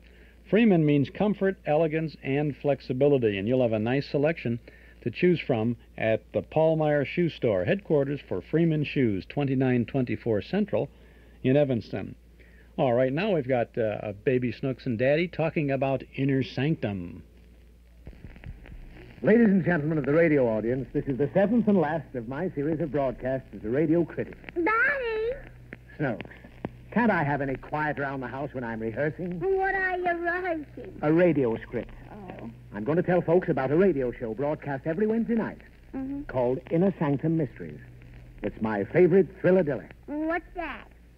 Well, anything that can send chills up and down your spine is a thrilladilly. Do you understand? Mm-hmm. Well, what am I talking about? I don't know. But somebody left the icebox door open, and all the thrill of Dilla melted. Oh, what's the use? Now, please don't annoy me. Inner Sanctum is your open door to thrilling adventures in the realms of psychological mystery. I'll better change that to murder. What's the matter with this pen? I didn't do it. I didn't say you did it. There's no ink in it. You know where the bottle of ink is, Snooks? Uh-huh. Where? Robespierre drank it. Drank it? Incredible. No, indelible. Good heavens. Well, where is he? Get a doctor. It's all right, Daddy. I made him eat a blotter. Snooks, you're lying, aren't you? lying. You made up the whole story. Yeah, I made it all up. As I suspected. It's just one of your usual prevarications. no, it ain't. It ain't. This one's better than usual. Now, don't be smart. Run up and get the ink. Why? Because I want to make a change in my script. What script? The Inner Sanctum script. The one I'm using for my broadcast tomorrow. Mm-hmm. You know I'm going to discuss Inner Sanctum mysteries. Inner Sanctum mystery. Yes. I listen to them every Wednesday. What are they about? Oh, I don't know. Oh, is that the mystery? No. The last Inner Sanctum show, since you ask, happened to be about a scientist who had a pet octopus. Do you know what an octopus is? Mm-hmm. It's an eight-sided cat. No. Oh? An octopus is a genus of two-gill cuttlefish, having eight strong arms with suckers on them. When attacked, it emits a sepia substance just like ink. Do You understand? Yeah. Now go get me some ink. Oh, what's the matter? I ain't gonna attack no octopus. Did I tell you to attack an octopus? I merely told you what an octopus is. What is it? It's a cuttlefish with eight strong arms that have suckers on them. Now will you get the ink? No. Why not? Because I ain't gonna be one of the suckers. Oh, don't be silly. I don't know why you're such a fraidy cat. Ain't you afraid of an octopus? Not a fictional one. Ain't you afraid of snakes and tigers and big bumblebees? Of course not. Daddy, What? Ain't you afraid of nothing? Except mummy. Now, that's a fine thing to say about me. You like it? No. Now, don't get me off the subject. I was talking about Inner Sanctum mysteries. If you like the creeps, Inner Sanctum will give them to you. Mm-hmm. On it, you will find Raymond. Is he a creep? Of course not. He's the ghoulish man who each Wednesday is host to as evil a bunch of characters as ever hid behind a creaky door. Mm, that's scary, ain't it, Daddy? Well, it's all in fun, but it's guaranteed to raise your hair. Daddy? Yes? It hasn't done as good for your hair. Oh, good night. Good night, Daddy.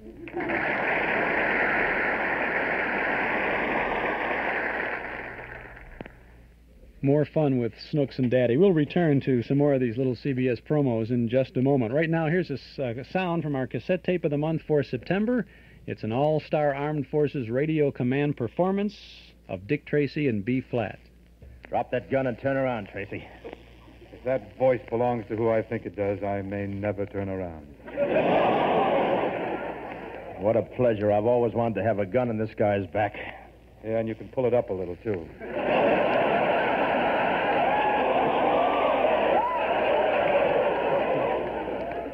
Sorry, I was going to blow your brains out.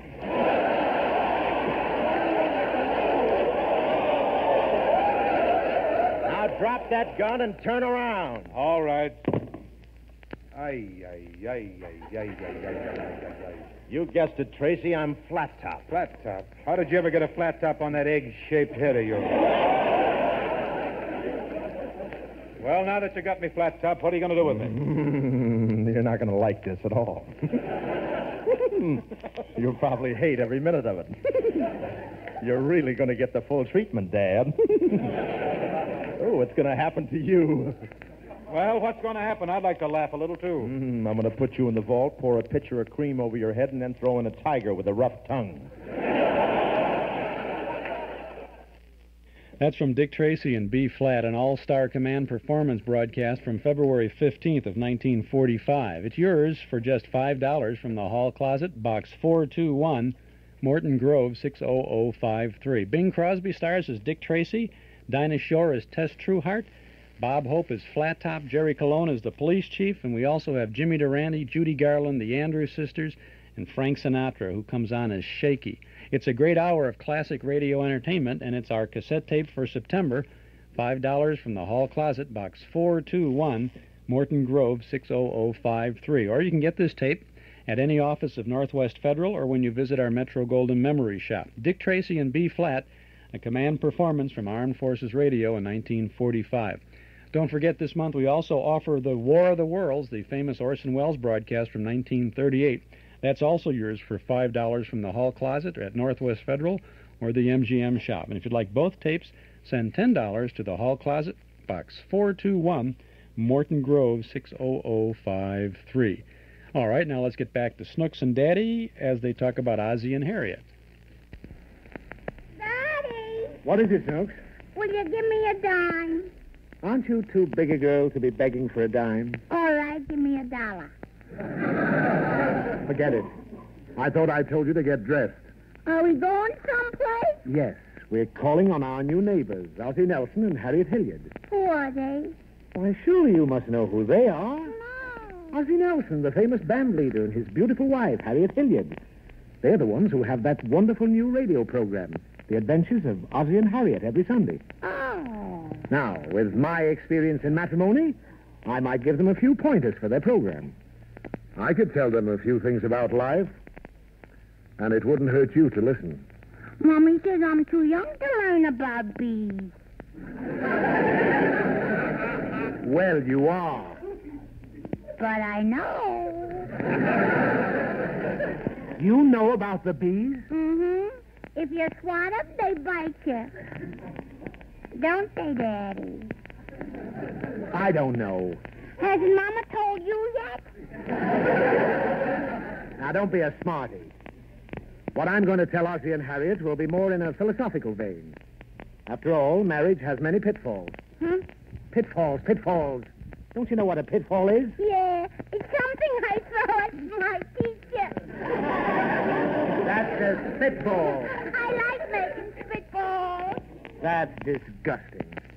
Here I am, presuming to give Ozzie and Harriet advice for their new radio show. I pretend that I've lived a life of fullness and richness. I pretend that I raise my children as shining examples.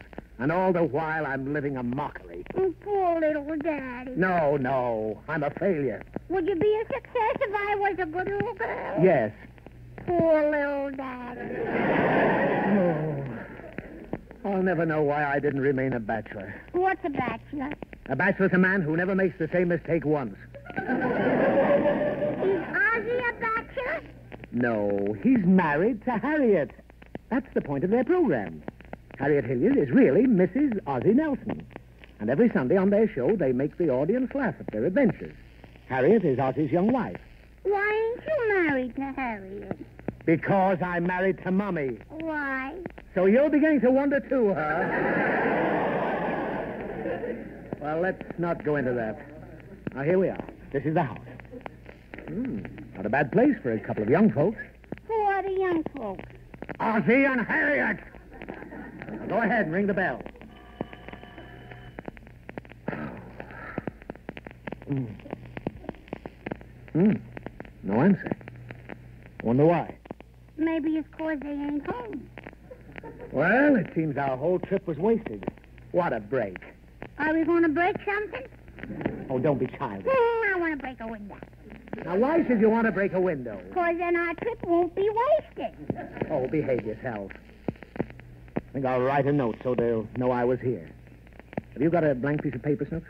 Mm-hmm, but there's writing all over it. Oh, forget it. I'll write the note on this old envelope. Let's see, what'll I say? Dear Ozzie and Harriet, sorry you went home, but I want to take this opportunity to tell you that I think your new radio program, The Adventures of Ozzie and Harriet, is swell. I know that all our listeners will be tuned to it every Sunday on their Columbia station. Yours for laughs and good fun, Lancelot Higgins. There. Now they'll know I've been here. Here's a rock, Daddy, so the paper won't blow away. Oh, throw that rock away. All right. Snooks! You broke a window! Well, now they know I've been here.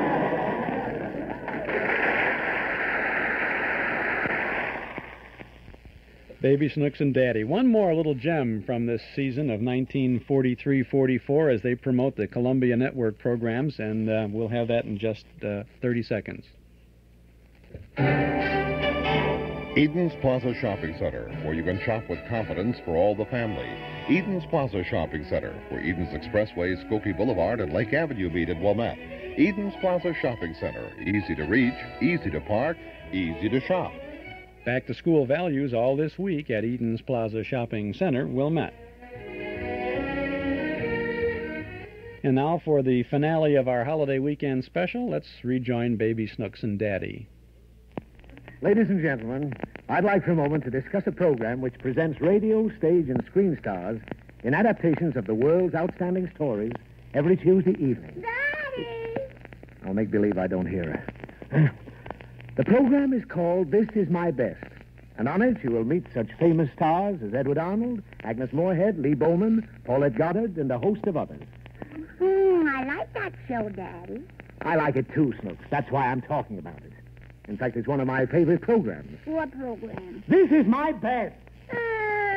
All right, I'm sorry I shouted. Well, I'd give a million dollars if you'd learn to stop pestering me. Could you lend me a quarter while I'm learning? No. But if you stop asking me questions, I'll give you a bright new penny. Haven't you got a dirty old nickel? What do you want it for? I wrote a thank you note to Aunt Sophie, and I want to buy a stamp. Oh, well, that's very commendable. What did you say? I said, Dear Aunt Sophie, thank you for the pencil. It's something I wanted all my life, but not very much. Oh, Snooks. No good? Terrible. Your gratitude should match the spirit in which the gift is given. And you're acting very small about it. Well, it was a very small gift. I don't be small. And leave me alone. Why? Because I've got that marvelous Tuesday night program, this is my best on my mind. And stop being a tease. I'm teasing. Well, you're not letting me read my script. What would you call that? A striptease? Very funny. Yay, nice. No. Now, will you please go away? Mm, I want to hear about the script. All right. It's a critique of one of my favorite radio shows, mm-hmm. This Is My Best, which presents motion picture stars interpreting the works of famous authors, scenarists, and playwrights, such as James Cain, Robert Nathan, James Thurber, Dorothy Parker. I wrote a story once, Daddy. I can imagine. What was it about? It was about a duck. Well, how did it go? Once upon a time, there was a duck. The end. Well, is that all there was to it? Uh-huh. But certainly you can write more than that about the life of a duck. Not this duck. Why not? It's a dead duck. Snooks, you've listened to This Is My Best, haven't you? Mm-hmm, I like it. Well, haven't you noticed how meaty the stories are? Mm-hmm. They satisfy a certain hunger people have for the real, the dramatic incidents of life. Oh. Now, do you know what's wrong with your story? Yeah. It doesn't satisfy a hunger. Right. Shall I call it the roast duck? Forget it. Your story just doesn't ring the bell, and that's all there is to it. It doesn't? No. Now, never mind, never mind. That bell has nothing to do with your story. It's just someone at the door. Shall I answer it? No, no. Now, where was I? You were just interrupted by the doorbell. Oh, yes. Uh, when you listen to This Is My Best each Tuesday evening on this station, you enjoy the best efforts of such great writers as Paul Gallico, MacKinlay Kantor, Ludwig Bemelmans, and scores of others, portrayed for radio by Hollywood's biggest names. It's This Is My Best every Tuesday.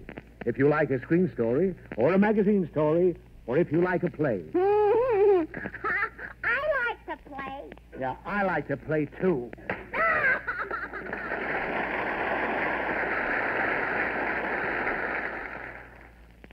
And that's Baby Snooks and Daddy with a series of six of apparently seven uh, radio promotional pieces that they produced, uh, participated in for the Columbia Network to herald the brand new 1943 44 season.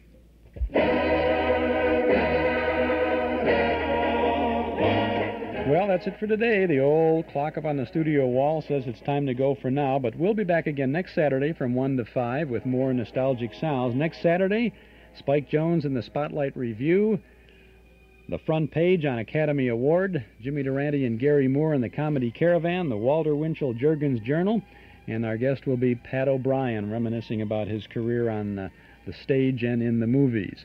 Our thanks to Mort Paradise, Dennis Bubas, Joel Bogart, and Gary Schroeder for their help behind the scenes, to our sponsors, Northwest Federal Savings, Nelson Hirschberg Ford, and Eden's Plaza Shopping Center for making this weekly get together possible, and to you out there in Radio Land for making it worthwhile. This is Chuck Schaden speaking.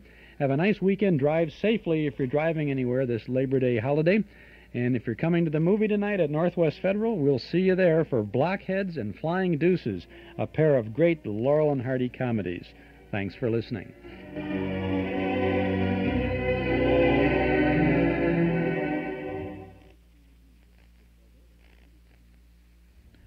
This is WNIB in Chicago at 97 FM. And this is Bruce Duffy welcoming you now once again to Zephyr. Zephyr is a two hour program of short, familiar classical music which we present every evening beginning around 5 o'clock.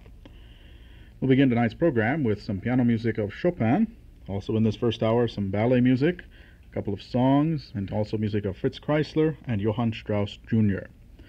Then, in the second hour, beginning at about 6 p.m., we have a violin sonata by Brahms, some ballet music by Catalani, some excerpts from Cav and Pag, Cavalleria Rusticana and I Pagliacci, the famous operatic twins, and also music of Rachmaninoff in the second hour.